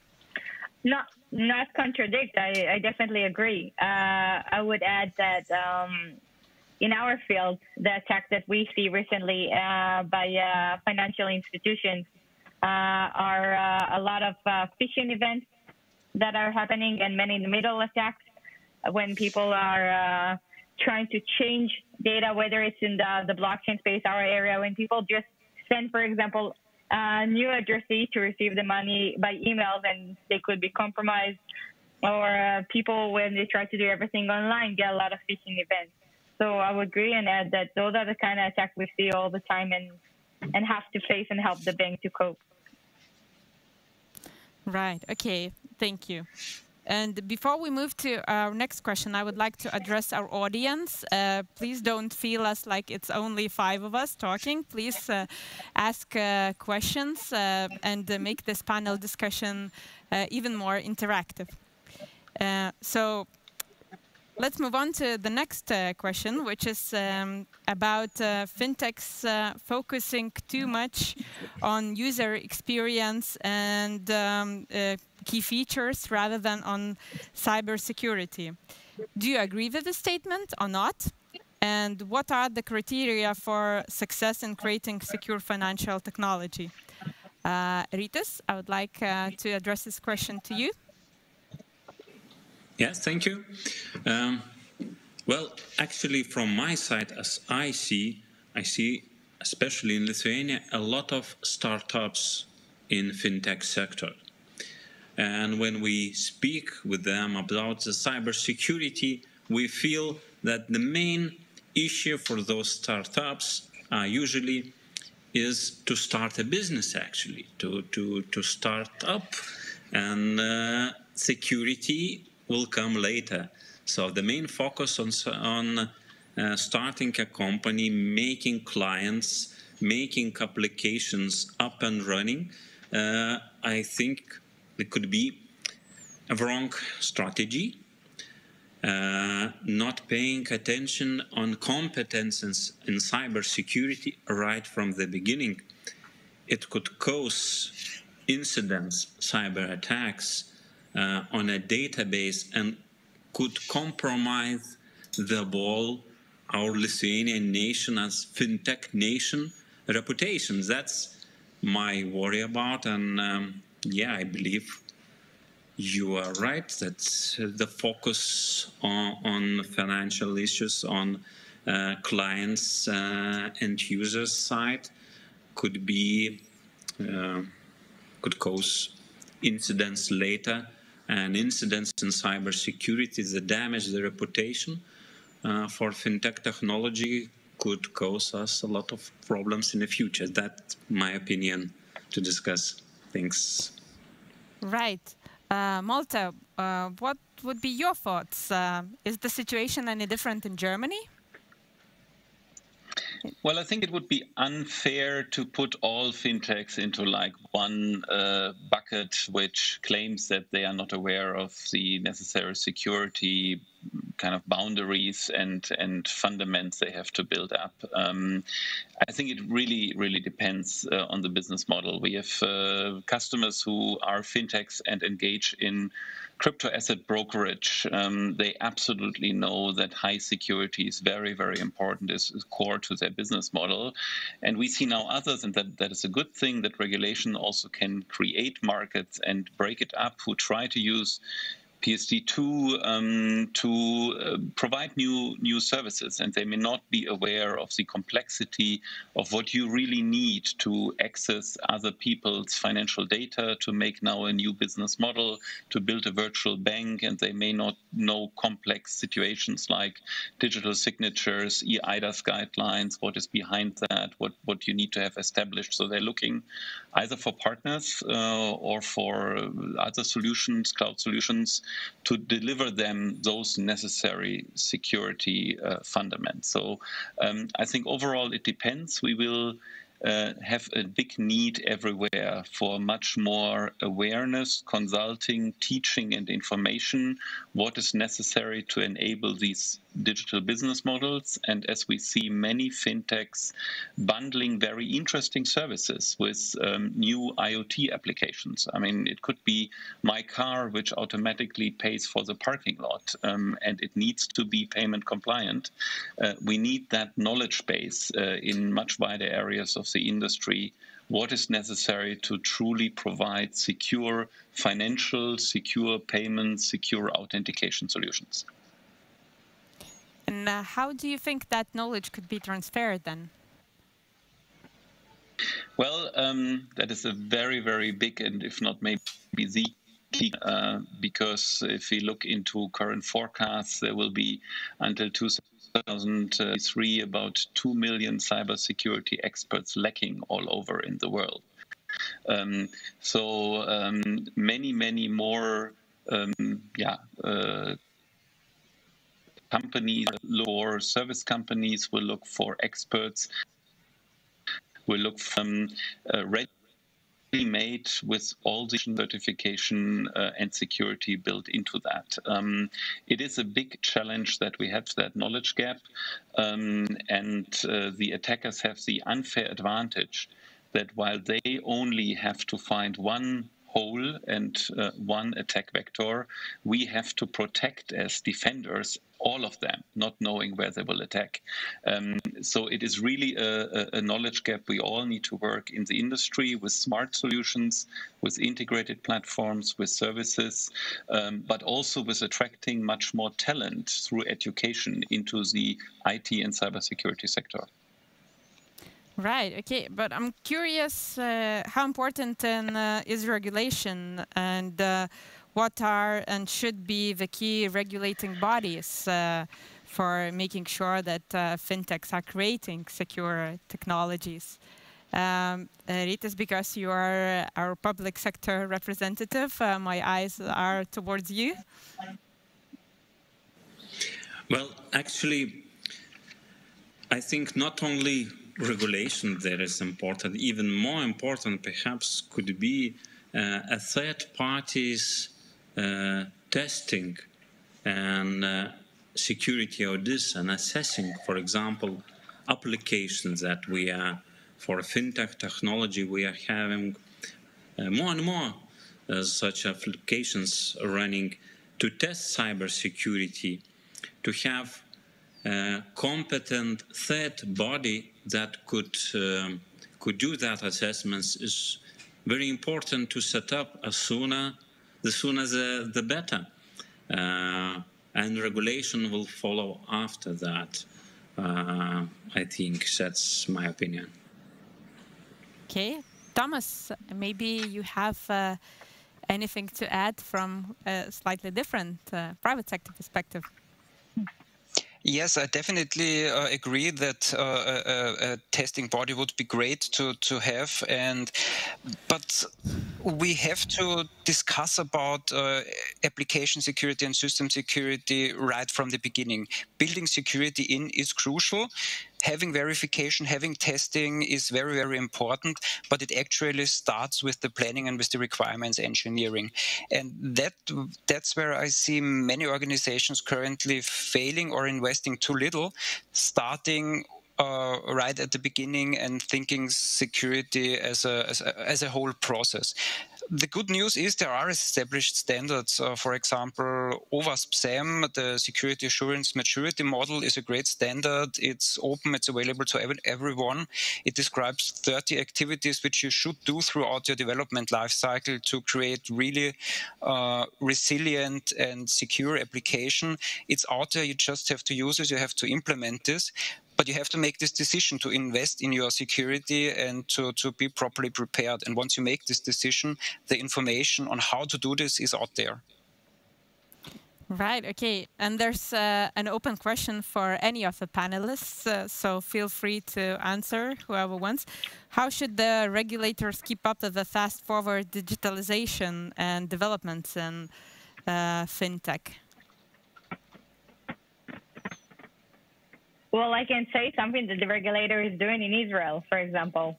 Uh, so they're doing uh, meetings where they invite uh, leading companies in the market, whether it's uh, fintech companies that are working with many financial institutions, whether it's cybersecurity companies that are aware to the risks that exist in the market, and and they hear us. They hear uh, what we hear Tab, what we want to develop. Uh, I can tell that in Israel we have a lot of freedom with uh, try uh, new technologies and and get them regulated quite quickly. Uh, so they listen a lot to the small companies, to the fintech, to the startups, uh, and and really work with us to form the right regulation.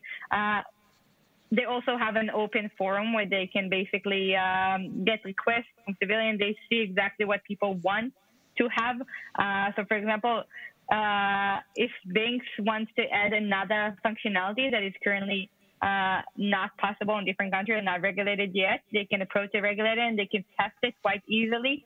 And if they see that it works, it gets passed and regulated uh, on a fast track. Right. Okay. Uh, so we have a couple of questions from the audience, and uh, with one of them, we're going to move slightly from fintech, and it's going to be towards, uh, in general, working from home. Uh, so the question goes, most businesses moved to their uh, employees operating from home during the pandemic. What are the main threats that you can address and what are your recommendations to secure communication channels? Who would like to take up this question? So I can I can start maybe with um, our sure. specific perspective. Um, we provide secure identification, authentication, and encryption solutions. So I have a very very specific view to that, and of course many of our customers uh, face this right now. So. Um, making sure in this newly distributed um, working environment uh, you can properly um, authenticate all of the elements uh, you suddenly have distributed and not anymore within your classic control. So whether you permit employees to work and connect to sensitive areas of your business, of your production from their private networks, from their private devices uh, with um, new means of authentication. You may use different ones than in the office. Make sure that your your principal um, uh, paradigm is um, everything has to be verified. Um, so it's kind of a zero trust model, um, which is a good way of thinking this, and it's a much more important way as we work in this very very remote uh, area. So uh, also we have in our uh, German cybersecurity industries had many, many critical developers, developers of critical networks and systems, work suddenly remotely. And we had an intensive discussion with the uh, auditors as well as with the um, general office here, the Federal Office of Information Security, how this can be enabled in even the most sensitive areas. Um, and the good news is there are solutions for that. It's much more important than the exact technical solution that your paradigm of thinking security is the right one, that you want to authenticate everything, every data access, every system access, every employee, every device uh, to your distributed situation, whatever that is, whether that is a power plant uh, or a software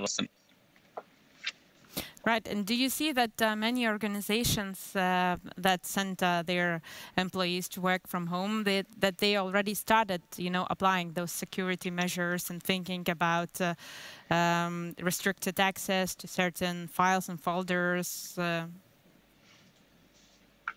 Uh, Absolutely. So, I mean, we've seen many with encrypt everything strategies, but I mean, in such a pandemic, um, of course, the, um, the, the threat is first of all you want to continue your business. So it it also has to be a balance between business continuity uh, the awareness of the threats and then the technical means you can you can implement fast. Uh, organizations who were very far along the process of encrypting as much as possible, using zero trust models, um, having um, access and authentication based really also on strong root of trust, not on on weak elements, whatever that is.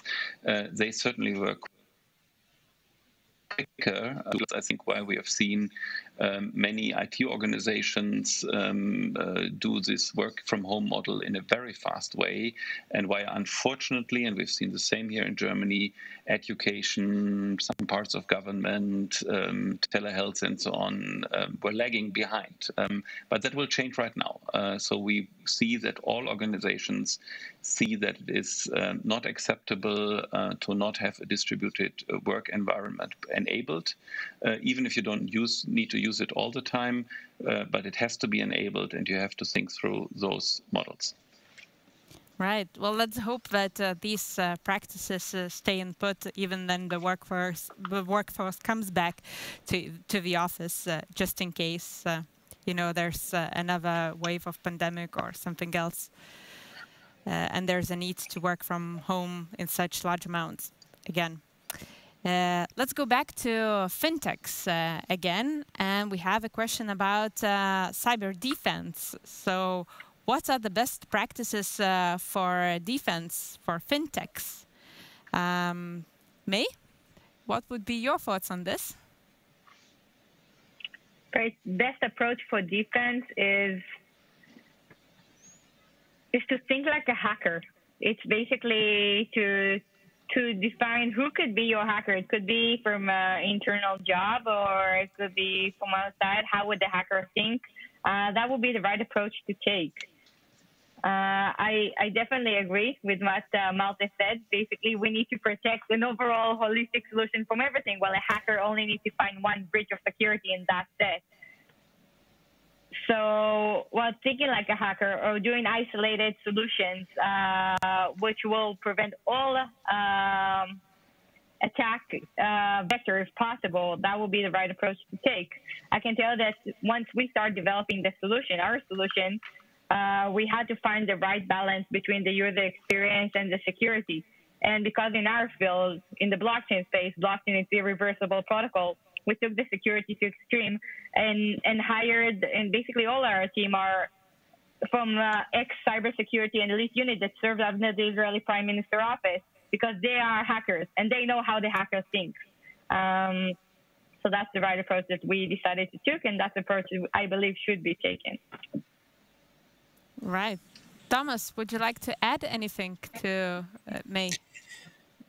I fully agree with the with the threat assessment approach. Just uh, try to identify what are the main attack vectors or what can go wrong and what would be the, the most critical things that can happen to your organization. And very likely, in addition to the technical measures you have to take, you also have to invest into the people and in the awareness of the people especially your employees who are working uh, remote from home office for the first time, who are not used to this no, new scenario, uh, are especially exposed. We know we as human beings, we love our rituals, we love our um, day to day, we, we are familiar with what we are doing, the same processes, the same people, we are interacting the same way. And suddenly, without warning, we have to change completely. completely. We only talk to each other uh, via communication channels like this one. We have uh, remote meetings. We don't meet our boss face to face. And scenarios like the CEO fraud scenario or other scenarios where people are targeted directly are much more likely uh, to, to work with people who are not aware about the threats, who are cannot easily identify the uh, different attack actors that, that may want to compromise them. So, in addition to the technical security measures, I highly recommend thinking about training your people properly, investing in, in proper awareness. This can range from larger awareness trainings to just simple things like like sending regular uh, reminder emails, some kind of of um, um, activities that, that neatly integrate in the in the daily practices to remind the people to be more aware about the, the, the different threats. Right. Okay. Thank you, Thomas and me. Uh, we have a very interesting uh, question uh, that will go to uh, Rytis, it, and it goes like this: How you define standard uh, standards or levels of cybersecurity for fintechs? What could be the criteria?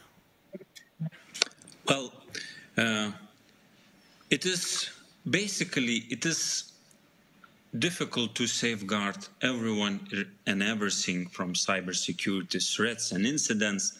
And we believe in Lithuania that it's a good strategy to pick up critical infrastructures uh, and put higher security standards for those critical infrastructures because they are essential services for a society. And I believe the fintech and financial sector in general are one of those critical infrastructures whose cybersecurity should be on a higher standard and it's the practice we will already use. For example, Lithuania has more than 100 critical infrastructures identified by the government and institutions as our institutions, national cybersecurity centers, is responsible to regulating, uh, putting higher standards, uh, working with cyber incidents that are targeting those critical infrastructures, uh, putting the priority uh, as well uh, to the fintech in general as a critical infrastructures. Okay, thank you. And May, um, what's the situation then uh, in terms of standards, uh, standard levels of cybersecurity for fintechs in Israel? Is it any different? Well, the fintechs in Israel usually do not work in Israel. Uh, we usually uh, work with uh, different financial institutions abroad, and we need to comply with their regulation. Uh, so whether it's uh, in Hong Kong, that every new solution that comes out and the bank wants to, to uh, provide to their customer, we need to get regulation approval. Also in uh, Taiwan, so uh, really the fintechs in Israel just comply with every uh, financial institution that they're working with that regulation in that country. Right. Okay. And uh, Thomas, do you have anything to add? Well, here in Austria, it's it's uh, it's not really fintech specific, but I have been working with uh, the Austrian Standards Institute for many years, defining such standards like the A7700, which is basically a requirements catalog for secure web applications, which is of course crucial and also mandatory in Austria to use for uh, online banking application and similar fintech application.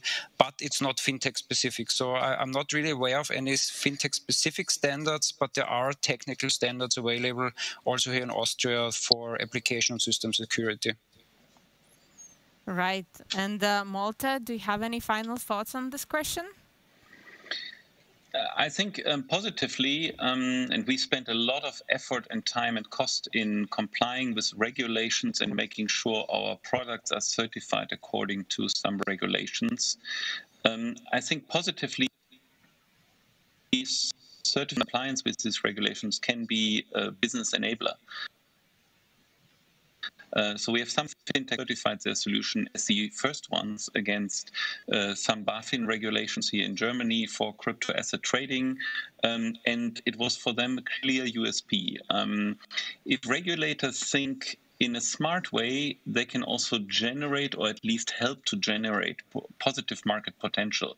Um, for that, they need to um, make sure that the culture, the behavior, um, is put into part of that regulation. Particular payment behavior is very, very different in different parts of at least Europe and the world.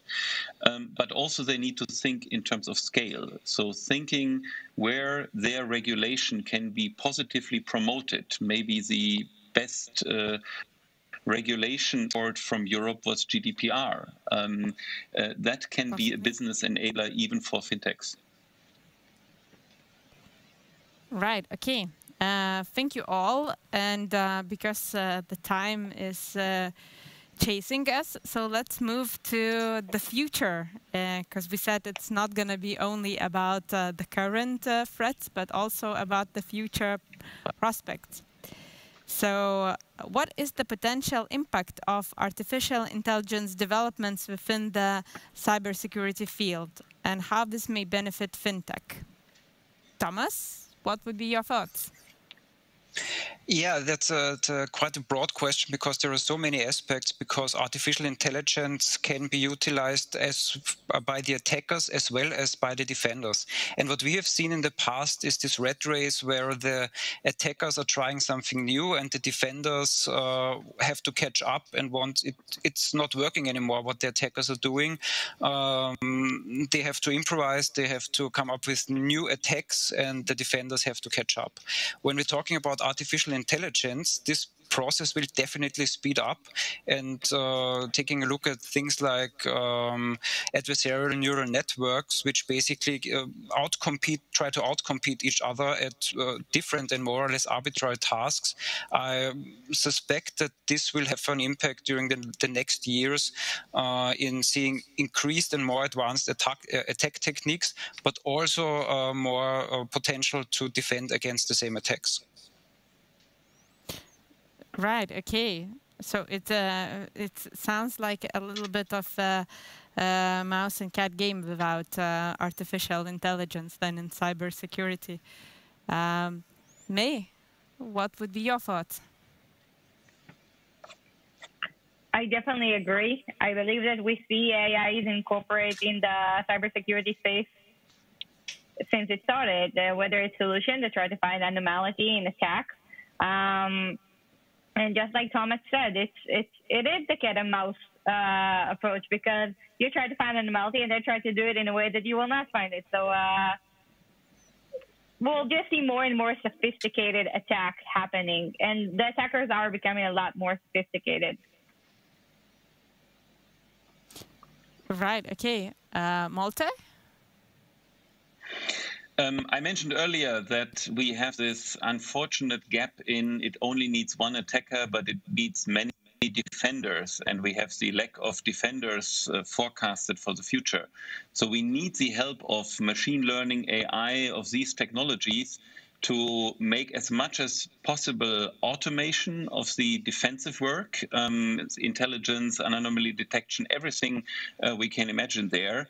Uh, and actually even on the um, yeah uh, obfuscation side to make it uh, harder and more manual labor for the attackers. Um, AI can greatly help us to bridge the resource gap between attackers and defenders, and therefore everything we can do around that can only be helpful.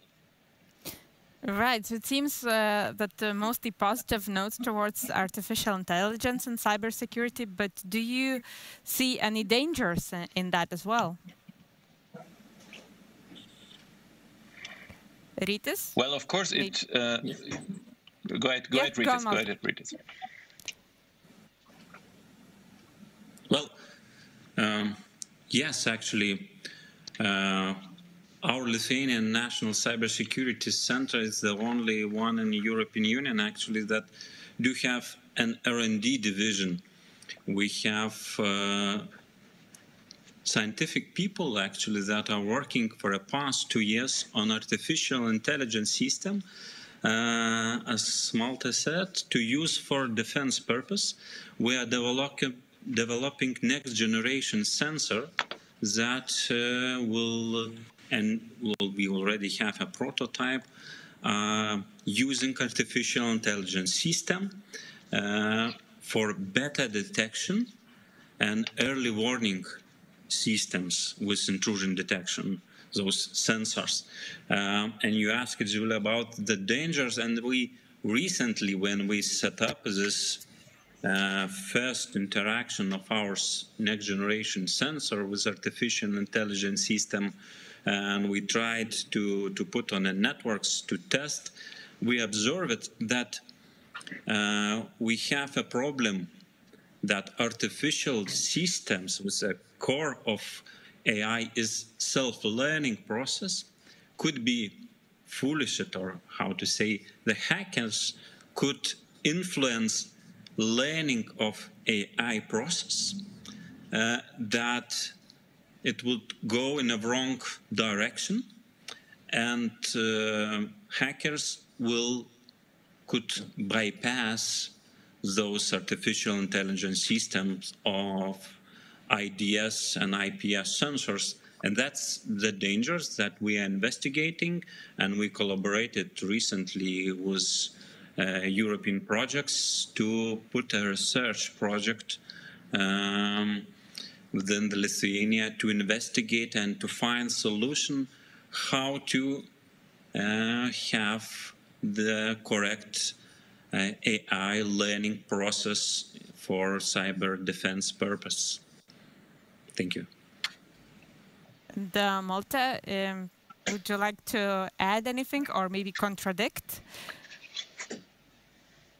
Uh, well, I, I, I, would express the hope that um, these technologies help the defenders more in automate our smart processes, but um, let's not be naive. Um, there is definitely um, also a threat potential, and the threat potential is maybe biggest in networks we don't yet, I would that I would say understand as we do in the general enterprise IT network. We have spent the last more than 20 years in defending standard enterprise IP-based networks, and now we are getting into decades where we are connecting new production networks. We are connecting a lot of legacy uh, technology because uh, I mean, a big factory is not exchanging for the newest machinery uh, everything at the same day.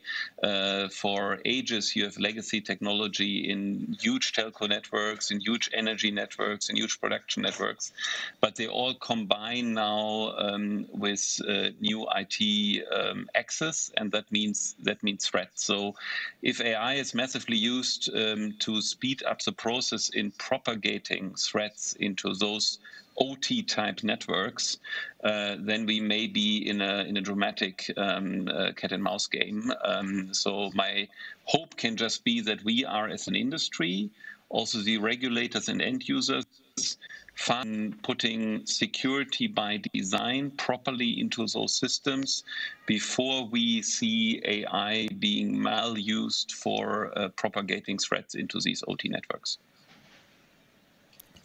Okay. If I may jump in, yeah, uh, sure. what, what I see as a, a, really, really big threat when it comes to AI is that what we traditionally do is we write algorithms and we can analyze what uh, analyze these algorithms for vulnerabilities.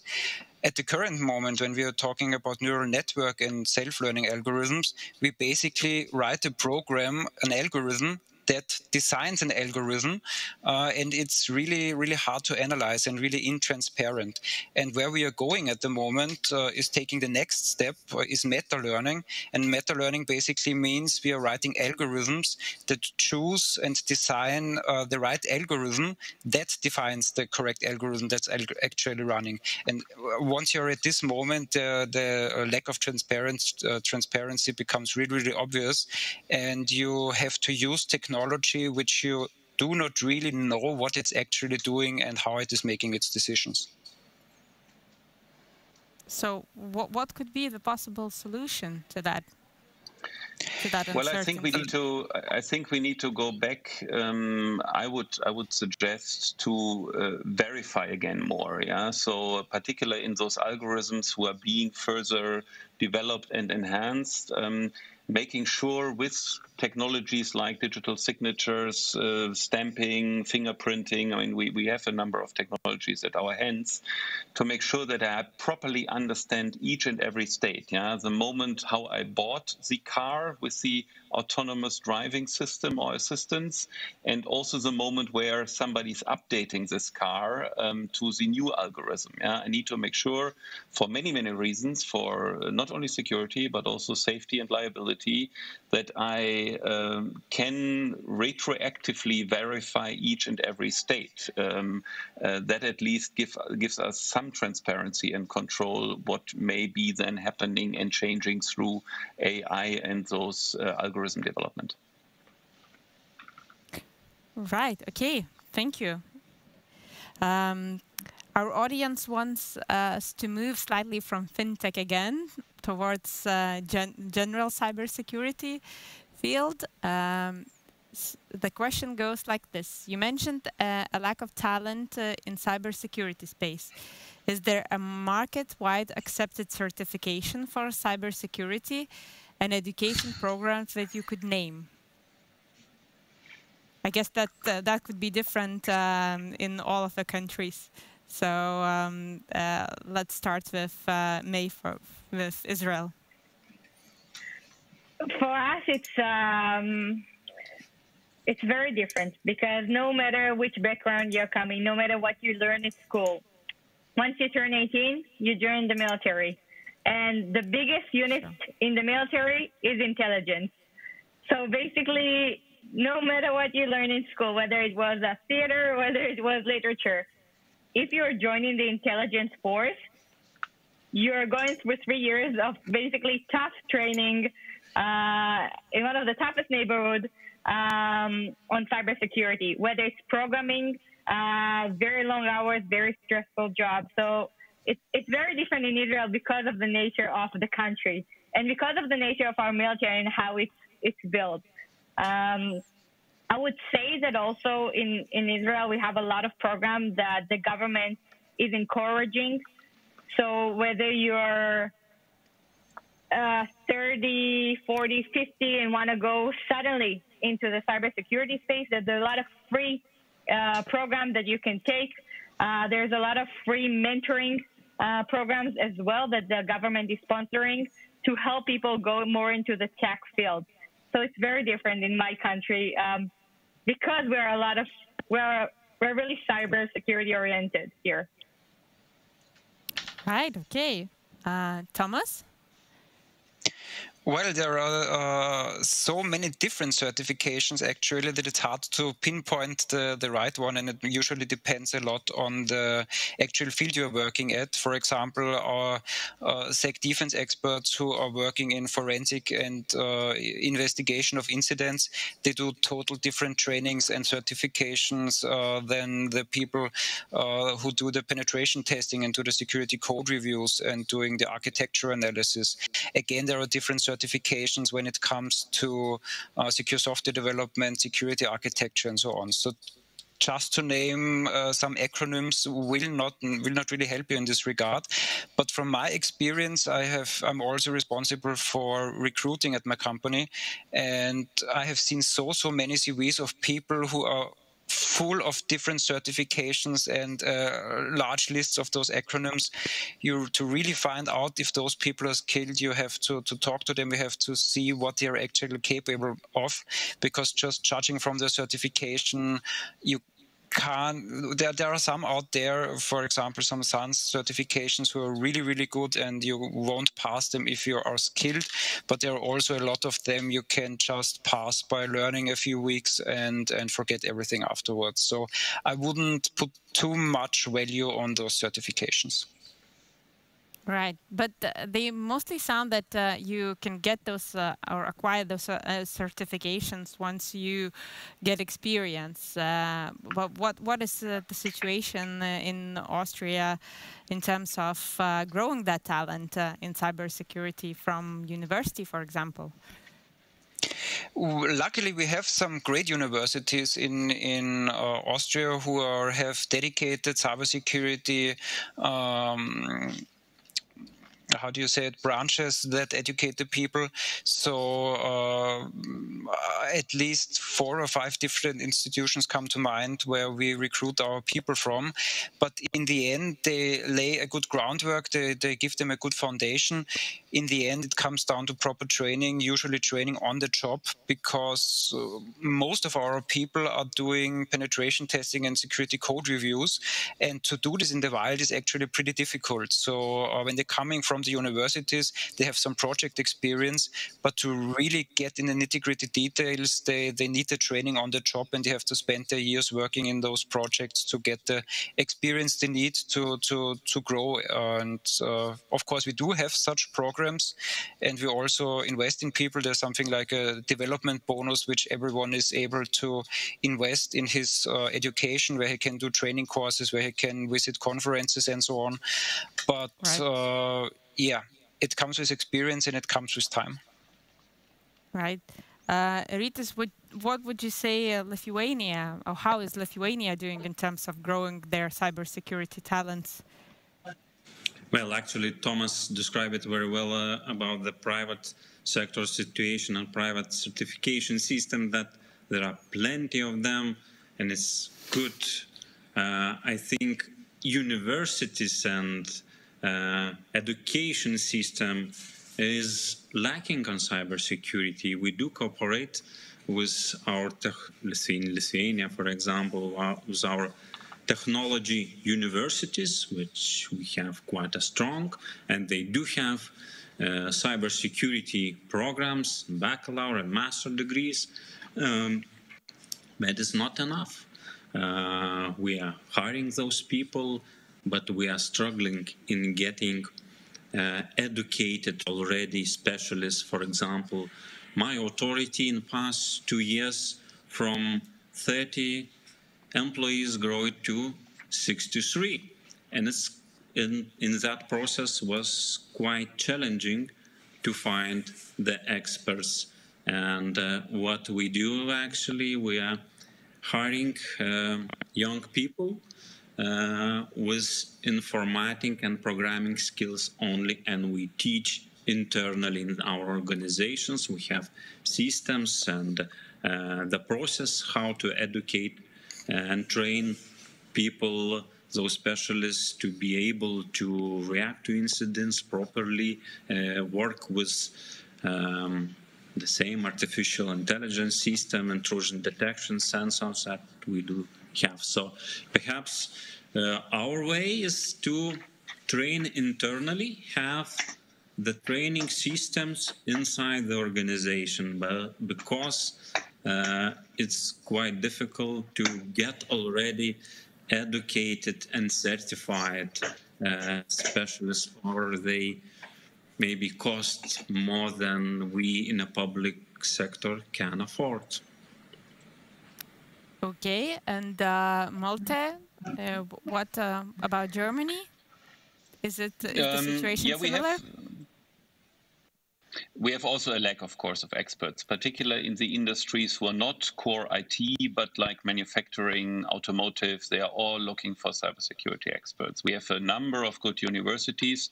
We, as Utimaco, have um, ourselves, therefore, also created a joint venture with one university which already has applied IT security on site, and we've transformed that into an international model. So um, you can join this as uh, online course. We have students from all over the world there, um, and the same professors who teach this on site uh, drive you through a multi year uh, online certification to, to get a master. This is only a little help, um, but uh, I agree with uh, all my predecessors who, who, who spoke to this.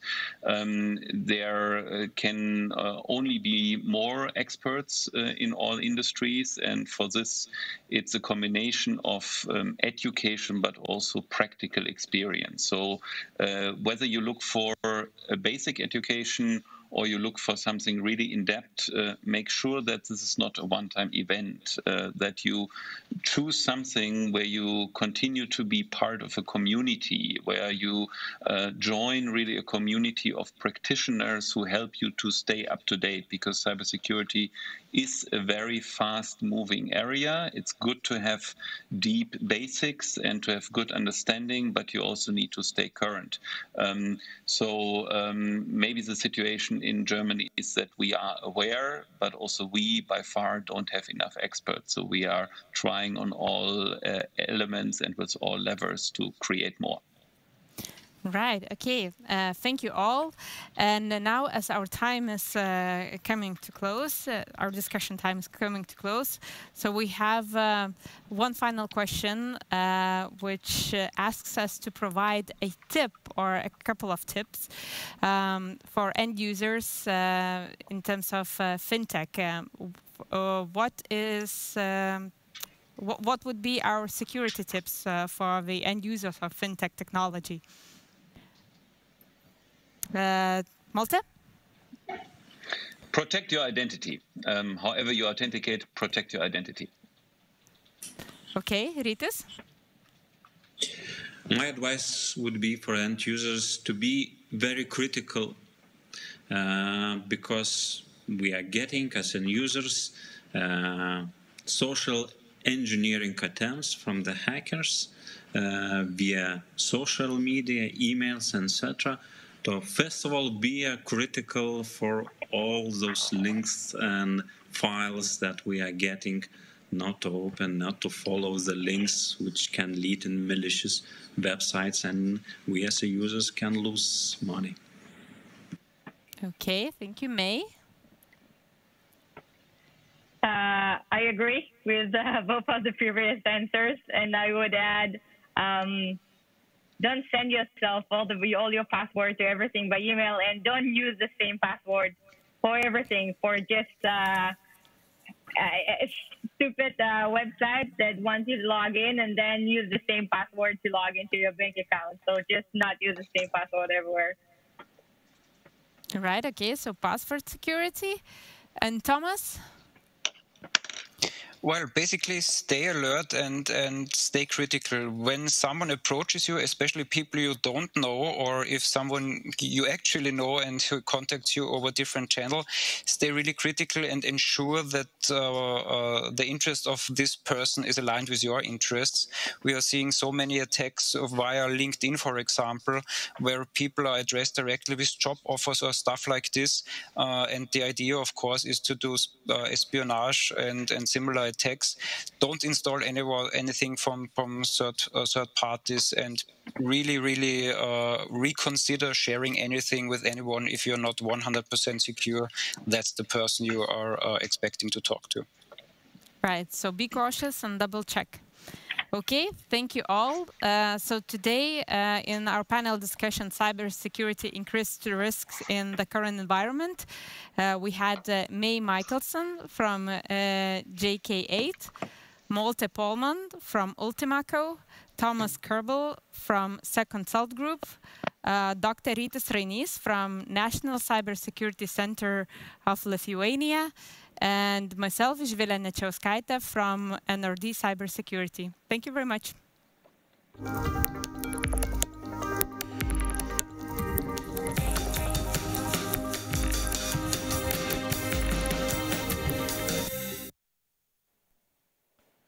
The conversation about cybersecurity cannot be understated ever, right? This is a very important subject. So thank you very much, Živilė, for spending uh, your time with the panel in discussing these important topics for us.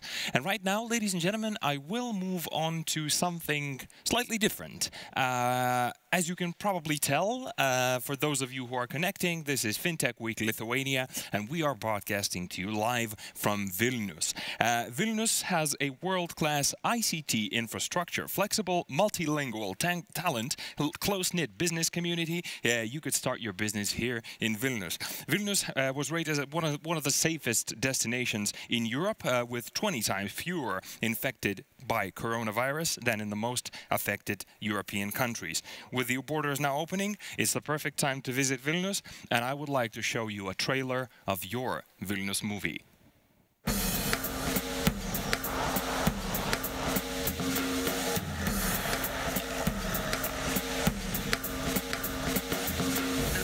Wait, sorry? Vilnius. Ah, Vilnius. It's, um... Vilnius. Which one? Vilnius. Ah, it's Aus uh, Austria. Welcome to Vilnius, Austria, the undiscovered jewel of the Alps. Vilnius is characterized by having most of its landmarks just a few minutes away from each other by foot. This admirable city is in the heart of Austria. Vilnius? In Italy? um, in the heart of Italy, being its most well-kept secret. Its effervescent streets and colorful markets make it a perfect destination for any traveler. For obvious reasons, Vilnius is the pride of Italy. Um, I mean, the pride of Finland.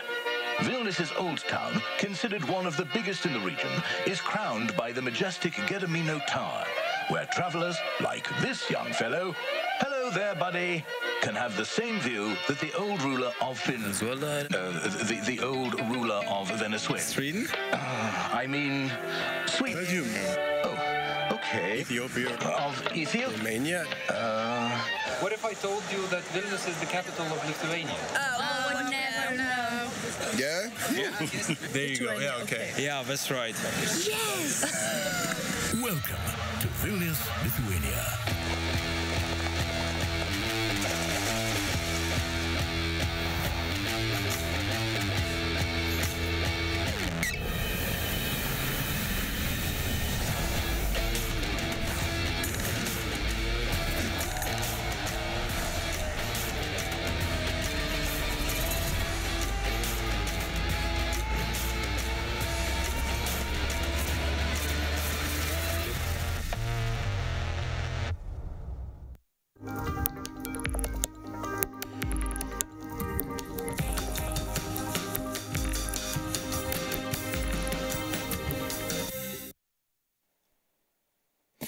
Yes, Vilnius is the capital city of Venezuela. Uh, fin- I mean Lithuania.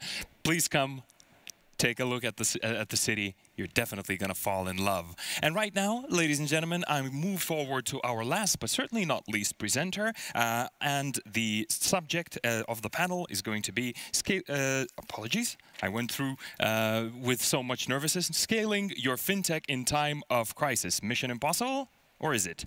Our moderator, Yeva Paulauskine, investment advisor for FinTech at Invest Lithuania. She has worked with companies from the United Kingdom, Switzerland, Spain, and the United States, helping them to build their European operations by leveraging benefits of Lithuanian FinTech landscape talent pool, infrastructure, and regulatory environment. Scaling your FinTech in time of crisis.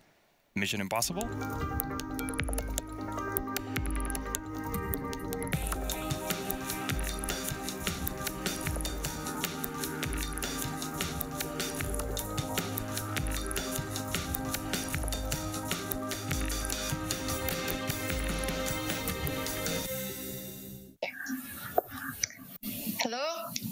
For joining us today for this discussion on scaling your fintech in time of crisis.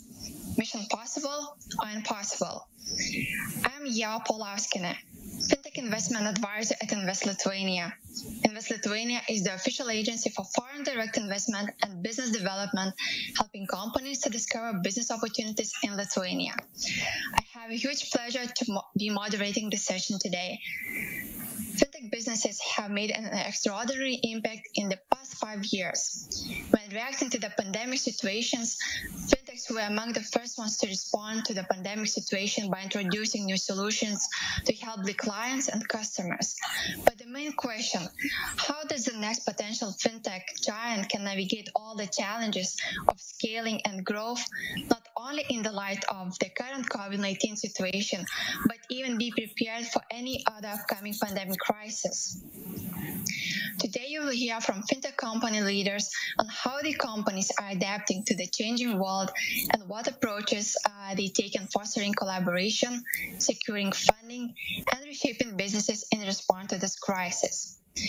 So, I would like to introduce my panelists for today. Uh, first of all, I would like to introduce Sigutė Kuncevičiūtė, CEO of SumUp EU Payments. Hello, everyone. Uh, nice to be here. Uh, I'm Sigutė, uh, CEO of SumUp EU Payments. We are part of SumUp Group. Our product is a mobile payment solution that we deliver to our customers globally. Um, we are one of the fastest growing fintechs uh, in the European Union. Uh, and uh, definitely thanks for having me here. Looking forward for the discussion uh, about the recent changes um, within the markets and businesses due to COVID impact. Thank you, Sigutė. Next, I would like to introduce uh, Stefano Vazzano, founder and CEO of Yapily. Everyone, and uh, thank you for having me uh, today. Um, Yapily is a tech company uh, that plays in the open banking space, and our objective is uh, to remove the technical barrier for anyone that want to benefit from uh, the open finance revolution. So our objective is to make uh, connecting to bank easy. Thank you, Stefano. Finally, I would like to introduce our third speaker today, Nigel Verdon, co-founder and CEO of Railsbank. Hi, and, and thank you for the invitation to talk, and welcome to the to, to the audience. I say my name is Nigel Verdon. I'm the CEO and co-founder of Railsbank, and it's my third fintech I founded uh, within and led through the dot, first one through the dot com crash, second one through credit crunch, and now COVID. So uh, luck seems to follow me. Uh, Railsbank's uh, goal is uh, we're a global banking as a service platform, and we're the only global platform that's there uh, today. And our goal is to enable any business, brand, or bank uh, to become a fintech and participate in this new world of embedded finance. Thank you, Nigel, and thank you all for joining us today. So, without further ado, I would like to kick off uh, the discussion with the first question, actually, to Nigel. Nigel, you already mentioned that you were leading uh, startups through different crises, and you are one of the most experienced fintech leaders. And at this stage, you're also leading Railsbank. Uh, even in times like this, uh, Railsbank is growing and expanding into the new markets. So, as a leader, what key actions did you take not only to mitigate the crisis, but actually accelerate the fintech growth in the time of crisis? Sure. Uh, thanks. Thanks for the question. The uh, the the first thing is uh, get we got control of our costs, and so very clear and understand your costs.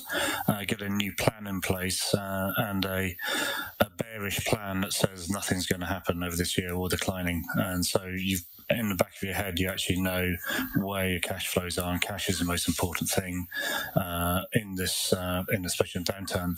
Uh, next most important thing is engage even more with your customers because your customers help you through. And I remember in dot com crash, we had two big customers called Goldman Sachs and UBS, and uh, we renegotiated with them, and they helped us through that crash. So customers helping them be successful helps us be successful, and uh, that was the, the approach. And in terms of uh, growing in this, I, I, think downturns for for young companies uh, without handcuffs or without huge legacy cost bases, we have massive opportunity uh, to all of us here on, on the call uh, because uh, we can invest when others can't uh, in terms of growth. And I, I think there's COVID has made a very very clear sort of partition between what we call the digitized world, which is people who have basically uh, figured out that digital change means having a PDF, but it doesn't actually mean that. It just the PDF is no use to you whatsoever. And the digital natives, like all of us on the call, who, for example, we sent 127 people home in uh, to work from home in uh, in February, and no customers were impacted, and customers didn't even realise we were working from home. Uh, look to some of the legacy financial services; they've still got to go into machine rooms, they've still got to get security infrastructure, all those type of things. So I think the opportunities, we're all digital natives. We can all operate as distributed companies. Uh, we're all cloud natives. And uh, so we can carry on operating and growing. And uh, this year we had our best ever quarter in Q1. Uh, we grew 10% uh, in, in, April on Q1 and grew another 10% in May. And looks like we're going to have a record June too. And uh, it's because we can operate in this this world where it's the, as I say, the, the non PDF world. It's actually a true digital native world. Thanks, Nigel. Actually, I couldn't agree more that you know it's no longer the PDF world, and you just need to be more, more and more agile. Uh, but uh, just wanted to uh, to touch another point. So, what do you think? Which qualities are more important to a good crisis time manager? Is it a quick reaction or a deep analytical thinking? You know that you can evaluate the situation because it seems that you know you were very quick you know to respond to the situation but you know sometimes companies need also do some analytical thinking you've got to think, and you've got to think with the data you have in front of you. And I think uh, a lot of people get into uh, analysis paralysis because they're trying to overthink. And there's criticism of government doing the wrong decision, but hey, you've got data, you've got a very small amount of data, you've got to make a decision on. It. You can change your decision later. So decision making uh, with data and some planning, etc., is super important, and making decisions fast. And nobody should be uh, nobody should be shot for making the wrong decision because we're humans. We do we do what we've done with data, but super fast changing it if you need to. It's uh, if you just keep to your your path. Everything is changing on a daily basis here Uh, we've seen uh, all sorts of events happen over the past uh, five months that we'd never seen before in our lives uh, and everything. And so you've got to work out, figure out, change, go forward. And that's a massive advantage of being a digital native and be a smaller company. You can change quick.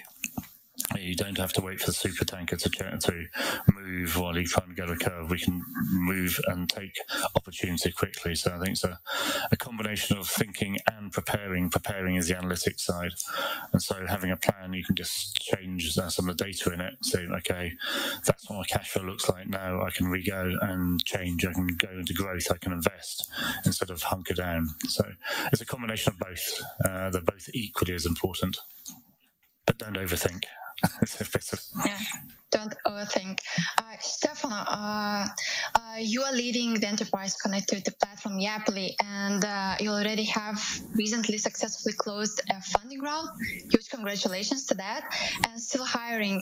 So, what were the key steps in organizing your top leadership's response to this crisis and growth strategy? Uh, could you share the lessons you learned with the, our audience? Yeah, of course. Um, Thank you for the question. So I will not maybe touch on uh, uh, points that uh, Nigel uh, uh, touched, like uh, analyzing your cost or being close to your customer. Um, so from our perspective, we saw the current situation um, as a potential to catch up with some other player uh, in the space. Uh, uh, so that's why we keep we keep growing, um, and we have not changed our growth plan. So I would say probably there are three, four suggestions or lessons learned. First, actually, what also Nigel was saying, uh, be prepared uh, as a company in general and be prepared for the worst. Uh, as a company, obviously, we had uh, uh business uh, continuity plan in place um, when the crisis hit. Um, so even before the government imposed the lockdown, we were already working on a Team A, Team B configuration. So when the lockdown was imposed, it was very easy for the team to migrate on a fully remote, let's say, way of operating. the productivity actually uh, of the team has increased in the last uh, few months, and we learn a lot of uh, how we could let's say operate uh, in uh, in the future. We were forced in this exercise of uh, working from home, and we learned a lot about let's say ourselves. The second point is um, from a leadership perspective, as what I found very important is stay close to the team. Um, working remotely during one of the biggest economic and uh, health crises uh, that uh, many of us uh, will witness during our life uh, require a lot more empathy than uh, what you require if you actually see your your colleagues every day in the office.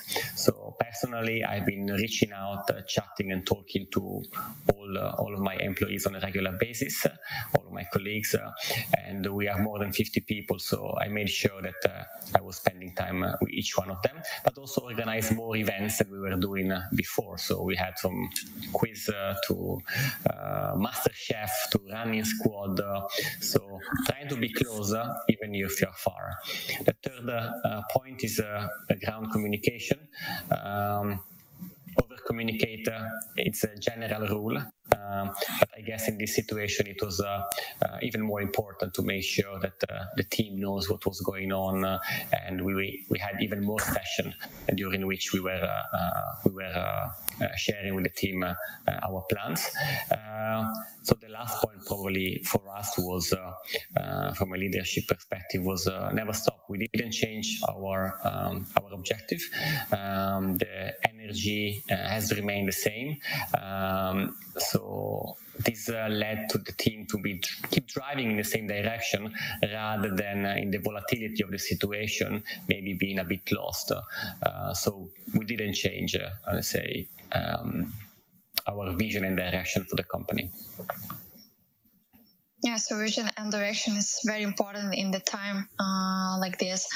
Um, Sigute, uh, I have a question for you. Uh, you manage Lithuanian subsidiary of SumUp, uh, which is one of the leading card payments processing companies with offices in three continents.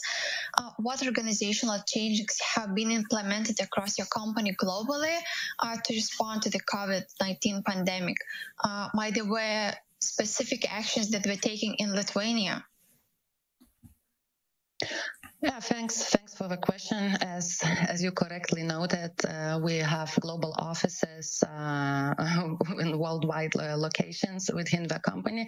Nevertheless, the, the, the same measures were implemented in on all the group level companies. Uh, the first thing we we did, and I'm pretty proud that we were proactive when making these steps. So we uh, reviewed our key priorities uh, because our um, main customers are the small medium enterprises that definitely suffered from from the lockdown. I will not go into the numbers uh, but they definitely i mean the decrease was definitely impressive and we understood and understood very quickly that we need to do something in order to help our customers. So what we did we reviewed the priorities uh, we reviewed our product roadmap uh, our future plans and uh, allocated uh, the resources uh, to the main initiatives initiatives that uh, we thought will help our merchants uh, throughout these difficult times. Um, I, I, mean, I, I, will not go maybe into all the details, but we managed to launch products uh, to the market in a couple of weeks that, in fact, in the roadmap were planned to be launched in months. So I'm, I'm really, I mean, really proud how the team were kind of able to to, to structurize themselves and working remotely accomplish that. And what is also uh, important, I mean, the lockdown uh, was impacting the global offices also from working from home perspectives, as other panelists were indicating. It's, uh, I mean, we were remote teams already, uh, but working uh, remotely definitely required to review our kind of internal communication ways, uh, all the rituals we have, and and and etc. But again, I think we are in this for a long haul. Uh, I mean, overall, the business and the way we do business is changing. so uh, being reactive, uh, uh, watching the clo situation closely, um, and thinking about new methods, new products will be key for the future, in my eyes. and yeah, and we are trying to accomplish that in, in being by at the same time being pretty, pretty, pretty big organization. Yeah, thank you for sharing this. Uh, I guess, you know, uh, every company is already having more and more data uh, that helps to evaluate the pre-pandemic situation and, you know, the post-COVID uh, situation. So I guess this brings me to another topic, funding, uh, which is also a very important topic for the companies. So I would like to dedicate my question to Stefano, uh, your team uh, have secured a successful Series A funding uh, during this coronavirus crisis. Could you share your experience with us? How was the funding process different from, let's say, the normal investment raising? Um, yeah, so certainly uh, raising during the COVID crisis was um, was more challenging. And I think the first reason is because uh, I had COVID myself. Uh, so during the week of the signature, I had actually pneumonia, fever, headaches. Uh, so a funding round uh, I'll definitely uh, remember.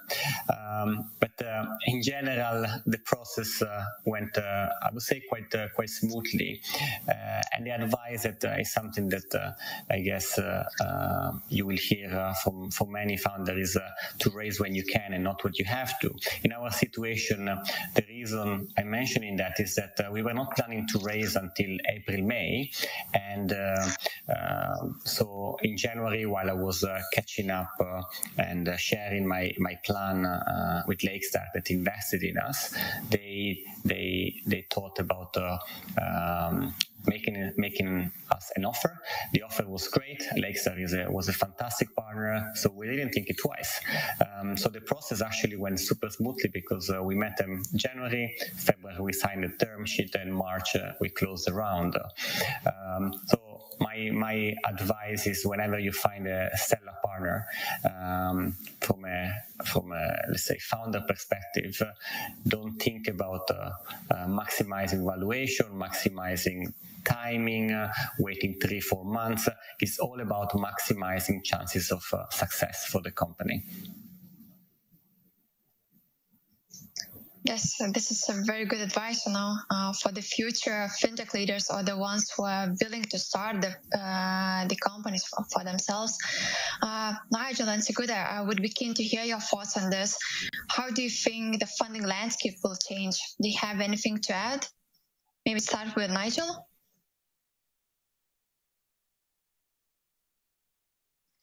Nigel, right, you can uh, unmute yourself.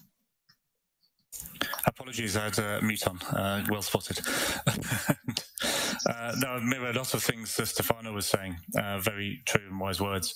And Lakestar, great, great investor. Uh, we are capital raising. I've uh, literally been talking to around 52 funds at the moment yeah, and bizarrely enough, uh, a good uh, 85, 90% of those have all been inbound uh, over the past uh, few months.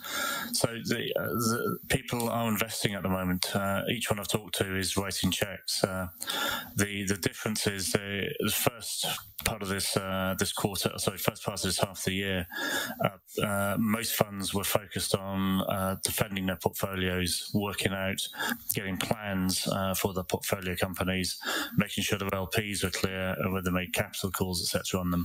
And so uh, I think deemed not to be investing when they were investing, but they, they were, their focus was elsewhere. So the other one is uh, uh, do they sort of split in two?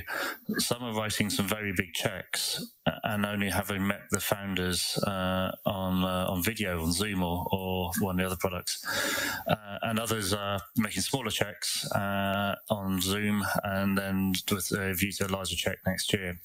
So it's, it's changed some of the dynamics of, of, the industry, and I just detect from talking everything from from Southeast Asia, Europe, and East and West Coast US, uh, the, there is a, a, real positivity about investing in, uh, especially on the fintech world, because of this. Uh, we are digitally native businesses who can survive. We don't have this legacy like branches or PDFs, as we said earlier, uh, to uh, to take care of. And so, uh, be positive, as, as Stefano says. Take money not when you need it. Take money if you're a good investor and you've got good people looking at you, uh, sell them. Uh, it's all about getting ensuring that you've got the right story and the right ambition and also, uh, just also just one word of advice to people, especially on the seed stage: don't worry about your plan. Uh, all plans are wrong at seed to seed stage. Uh, they're ninety nine percent wrong, and investing the team. And they're just seeing, have you got a plan? Yes, tick. Every don't try and justify it. It's it's wrong. Uh, and as you get towards Series E and and uh, floating and stuff like that, then your plan has to be vaguely correct uh, because that's what you got to stand by and warrant. But yeah, the investment world is is looking positive, uh, and and uh, some people are surprised when I say, "Are you investing at the moment?" I say, "Of course we are." It's just like almost an offence. They've been accused of not investing at the moment. So I say positivity. Don't don't. The media may report differently, uh, but when do any of us believe the media? Uh, to be honest, so uh, believe in yourself. Uh, pick up the phone speak to people, and uh, don't don't believe the media that's giving you a, certain story because they, have got an edge to do, as sometimes is uh, reality. Yeah investment positivity. Uh, Sigutė, do you have anything to add or to share your perspective how the funding landscape will change? So, if honestly, my opinion is not that much different from what, what our panelists were talking about. Uh, even looking into the Lithuanian fintech and and and startup market, um, recently we did see a couple of examples with really impressive funding rounds uh, and, and, and and and and and money allocated for product development. So I I believe it's it's possible. Uh, there is never a bad time to to to launch something if you have a good idea That was always kind of my, my, my personal mantra. But again, I also believe that uh, funding will be uh, a little bit more complicated in the near future, but it uh, doesn't mean it's not available.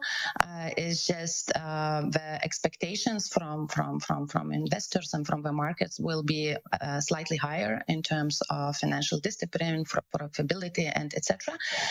So yeah, my, my, my advice was would be that if you have an idea it's it's not a bad time. Uh, you just uh, need to search for opportunities. There are definitely uh, some available, and practical examples represent that.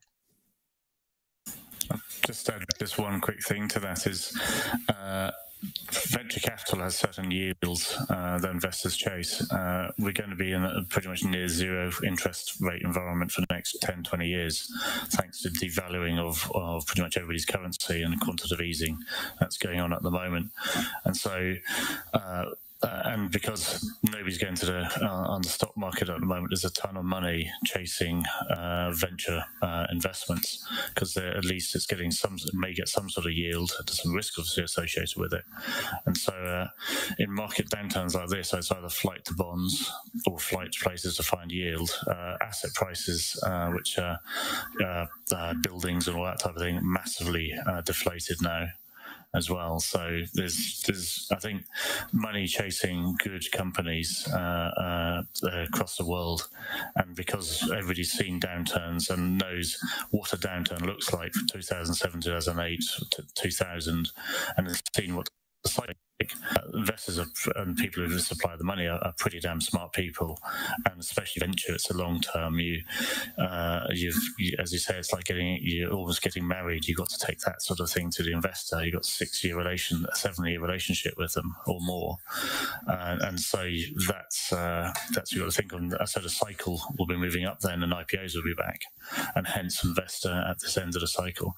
Uh, valuations may be affected slightly. But it's probably a good thing uh, for all parties uh, on it, uh, and the sensible investors aren't uh, predatory. they are they're very good, even-minded people.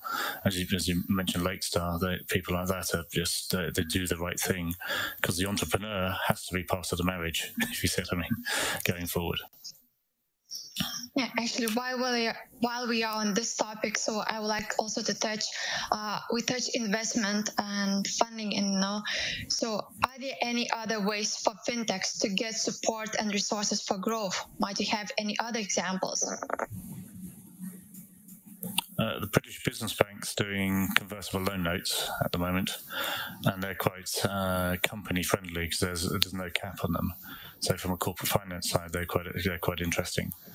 Uh, but it's it's uh, it's it's nice to have as opposed to uh, good investor money because money from from government is great and it's helpful, but uh, when you get money with an amazing fund uh, behind it and experience and playbooks, uh, the venture money, so it comes at a discount to the to the government money.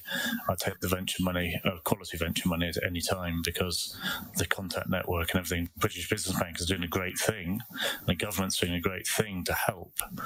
Uh, but uh, the it's it's it's money, uh, and it's much better to go to people who will help you and generally interested in helping you and pushing you, and they're not just interested in your reporting every month to them of the shareholding and the price and everything, because that's of no value to us as entrepreneurs.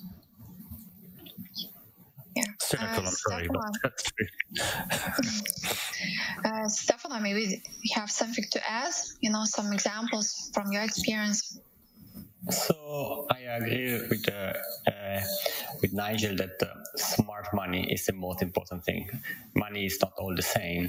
Um, it's difficult to make example because I think every jurisdiction is trying to help their own ecosystem in a different way. Um, so we can make example of what the UK government is doing, but considering we are Lithuania FinTech Week, maybe it's less uh, it's less relevant for you guys. Um, so I'm sure that uh, your government is supporting the uh, the ecosystem the way they can. Um, so it's, it's difficult to say what other available methods are because it really depends on where the company is based. Yeah, location matters. Uh, Sigutė, might you have anything uh, to share with us?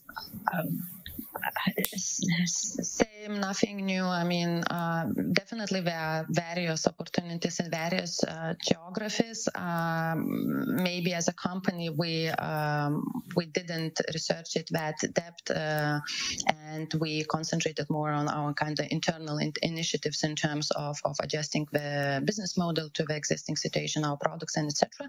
Um, but yeah, I, I heard uh, good feedbacks regarding some measures in uh, from our customers uh, themselves. I mean, from the small medium enterprises that uh, that really did suffer and needed support um, um at that time when the, the, the, lockdown happened. So, but yeah, it very much varied from country to country. Uh, so, so, so I guess location does does matter.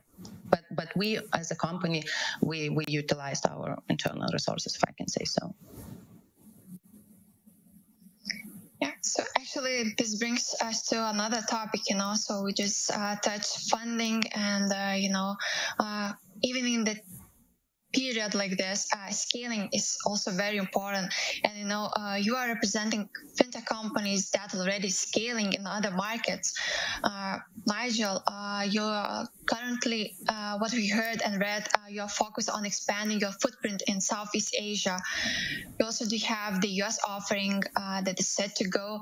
So, what are the main challenges and advantages scaling Railsbank in different continents at the time like this? Sure. Uh, uh, I come back to uh, uh, scaling when competition's hurting is good. Uh, we, we, the our philosophy is a lot of Railsbank have been professional sports people, military, and others. So we like working at a very high pace. And I think now is we've upped our pace to another level uh, to to be able to grow ahead of the competition. Uh, that's just one just, just one thing as our philosophy on it. Uh, we also, if you look at read any business school book, they'll say don't operate on three fronts uh, because you haven't got the. It's very difficult to do that, and it's whether it's business, military, anything operating on three fronts is is, is incredibly difficult. The way we get around that is we have a, an amazing team uh, in in Europe, uh, about to hopefully hire an amazing individual in to lead us in North America who've worked together before as well and as a as a pre-baked team, and I'm based in in Singapore, so and we we've always worked as distributed businesses. I've been uh, as our, our, core team came together in uh, 1996 in uh, when Swiss Bank one, the first company I founded. So we know how to work uh, and things. And when you've got pre-baked teams, know how to work together, know the the downsides of everybody and the upsides of everybody, what they're good and bad at, and everything. That enables you, I think, to operate on a on a, on a few fronts. And, and, the other thing we use, uh, we just rip off Google and Intel. Uh, these are things called OKRs, which is just an approach of giving everybody the same direction and feedback fast on it and change fast. And we use OKRs for a company, each uh, a business unit of the company, each team and things is to give that direction. So it's documented, it's clear. You feedback in it, you discuss it, uh, but you can you can you don't have to be redirecting everybody the whole time, and that allows you to build global organizations. So we're sort of breaking the, the, the, playbook a little bit, uh, but I think we've got the right people, uh, we've got the right market as well, uh, and because US, uh, we, we, believe competition is all quite weak at the moment. Uh, Southeast Asia is coming out of COVID, uh, and economically will come out faster than, than, than, Western Europe. And Europe, we've got we're still growing ten percent a month, so that's I think with a reasonable environment, and it's sometimes does feel like you're you've got to keep the wheels on as you as you're getting at speed. But that's hiring a, a, a come back to Stefano's point earlier. It's your team uh, if you've got a team that's experienced, knows how to go forward, doesn't overthink, uh, very good leaders in, in, the team, and that's what uh, you, you, you give you direction and execution. And I'm quite proud of our team. We're all quite grey-haired. We're all ex-capital markets, so we've all come from trading floors and etc. In, in, in, London and around the world, and we work at that sort of pace. And we've worked in international businesses, most of us before, and uh, that really does help. So you know how to have these conversations. In the early days it was on just on the phone on a Squawk box. Uh, today, video is a, is a luxury. I mean, and meeting is an even bigger luxury, I think, going forward. Yeah, indeed. So the main drivers is talent, the team, and uh, uh, their the philosophy of scaling. You know, just to be agile to do that. Uh, Stefano, uh, you were also expanding to the new markets, uh, mainly in Europe. Uh, what is your experience? Could you share with us uh, your advice on how to stay agile, grow, and find new customers? Yeah, so linked to what uh, um, Nigel was saying, the importance of the team uh, and the quality of talent you have, it's key to any company. You are as good as the people you have in the company. Um, so we conti- we, we keep growing. We are still hiring, um, and fortunately for us, but unfortunately because of the situation, hiring is becoming uh, is becoming easier uh, because uh, there are a lot of talented people that uh, they were simply unfortunate to be in sector that were more affected uh, than the fintech sector, uh, but they are extremely talented. Simply, this crisis is affecting them more than maybe us. Um, in terms of how things are changing now is uh, um, definitely we are seeing uh, more demand of people to have flexibility around working. Um, so working remote is becoming kind of the new normal. Um, so uh, we are scaling and scaling in a more distributed uh, uh, distributed way.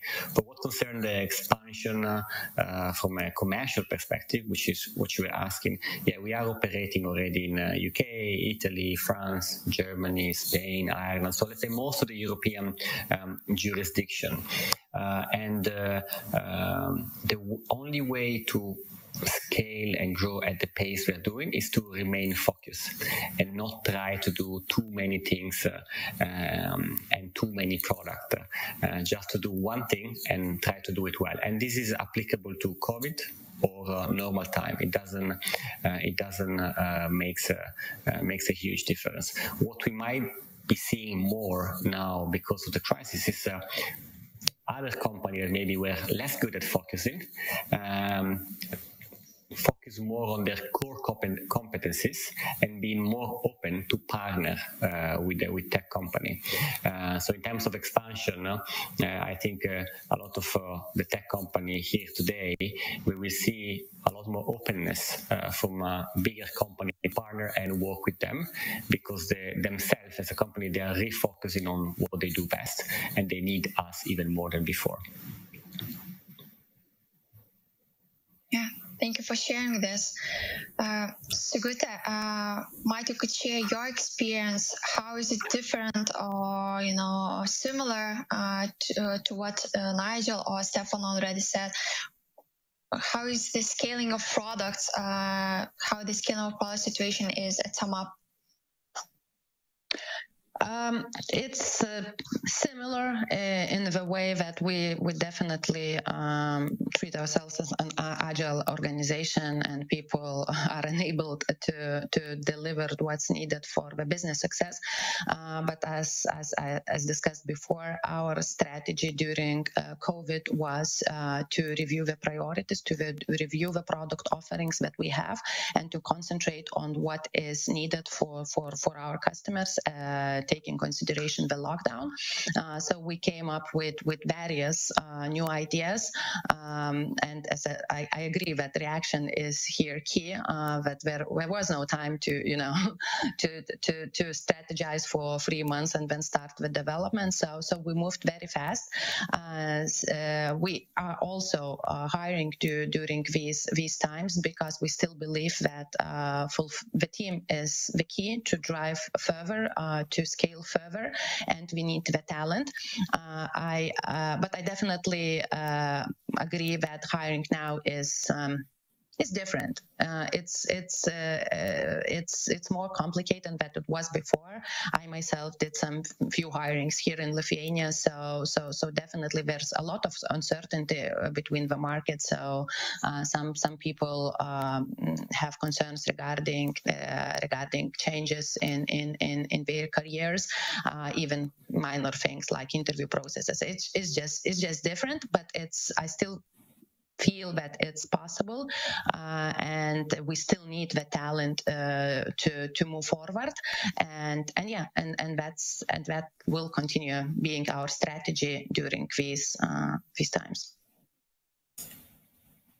Just one thing following on from that, and it's probably a reflection of everybody on the call, is uh, one thing we, have tried, and I've observed other other companies, is to, go outside your, your borders. You've got to have a global ambition and a global mindset as a company. And uh, within Railsbank, we have something like 44 languages and 127 people. Uh, so having building diversity uh, of culture, of people, of of everything from from day one uh, generates a, a, team with a global mindset, and that is, uh, I think, core to also being able to scale on different borders. I've I've come across uh, companies in coming into Singapore from from uh, United States, for example, and uh, it's it, to to adopt to the Southeast Asian market. So I grew up there as a kid. of very, very different from operating in Europe and, and the US. And the US is very different from, from uh, even the UK because the US uh, they speak the same language, but fundamentally there's some very different uh, behaviours. Uh, so having global mindset and the fact every round this call is uh, uh, from all different parts of the of, of, Europe is a sort of reflective of, of of be global from day one, think global, and we started selling Access Global Banking with five lines of code back in 2016 when we launched our PowerPoint deck. And so we had global on the deck when there's only two of us, me and my co-founder. And uh, we've been selling that aspiration ever since. And if you start with an aspiration like that, you can continue it uh, as well. But operationally, uh, you do need certain things. Working as distributed has its ups and downsides.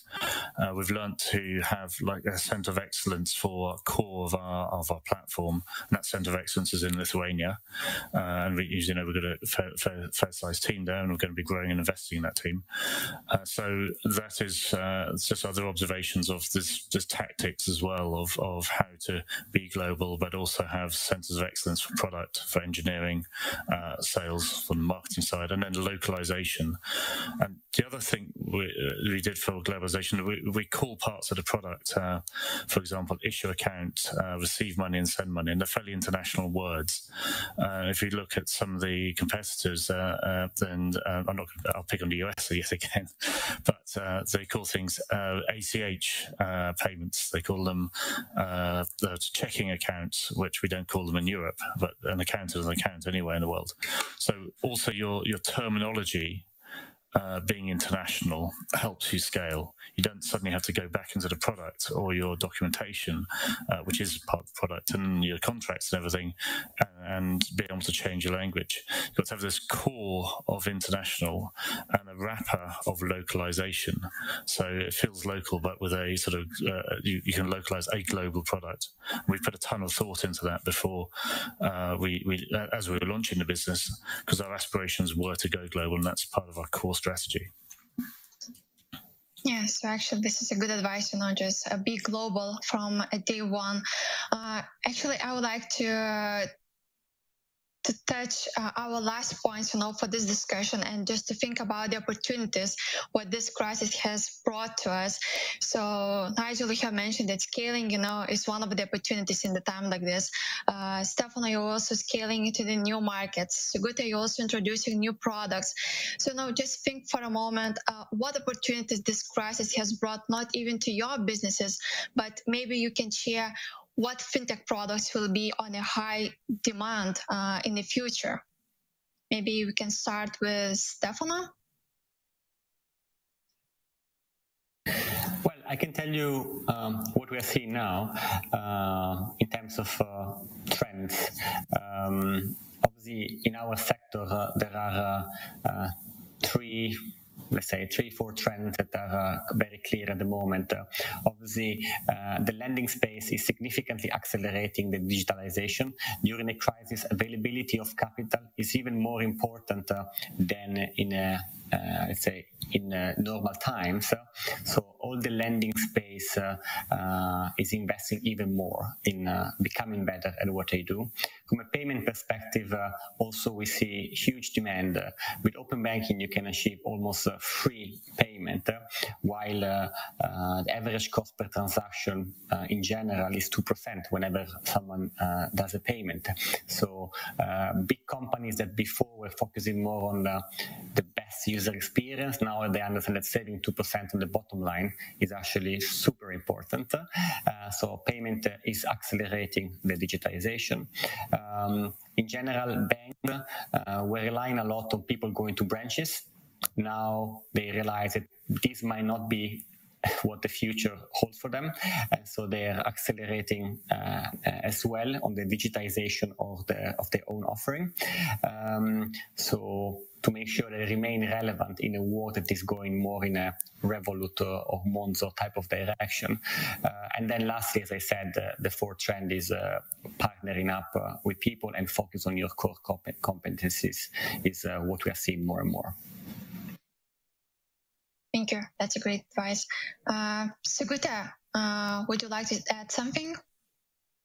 Uh, yeah, I'll, I'll keep it short. I think all the products that will stimulate businesses uh, are the future. So, as mentioned, loans, especially the micro micro loans, uh, all e-commerce related product payment facilitates, uh, and easy access to bank accounts. I still believe this this is um, a huge problem in in uh, some of the jurisdictions. Nigel, and your last thoughts? Just mirroring what everybody else says, anybody who's a digital native has massive opportunity going forward. Uh, in terms of the personal observations, in investing in or figuring out what's the next generation of Zoom and next generation of Google Hangouts, uh, because one of the real observations is the workplace is, is now massively changed uh, and will, I think, continue to be that. And the tools need to grow up. Uh, I, I drastically missing what Google have a thing called Jamboard, it's not, not hugely great and massively expensive. But there's tools to to let us go back and collaborate again with a wonderful thing called a whiteboard, but do it uh, uh, uh, remotely. So it's slightly not fintech, but it's like tech to enable amazing collaboration. It's a massive opportunity for someone to fix that because the world of working has changed. You're going to see people. Yeah, guys. So with this last thought, I would like to thank you uh, sincerely to our panelists. Uh, thank you, uh, Sigutė, Stefano, and, and, Nigel for the insights, your thoughts, and practical advices you already have shared. And thank you, everyone, for listening uh, our live discussion today. And we hope that you find it inspiring and useful. And if you have any questions or comments, uh, you know, for our speakers, so please uh, follow the company's profiles or the LinkedIn profiles, you know, just to get the latest updates. And if you have any questions or comments, so just drop us a line and we will respond to you. So with that, I would like to say thank you and goodbye.